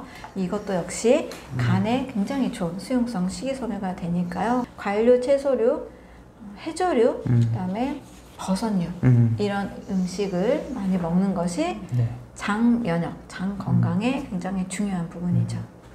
그 제가 인터뷰했던 분 중에서는 이제 치- 채소나 과일이 좋다고 하니까 이제 먹었는데 장이 좀 원래 안 좋으신 분들 있잖아요. 자주 화장실 간다거나 네. 뭐좀 몸이 차다거나 이런 분들 같은 경우에는 자기가 이제 사과를 먹었는데 음. 그러면 이제 출근길에 이제 수시로 음. 화장실 가야 되더라. 아, 그래서 이게 나랑은 좀 잘 안 맞는 것 같다. 이런 말씀 하신 네. 분도 있는데 네. 이런 걸 참아내고 계속 과일을 먹어주면은 장 건강이 돌아오는 건가요? 어떻게 되는 거예요? 만약에 이분이 휴가를 얻을 수, 수 있다거나 음. 집에서 재택을 하신다라면 참아가면서 먹을 수도 있겠죠. 그럼 네. 좀 빨리 좋아질 수도 있을 텐데 네. 저는 그 방법은 추천하지 않습니다. 음. 왜냐하면 일상생활에서 굉장히 불편하거든요. 음. 지하철 타다가도 네. 화장실을 가야 될 수도 있기 때문에 음. 이런 분은 이제 장 점막이 굉장히 예민한 상태입니다. 음. 과민성 장증후군이라고 하죠. 네. 그래서 이런 분들의 경우에는 생채소와 어, 너무 많은 양의 과일, 또 해조류를 드시게 되면 음. 장에서 문제를 일으킬 수 있습니다. 음. 장이 너무 예민하다 그런 분들은 채소는 반드시 익혀서 음. 조금씩 늘려가시는 것이 좋습니다. 음. 과일의 경우도 사과가 아무리 좋아도 난 사과 먹으면 배가 아파요, 탈이 나요 이런 분들은요 굳이 사과는 좀 자제하시고 음. 그 외에도 과일 종류는 많잖아요. 어, 다른 과일을 드시면서 몸에 좀 적응력을 키워가시면 됩니다. 음. 해조류도 어, 한 번에 너무 많이 드시게 되면 또 장이 예민해질 수도 있어요. 음. 그래서 조금씩 조금씩 나에게 맞는 양을 음. 서서히 찾아가시면 됩니다. 이제 보통 면역력이 떨어지면은 이제 밥을 잘 챙겨 먹어야지 하고 네. 이제 밥을 먹게 되는데 작가님께서는 면역력이 약하면은 밥을 먹어서는 안 된다. 그럼 뭘 먹어야 되나요? 네. 제가 이제 여기서 강조하고 싶었던 것은 네. 흰 쌀밥을 말한 겁니다. 흰 쌀밥. 네. 면역력이 약한데 보통 한국인들이 흰 쌀밥을 더 많이 드시잖아요. 네. 뭐 현미 잡곡으로 균형 잡힌 음. 식사보다 음. 흰 쌀밥을 드시게 되면 이 흰 쌀밥은 갑자기 이제 혈당 분해 속도가 빠르기 때문에 음. 혈당이 빠르게 올라가서 인슐린 저항성을 일으키기도 하고 음. 장기적으로 야- 많은 양이 들어가게 되면 이제 염증을 일으키는 물질이 됩니다. 네. 당 독소를 만들어내서 염증을 만들기 때문에 염증은 또 면역의 적이잖아요. 음. 염증을 없는 몸을 만들어야 되는데 계속 염증을 많이 만들어내니까 음. 만약에 면, 면역력이 약하면 음. 굳이 쌀밥을 통해서만 우리가 에너지를 얻을 수 있는 게 아니거든요. 네. 염증을 유발할 수 있는 환경은 최소화하고 음. 염증을 제거하는 식단을 하자 음. 이 이야기였습니다. 음. 그럼 밥은 쌀밥을 우리가 이제 밥 중심의 사실 식사 문화기 때문에 뭐 쌀밥을 뭐 빼놓고 먹자는 사실 음, 비현실적이잖아요. 그럼 이걸 좀 대안하고 좀 보완할 수 있는 네. 밥상이 있을까요? 네, 있죠. 네. 어, 쌀밥을 좀 최소로 줄여가고 그 대신 굶자는 얘기가 아니고요. 네. 어, 더 배부르고 더 달콤한 걸 먹을 수가 있습니다. 어, 면역력이 약할 때는 음, 우리 몸에 면역 세포에 도움을 주는 성분이 많이 들어있는 음식이 훨씬 더 영양가가 있겠죠. 네. 근데 쌀밥에는 에, 이제 분해되면 포도당 외에는 영양가가 거의 없거든요. 네. 제가 말씀드리는 영양가라는 것은 음. 면역 세포에 직접적으로 힘을 줄 수 있는 비타민 성분들, 음. 비타민 A, C, E, 또뭐 셀레늄, 아연, 망간, 구리, 붕소 이런 면역 미네랄 어, 이런 면역에 또 하- 항상 또 면역 세포를 또 바로 힘을 줄 수 있는 어, 항산화 물질, 네. 시- 이제 파이토케미컬 이런 성분들이 많은 음식을 좀 당분간은 많이 드셔야 음. 면역력이 빨리 회복이 됩니다. 음. 자, 면역 세포를 직접적으로 또 면역 또 물질을 합성하는 것이 간입니다. 네. 면역 단백질을 만드는 역할을 하고 있죠. 음. 이럴 때도 역시 간의 기능이 굉장히 많이 필요하기 때문에 음. 간에 꼭 필요한 영양소 역시 면역 비타민과 면역 미네랄들이죠. 음. 이것이 많이 들어있는 음식, 네. 그 음식을 섭취하게 되면 예, 쌀밥보다도 훨씬 더 영양가가 많은데요. 바로 그 음식은 예, 과일입니다. 음. 이 과일 속에 풍부한 이 비타민과 미네랄 또 다양한 항산화 성분들이 쌀밥보다도 훨씬 영양가 많은 음식을 성분들을 담고 있습니다. 네. 뿐만 아니라 과일을 한 접시 드시게 되면 쌀밥을 통해서 한 공기를 통해서 얻고자 하는 한 당분의 양이 적게는 한 60에서 100g 정도 될 텐데요. 과일 한 접시는 한 40에서 60g 정도 이 당, 과일의 당도에 따라 다르지만 쌀밥 한 공기를 먹을 수 있는 만큼의 당분을 충분히 공부할 수 있거든요. 그래서 좀 힘이 없다, 면역력이 좀 요즘 딸린다 이런 분들은 막 또 소화시켜야 되는 쌀밥보다 음. 인슐린을 또 필요로 하는 쌀밥보다는 소화 요소도 필요가 없고 인슐린도 예, 별로 많이 필요가 없는 과일 식사를 하시게 되면 굉장히 빠르게 힘을 얻을 수가 음. 있습니다. 그래서 감기 걸리셨을 때 쌀밥 드시지 마시고요. 네, 또 코로나19나 네. 네. 또 독감 걸렸을 때는요. 어. 감- 쌀밥이나 죽보다 네. 과일 식사를 하시는 것이 음. 훨씬 빠르게 예, 호전이 됩니다. 음. 현대인들의 그 식사 그 메뉴라고 할까 이걸 보면은 보통 이제 아침은 이제 뭐 안 먹거나 혹은 네. 뭐 커피나 빵을 먹고 음. 그리고 점심 때는 이제 회사에서 보통 먹게 되니까 음식점에 가서 먹잖아요. 네. 그럼 사실 뭐 과일을 먹을 기는 없는 거고 네. 저녁에는 뭐 와서 뭐 저녁에는 뭐 회식을 하거나 고기를 먹거나 치킨을 먹거나 이런 경우가 많잖아요. 맞아요. 어, 이런 상황에서 어, 내가 과일을 먹을 일이 생각보다 없구나 음. 라는 걸 알고 음. 비타민 이제 영양제들이 있잖아요. 네. 이런 것들 통해서 섭취하는 거는 괜찮은가요? 음, 차선책은 될 수 있지만 음. 최우선적으로 선택하기보다는 음. 예, 먼저는 과일을 어떻게든 좀 먹으려는 의식과 노력이 좀 필요합니다. 네. 사람은 심리가 어, 내가 진짜 중요하다고 생각하면 하거든요. 네, 맞아요. 네. 담배 피시는 분들 네. 어떤 환경에서도 어떤 금지 구역에서도 네. 찾아내서 네. 담배를 피시잖아요. 또 가지고 다니시잖아요. 음. 그런 것처럼 정말 과일의 중요성을 인식을 한다라면 음. 아침에 음. 뭐좀 미리 좀 장을 봐서 음. 사과 한두 개더 챙기고 음. 저도 뭐 가방에 가끔 바나나나 귤을 가끔 가지고 다니는데 중요하면 챙기게 돼요. 음. 편의점에 가도 요즘은 바나나가 거의 있거든요. 맞아요, 맞아요. 사과도 있습니다. 음. 포도도 있기도 하고요.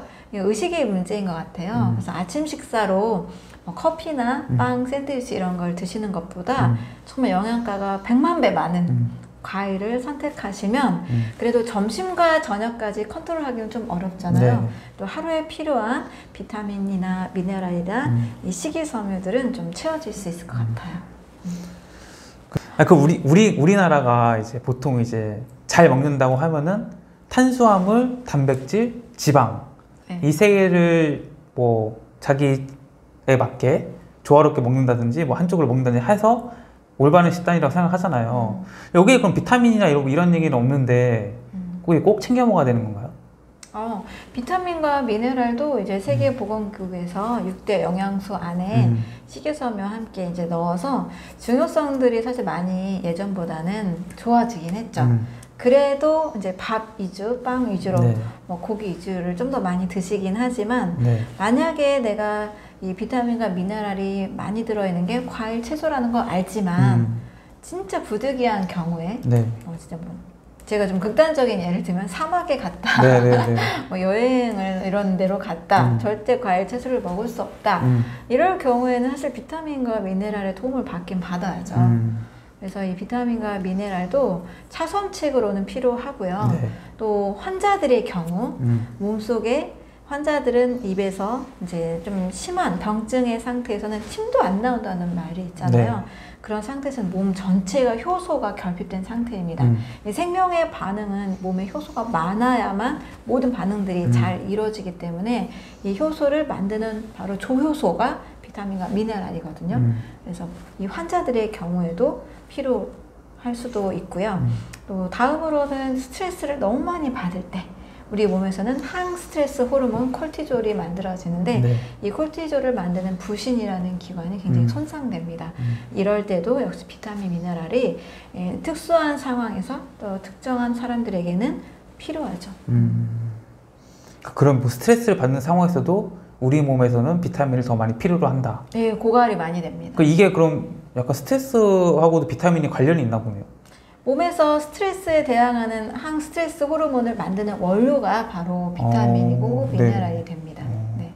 그럼 이게 영양제로 챙겨 먹는 게 의미가 있긴 있겠네요. 의미가 있죠. 네. 네. 무조건 저는 반대하진 않습니다. 음. 어, 환자들의 경우에는요, 진짜 이 세포 속에 영양도 없고, 음. 이몸 전체에, 뭐 백혈구도 뭐 동맥벽 하나에도 70종의 효소가 작용한다고 하거든요. 음. 백혈구도 효소의 힘으로 면역작용을 하는데, 음. 이런 이 효소 자체가 만들어지지 않는 몸이기 때문에, 네. 이 면역력을 올리기 위해서, 면역 세포에 에너지를 주기 위해서 좋은 비타민, 좋은 영양제는 필요하죠. 그럼 좋은 비타민과 영양제를 구입하려고 할때 네. 어떤 기준을 좀 가지고 사면 좋을까요? 어, 가장 첫 번째로 중요한 기준은 음. 어, 비타민 이런 영양제들은 약이 아니기 때문에 일단 이 승인이 되는 과정에서 네. 식품 안전 기준인 해썹 인증만 받으면 되기는 합니다. 네. HACCP라는 식품 위해한 성분이 없다라는 인증 기준이 있죠. 그런데 어, 음. 약이 아니기 때문에 이 음. 해썹 인증만 받아도 통과는 되지만 비타민이라는 것도 대부분 약처럼 나오잖아요. 음. 이런 제형으로 나와서 우리 몸에서 얼마나 잘 풀어지고 세포 속까지 또는 음. 세포 속 미토, 미토콘드리아까지 얼마나 잘 흡수가 되느냐 이게 되게 중요한데요. 잘 흡수율에 대해서는 이제 GMP라는 음. 제약회사 인증 기준이 또 있습니다. 그래서 건강 기능 식품이라고 써 있는 제품들이 있고 어, 건강 기능 식품은 GMP 인증까지 2021년도 기준으로 음. 같이 이 시설 기준인데요. 이것까지 같이 갖춰야 되는 것으로 우리나라에서 정했고요. 네. 또 어떤 제품 같은 경우는 건강 기능 식품이라는 표시는 없고 해썹 인증만 되어 있는 게 있습니다. 이럴 경우에는 이제 얼마나 이 제형이 풀어지는지는 거기까지는 테스트가 되지 음. 않은 시설에서 만들어진다라고 알고 계시고 음. 뭐 유해한 성분은 없다라는 정도로 음. 이해하시면 됩니다. 이렇게 GMP 인증 기준 시설 건강 기능 식품이라고 표기된 것을 선택하시는 것이 좋고 음. 또 이제 세포에 얼마나 잘 흡수되는가 흡수율을 또 테스트하는 음. 그런 어, 음, 흡수율에 대해서 또 굉장히 어, 잘 흡수가 된다라고 어, 광, 광고로 나 말해도 되나? 어, 얼마나 잘 흡수가 되는지까지 알 수 있는 제품이라면 그걸 또 선택하는 하시는 것이 더 좋겠죠. 음. 네. 근데 우리가 이제 그 고기를 먹으면은 이 고기가 면역의 균형을 깨뜨리는 건가요? 아, 네. 고기를 뭐 소량으로 네. 아주 질 좋은 뭐 방목해서 자란 음. 뭐 풀을 먹은 소 풀을 먹여 자란 뭐 무항생제 네. 뭐 성장 호르몬 없는 이 소의 고기를 뭐 일부 먹을 때는 음. 큰 문제는 없어요. 음. 그런데 우리가 먹고 있는 고기들이 대부분 어, 항생제가 많고 네. 또 성장 호르몬을 먹이고 또 에, 풀보다는 건초보다는 음. 음, 곡물 사료를 먹여서 네. 많이 살을 찌게 했죠. 그러다 보니까 염증이 많은 이제 몸 음. 상태가 됩니다. 자, 염증이 많은 죽은 동물의 시체를 먹는 거다라고 음. 존 맥두걸 선생님은 이야기를 하신 적도 아. 있습니다. 음. 네, 맞죠? 죽은 동물의 네, 시체죠. 죽은 동물의 시체인데 이미 죽어 있고 네. 항생제도 많고 네. 염증도 많은 상태에서 또 동물이 죽을 때 굉장히 스트레스를 음. 많이 받거든요. 음. 이 스트레스 호르몬까지 가득 있는 상태의 음. 고기를 먹는다. 과연 좀 건강에 음. 크게 도움이 될 것 같진 않아요. 네. 그래서 또 고기에 있는 이 단백질은요, 원래 음. 육식 동물은 남의 살을 먹어야 살 수 있는 동물이잖아요. 육식 동물은 위산이 사람보다 4배, 5배 강합니다. 음. 굉장히 산도가 높은 소화 요소를 가지고 있기 때문에 음. 빠르게 이 동, 동, 동 물성 단백질을 분해해서 에너지로 삼습니다. 음. 또이 동물성 단백질이 이제 대사하는 과정에서는 암모니아나 음. 뭐 요산 요소, 뭐 인돌, 스칼톨 이런 예, 유해한 성분들이 많이 만들어져요. 육식동물도 이것이 몸에 몸 밖으로 빠르게 빠져나가도록 장의 길이가 짧아요. 음. 예, 육식동물의 체간, 몸의 길이와 장의 길이의 비율이 뭐 1.5배 정도밖에 되지 않아요. 근데 사람의 경우에는 장의 길이도 6배죠. 체간에 비해서. 음. 소화 효소도 예, 육식동물보다는 그렇게 강사는 아닙니다. 네. 사람에 따라 좀 차이는 좀 있지만 음. 이 자체가 좀 다르죠. 소화효소 자체가. 그래서 완벽하게 소화를 하지 못합니다. 음. 많이 먹었을 경우에를 또 이야기를 드리는 건데요. 이렇게 해서 고기를 과식하게 되면 그 느낌이 좀 다르잖아요. 음. 화장실 가는 느낌이. 그래서 이 동물성 단백질이 몸에서 이 단백질은 변질되면 부패가 되기 때문에 부패 산물이 내 몸에 많은 거죠. 음. 그래서 암- 고기를 진짜 매일 거의 주식으로 먹는 분들의 경우 몸에서 암모니아 냄새가 나기도 하고 음. 체취가 좀 다르거든요. 또, 다- 또 몸을 키우려고 이제 PT 이제 트레이닝 받거나 또 네. 하시는 분들의 경우 이 단백질 파우더를 굉장히 많이 드시잖아요. 음. 이런 분들의 경우 만약에 이것을 해, 그 해독하는 비타민, 미네랄, 식이섬유가 좀 부족할 경우에는 어, 얼굴빛이 까맣고 음. 간 기능도 약하고 음. 또 신장의 기능도 문제가 오는 경우가 있습니다. 이게 몸에 축적돼서 쌓여서 어, 신장 결석을 만들기도 하고 옥살산염이라는 것들을 몸에서 또 만들어내거든요. 음. 그리고 이제 이런 요산 요소 단백질 대사 산물이 몸에 이뼈 쪽에 쌓이게 되면 통풍이라는 또 질병으로 바뀌게 되죠. 음. 그래서 단백질은 몸에서 과잉이 되면 전혀 도움이 안 돼요. 예, 탄수화물 단백질은 과잉이 되면 글리코겐 형태, 지방 형태로 저장을 합니다. 네. 그래서 나중에 이제 기아시에 음. 이걸 쓸 수가 있는데요. 단백질은 엄청난 노폐물, 대사산물을 만들어내고 음. 몸의 독소를 굉장히 증가시키는 방향으로 가기 때문에 네. 당연히 독소가 많으면 염증이 많아지고 염증이 많으면 병이 많아지게 되겠죠. 음. 그래서 건강에는 예, 큰 도움이 안 됩니다. 음. 네. 아 근데 그 소한테 이제 항생제를 먹이거나 주사를 놓잖아요. 네. 그럼 이제 몸에 염증이 없는 거 아닌가요?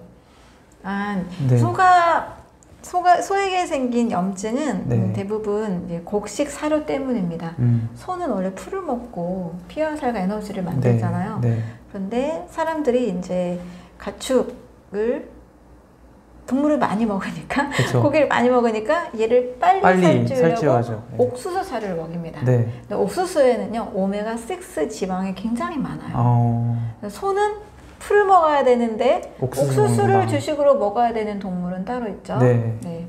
옥수수를 먹는 동물이 아니라 음. 풀을 먹고 대사해야 되는데 옥수수를 먹기 때문에 살은 찝니다. 음. 한 1.5배 정도 네네. 살은 찢어서 이게 체중은 증가하지만 음. 이게 가축의 어떤 생산성 효과에서 사람의 입장에서 좋은 거지 네. 동물의 입장에서는 내 몸에 맞지 않은 음식을 계속 음. 먹게 되죠. 음. 그래서 어, 오메가 3와 6의 비율이 1대 1에서 4대 1까지 아 1대 오메가 3와 6의 비율이 음. 1대 1에서 1대 4까지 음. 오메가 6가 4배 정도 많은 것까지는 안전 범위인데요. 음. 예, 소의 이 고기 부위를 어, 오메가 3, 6 비율을 보면 무려 한 1대 100 정도까지 음. 올라가 있습니다.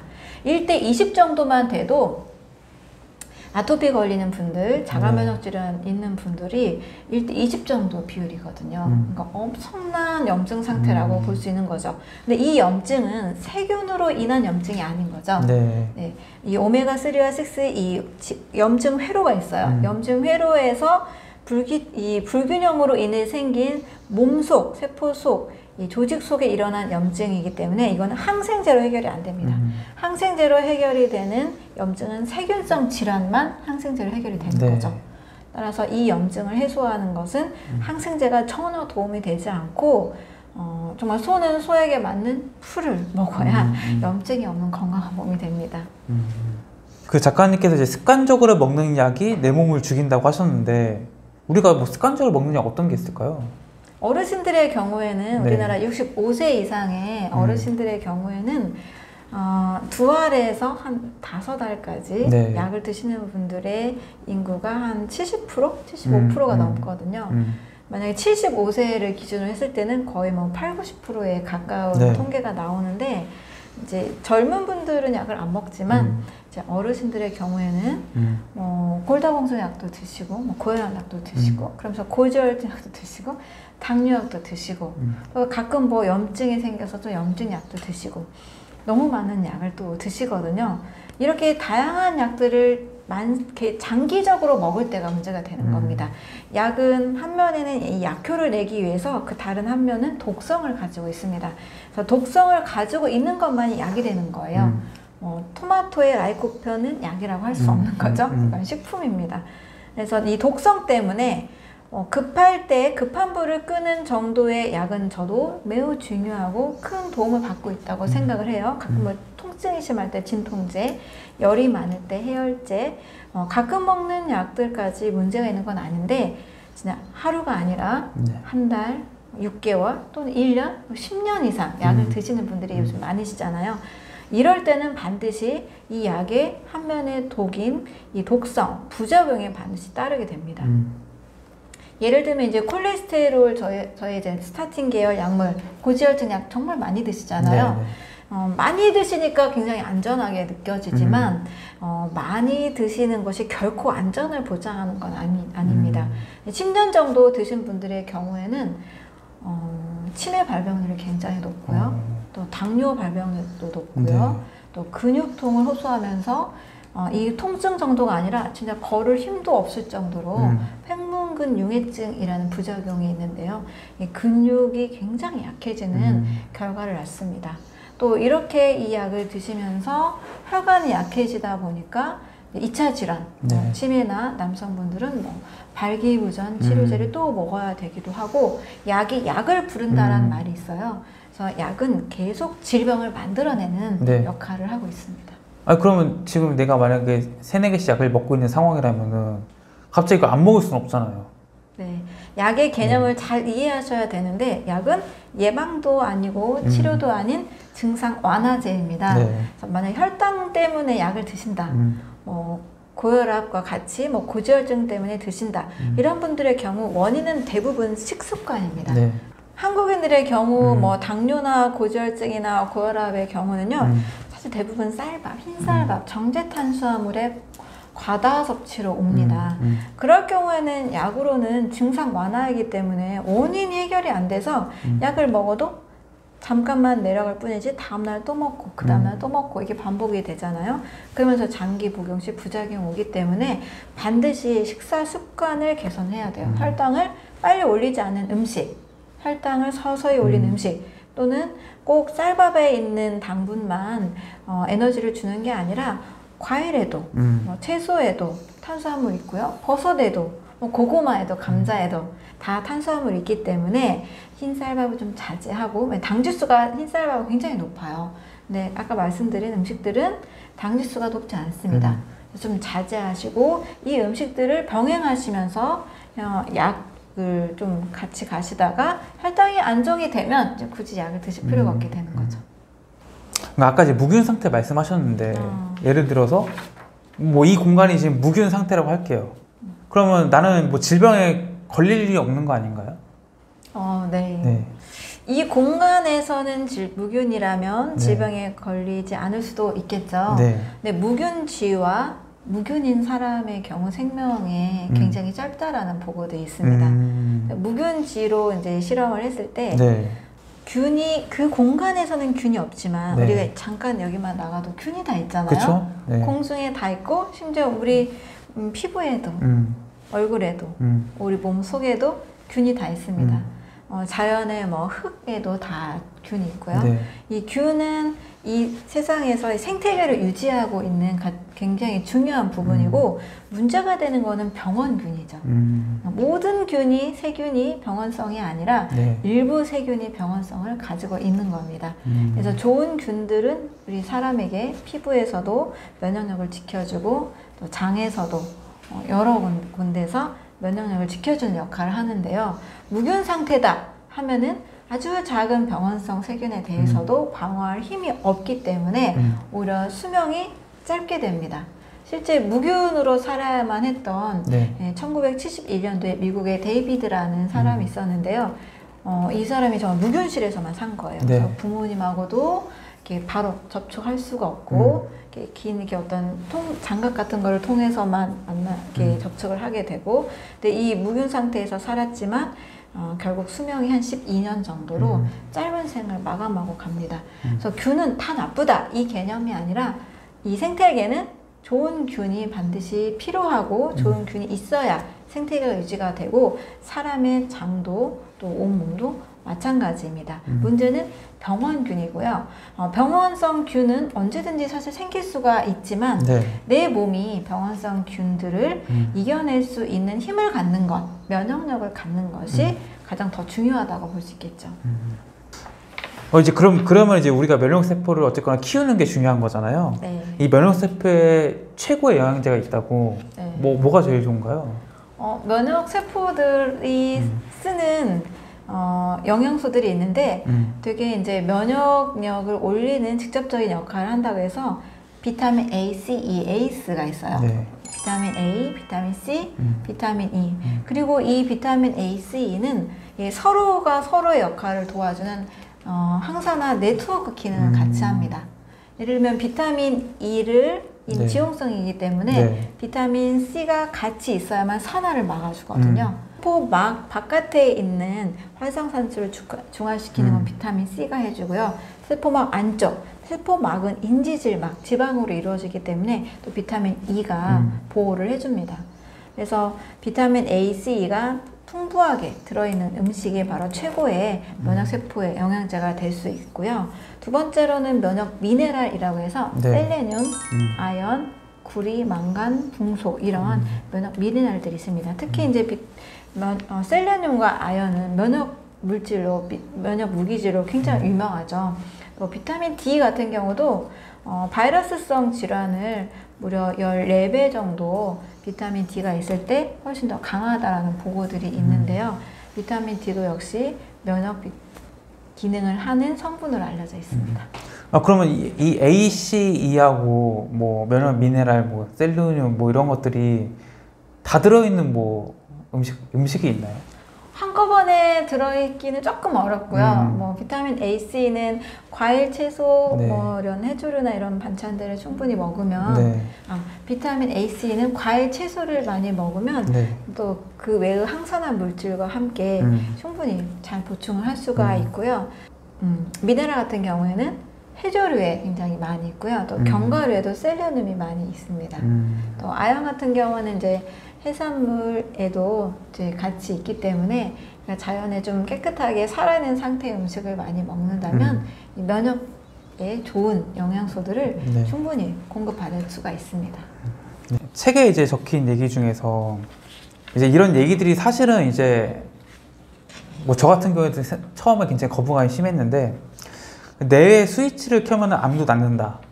그러니까 이게 약간 자기 개발서의 그런 시크릿 같은 느낌을 준단 말이죠. 그럼 이게 뭐 내가 그냥 뭐 약도 안 먹고 수술도 안 받고 이 어떻게 보면 상상이나 생각이나 이런 것만 잘하면은 암이 사라지는 건지 이렇게 또 받아들이시는 분이 있어가지고 네. 내 스위치를 켜면 암이 낫는다. 음, 암도 낫는다. 이건 어떤 의미인가요? 어, 후성 유전학과 음. 그 신념의 생물학이라는 책을 통해서 좀 설명을 드릴게요. 네. 후성 유전학이라는 것은 원래 사람이 이제 암이 유전 질환이다라고 생각을 해서 네. 유전적 접근을 했단 말이에요. 그래서 우리 게놈 프로젝트가 완성이 음. 됐죠.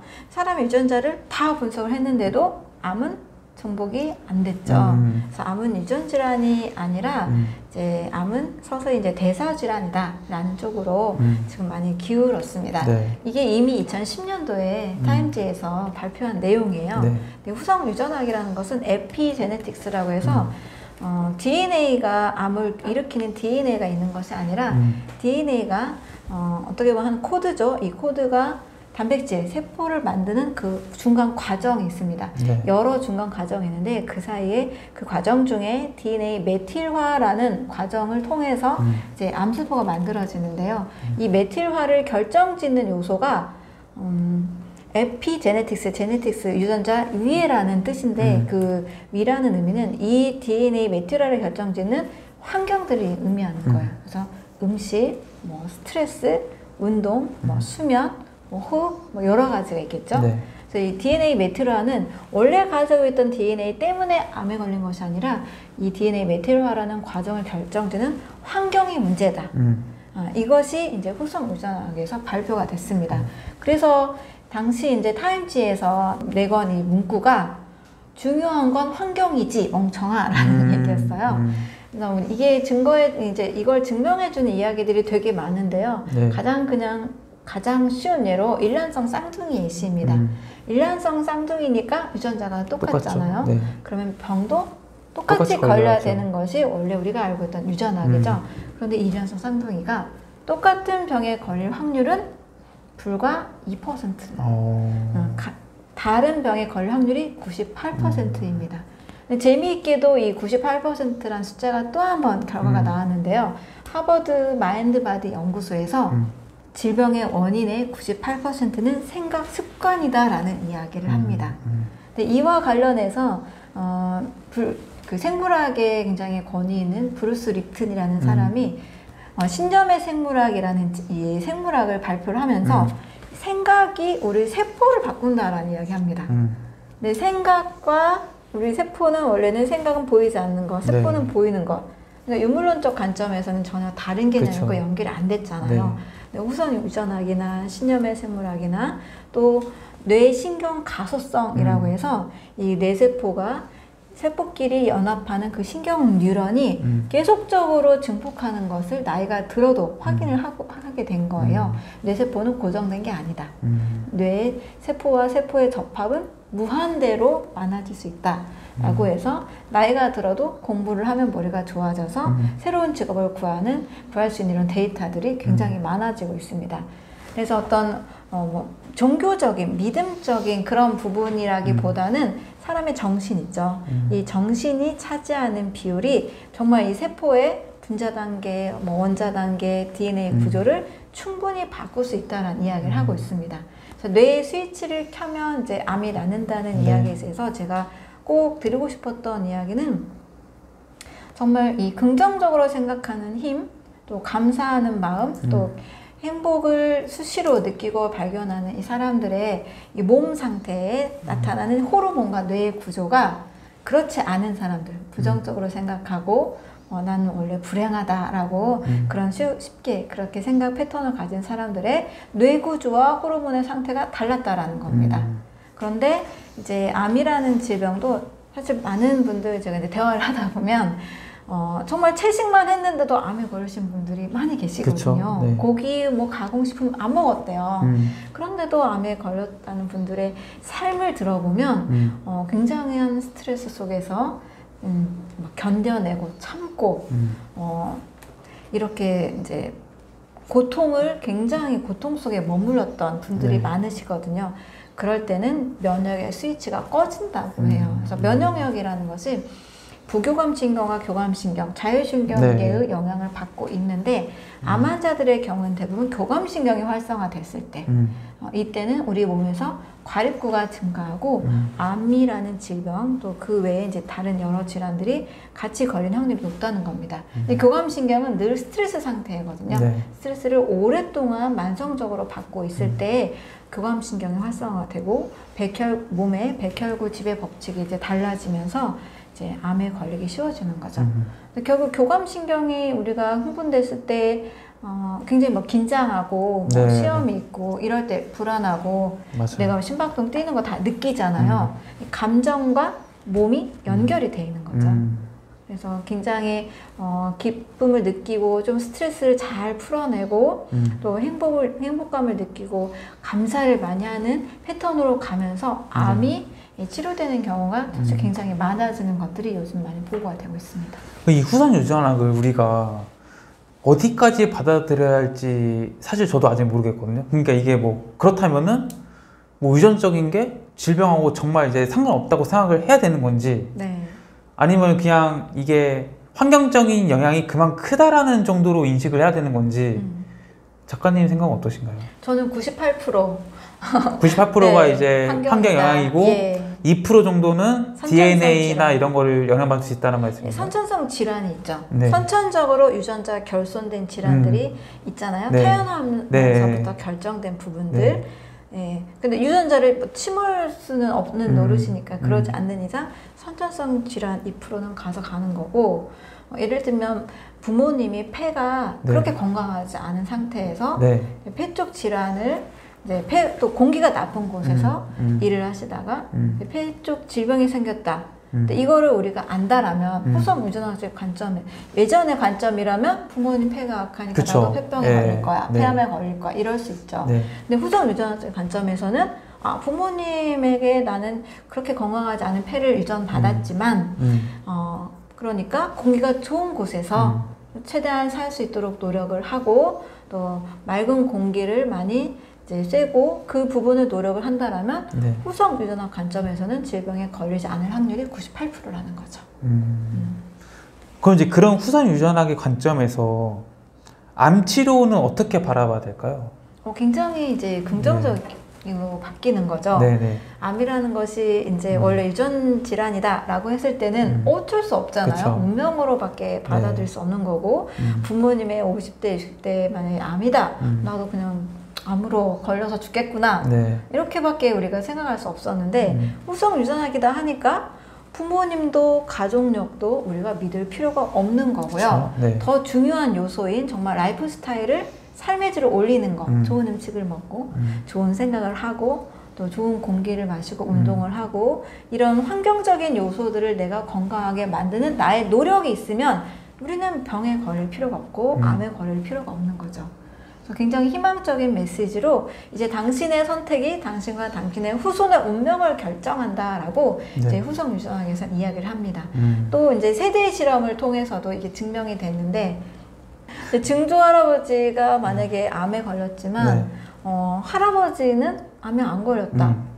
후성 유전학적으로 충분히 가능성이 있는 이야기고 아. 아버지도 암에 안 걸릴 수 있고 네. 나도 암에 안 걸릴 수 있는 아. 몸으로 이제 바뀐 거죠. 음, 네, 이것이 바로 우리에게 큰 이제 희망을 주고 네. 우리의 운명을 바꿔주는 거죠. 음, 그래서 내가 어떤 선택을 하느냐가 내 삶을 결정짓고 건강을 음. 결정짓고 음. 그리고 내 후손의 건강을 또 음. 결정짓는다라는 이야기를 타임즈하고 네이처에서 음. 동시에 음. 발표를 했습니다.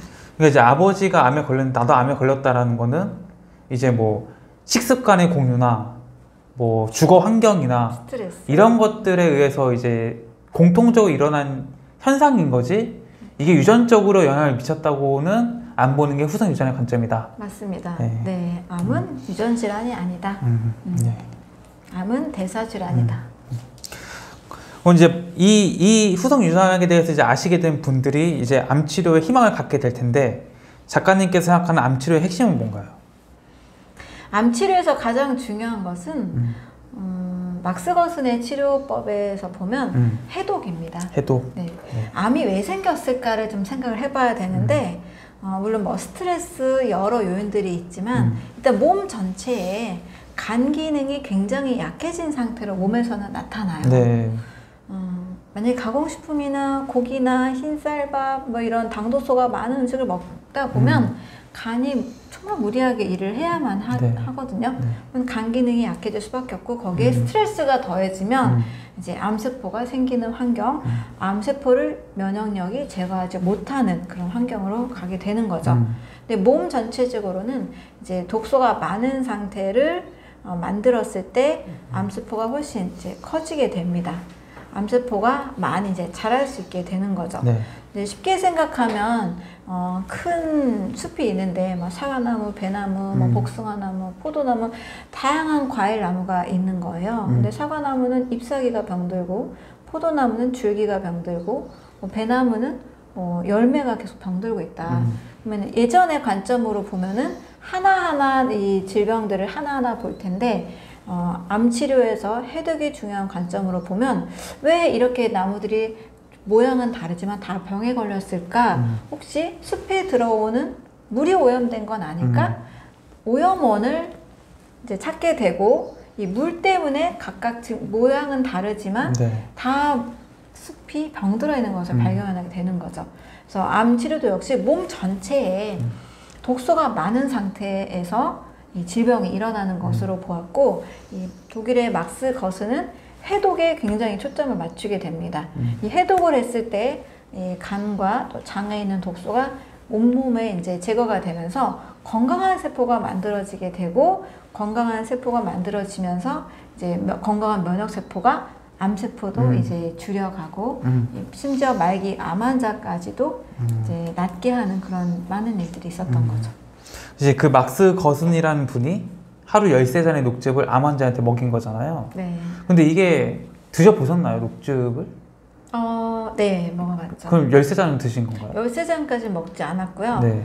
한 6, 7잔 정도를 음. 한국 어, 대한 제암 거순 의학회에서 네. 거순의 식사법을 한국인에게 맞게 좀 응용을 했는데요. 네. 한 6, 7잔 정도를 추천을 합니다. 그럼 이거는 밥을 안 먹고 녹즙만 먹는 건가요? 어, 초기에는 이 네. 쌀을 소- 소화시킬 수 있는 소화 능력도 암 환자들은 없기 네. 때문에 일단은 어, 이 녹즙의 이 음. 성분이 또 그냥 어, 녹색 풀만 있는 것이 아니라 네. 또 영양이 있는 과일까지도 음. 같이 어, 갈고 또 그렇다고 뭐 혈당을 올리지 않는 선에서 네. 어, 중요한 건 파이토케미컬 식물 음. 영양소와 다양한 무기질 음. 비타민들을 많이 이제 공급을 해줍니다. 음. 그랬을 때 이 세포들이 이제 해독이 막 일어나는 거죠. 음. 간도 해독이 일어나게 되는 거고. 영양소로 독소를 제거하는 방향이다라고 생각하실 음. 수 있습니다. 그 녹즙을 마시는 게 제- 제가 잘못 들은 건지 몰라도 이게 간에 무리를 줄 수 있다라는 얘기도 듣는데 그 그건 사실이 아닌가요? 간에 무리를 주는 것은 약이 훨씬 심하죠. 음. 네. 녹즙은 이제 음식이죠. 네. 어, 이런 경우는 있죠. 이제 생이 갑자기 생의 날것의. 음식이 네. 갑자기 많이 들어오게 되면 음. 뭐 몸이 뭐 적, 적응하는 과정에서 좀 음. 문제를 일으킬 수 있지만 음. 이 부작용이 어, 독성이 강한 항암제의 부작용 음. 또 많은 약들의 부작용보다는 결국 크지는 않습니다. 음. 이제 몸 건강을 생각하시는 분들이 뭐 저희 아버지도 마찬가지지만 뭐 홍삼이라든지 뭐 녹용 이런 이제 건강 보양식들을 챙겨 드시거든요. 네. 근데 이런 것보다도 해독이 먼저 돼야 된다. 네. 예, 해독이 그럼 이런 음식을 먹는 것보다 훨씬 더 중요하다는 말씀이시죠? 네. 어떤 면역력을 위해서 뭐 홍삼에 뭐 음. 사포닌 이런 성분들을 되게 어, 면역을 증강시키는 물질로 음. 이제 알고 있지만 물론 면역에 도움이 안 된다는 이야기가 아니라 네. 내 몸에 음, 우리 집에 하수구가 막혀 있는 상태, 네. 배출이 안 되고 있는 그 더러운 게 계속 쌓여 있는 상태에서 음. 어, 예쁜 소파를 들여놓는 것이 의미가 없죠. 없겠죠. 네. 그것처럼 내 몸에 독소가 가득 음. 쌓여 있어서 병이 왔는데 음. 이 해독을 하지 않고 영양가 높은 어떤 보약이나 예, 그런 약 그 좋은 어떤 음식만 먹어, 먹어서 네. 해결이 되는 것이 아니라는 거죠. 그러니까 일부 음. 성분이 아니라 몸 전체에 어쨌든 독소를 빠르게 배출하는 그런 식사법이나 음. 또 그게 훨씬 더 중요하다는 거죠. 어, 아까 이제 인터뷰 초창기에 림프에 대해서 말씀해 주셨잖아요. 네. 이제 림프라는 게 이제 사실 저는 좀 생소하긴 해요. 림프라는 게 정확히 뭐고 우리 몸에서 어떤 역할을 해주는 건가요? 우리 몸에는 이제 큰 순환이 두 개가 있는데요. 혈액 순환은 다 알고 있잖아요. 음. 네. 심장이 이제 펌프질을 해서 어, 피를 온몸에 이제 운반을 온몸에 보내서 네. 산소와 영양소를 공급한다. 네. 이렇게 이제 알고 있죠. 근데 이 혈액 순환처럼 어, 일정하게 어떤 보내주는 심장 펌프가 펌프 기능을 하는 심장은 없지만 네. 우리 몸에도 어, 신경계가 신경이 음. 지나가듯이 림프라는 것이 림프 순환이 있습니다. 네. 온몸에 이제 세포와 세포, 조직과 조직 사이에 간질액의 형태로 음. 어, 림프라는 물질이 몸에서 흘러다니는데 네. 이 림프계는 림프절과 또 림프 순환으로 이루어져 음. 있어요. 그 우리 가끔 뭐 감기 걸리고 이러면 여기 뭐 붓잖아요. 네. 혹 같은 거 네. 좀 나오죠. 네. 이런 것들이 림프절이거든요. 아. 그래서 림프절에는 면역 세포들이 이곳에서 성장하고 성숙하고 또 네. 사멸하기도 하는 음. 역할을 해요. 음. 그러니까 감기 걸리면 바이러스와의 전쟁이 내 몸에서 음. 일어나고 있는 거죠. 음. 면역 세포들이 여기서 막 전쟁을 치르고 있기 때문에 음. 붙는 거예요. 네. 그리고 어, 림프 순환을 통해서는 지용성 영양소하고 몸속에 있는 어, 혈관으로 다 이동하지 못하는 큰 덩어리, 큰 분자의 물질들이 음. 노폐물의 형태로 나갑니다. 음. 지용성 영양소와 또 노폐물들 그리고 면역 세포들의 이런 사체 네. 물질들이 림프 순환을 통해서 배출이 돼야 돼요. 음.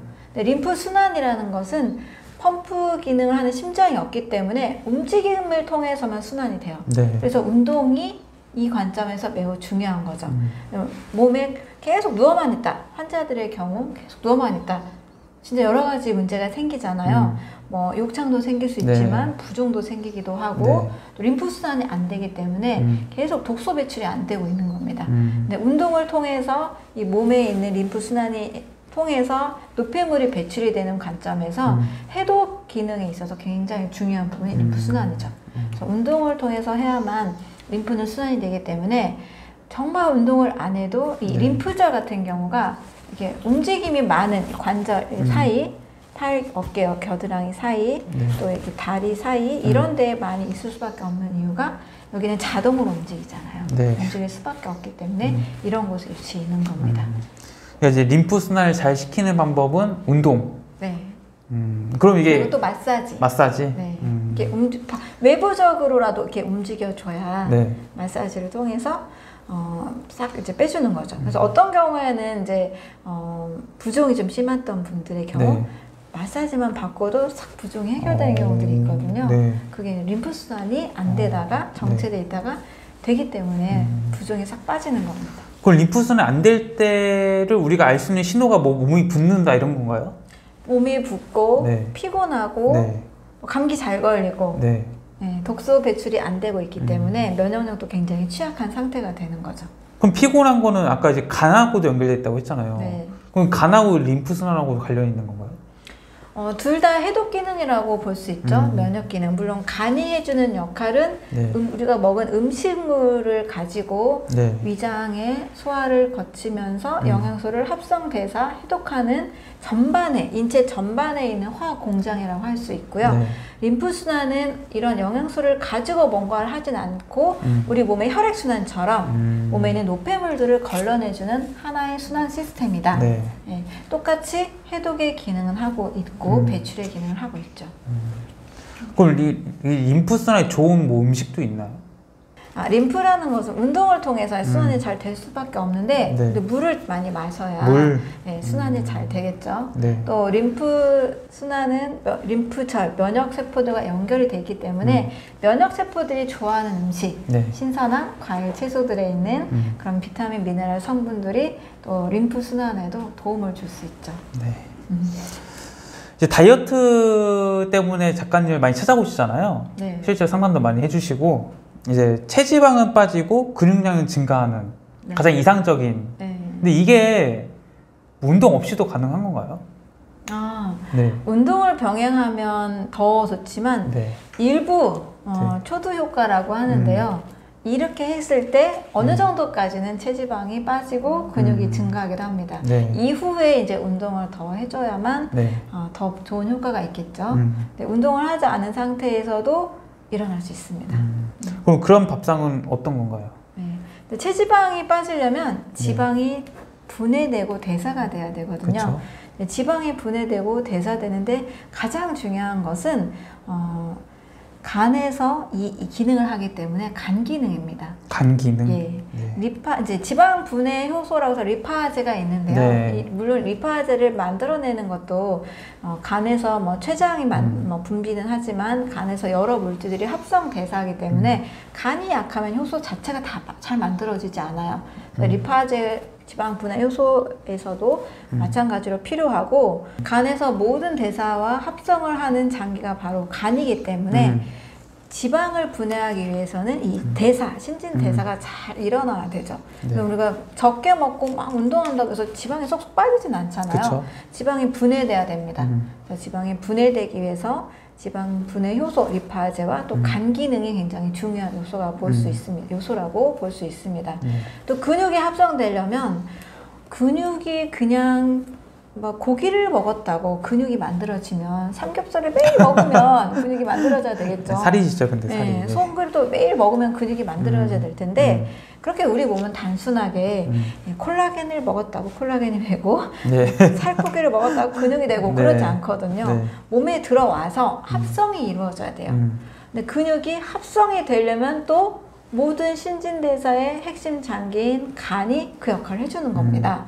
근데 간에서 그냥 혼자서 하는 것이 아니라 음.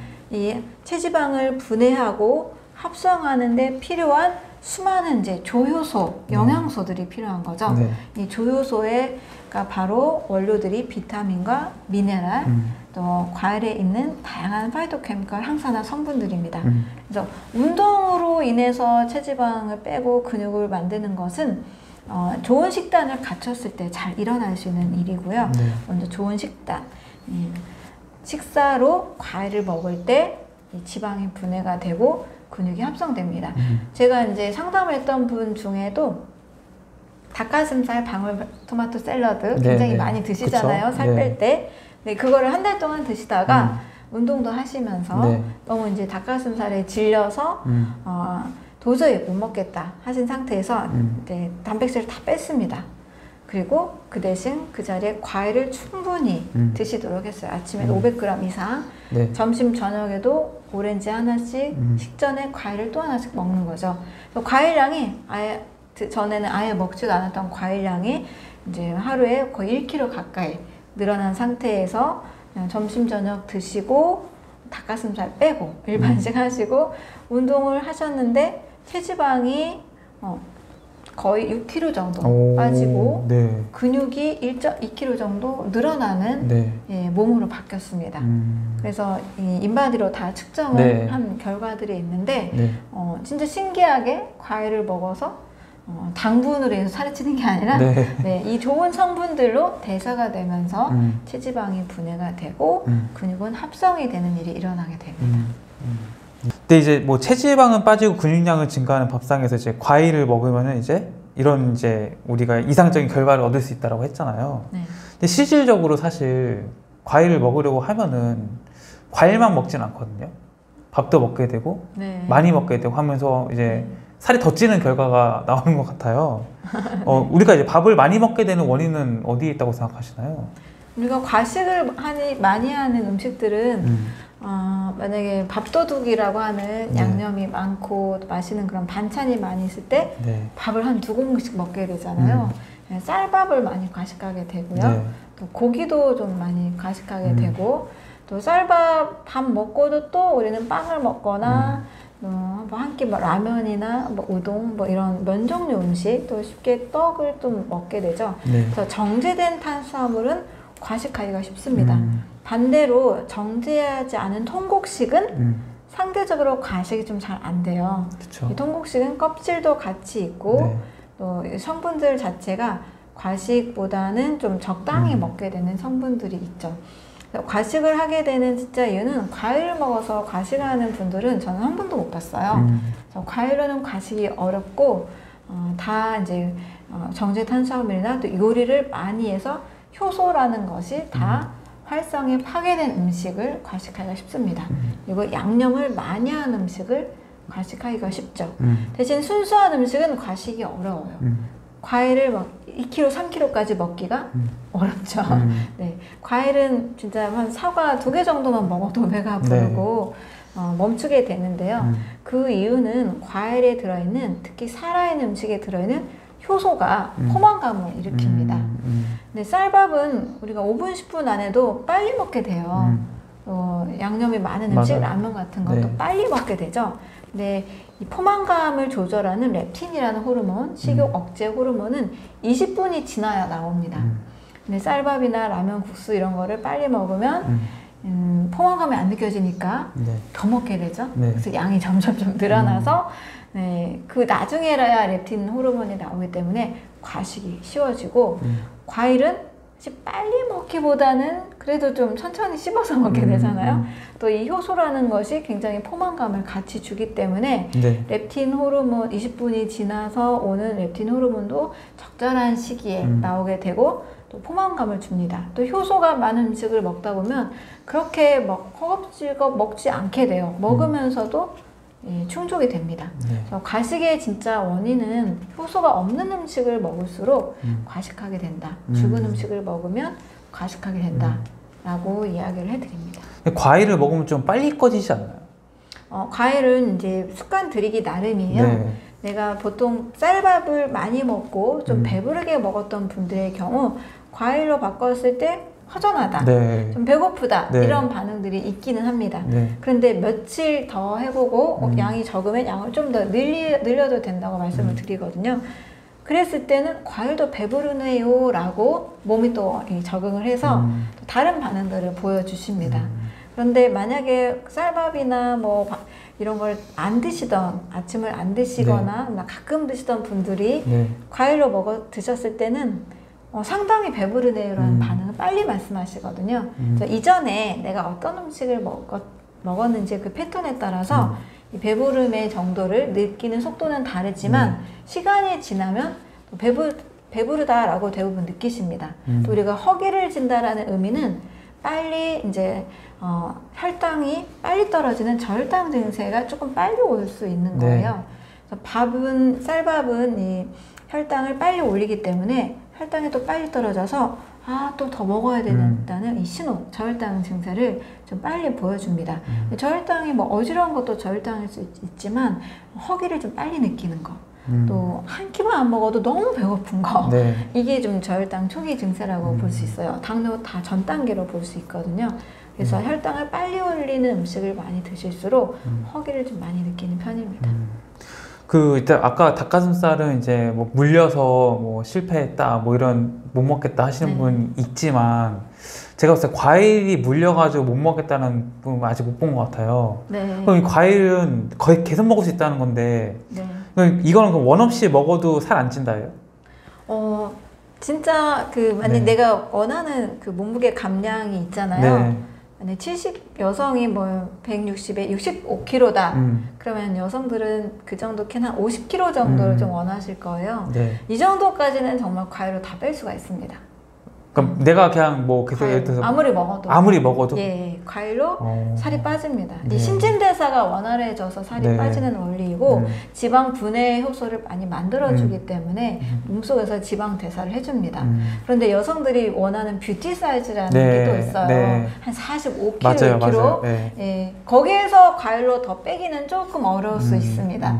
음. 왜냐면 이 과일식을 하게 되면 어, 되게 신기한 반응인데요. 살이 쪄야 될 사람은 찌고요. 네. 빠져야 될 사람은 빠져요. 오. 그래서 이상적인 이제 몸을 좀 만들어 주는데 음. 뷰티 사이즈는 우리 한국인들이 만들어낸 조금 더 네, 마른 맞아요. 체질이잖아요. 네. 그래서 원하는 대로 거기까지는 어려울 수 음. 있지만 어떤 표준 몸무게까지는 충분히 도달할 수가 있습니다. 아니, 그 이건 과일만 먹어야 돼요? 아니면 예를 들어서 과일을 먹다가 뭐 구운 아몬드를 먹었다. 아, 이렇게 섞이는 순간은 그건 또 이게 살이 또 찌는 거예요? 어떻게 되는 거예요? 어, 아침과 점심과 저녁을 좀 구분하면 네, 아몬드를 먹으면서도 살을 뺄 수 있는데요. 네. 아침에는 최대한 과일만 드시는 음. 것이 좋습니다. 네. 아침은 제가 이 몸의 리듬, 자연의 질서에 따라서 배출해 주기라고 네. 말씀드렸기 때문에 일단 내보내는 시간, 음, 소화 효소를 자극하지 않는 식사가 이상적입니다. 음, 수분 위주의 음식, 바로 과일이 제일 좋은 식사가 되고요.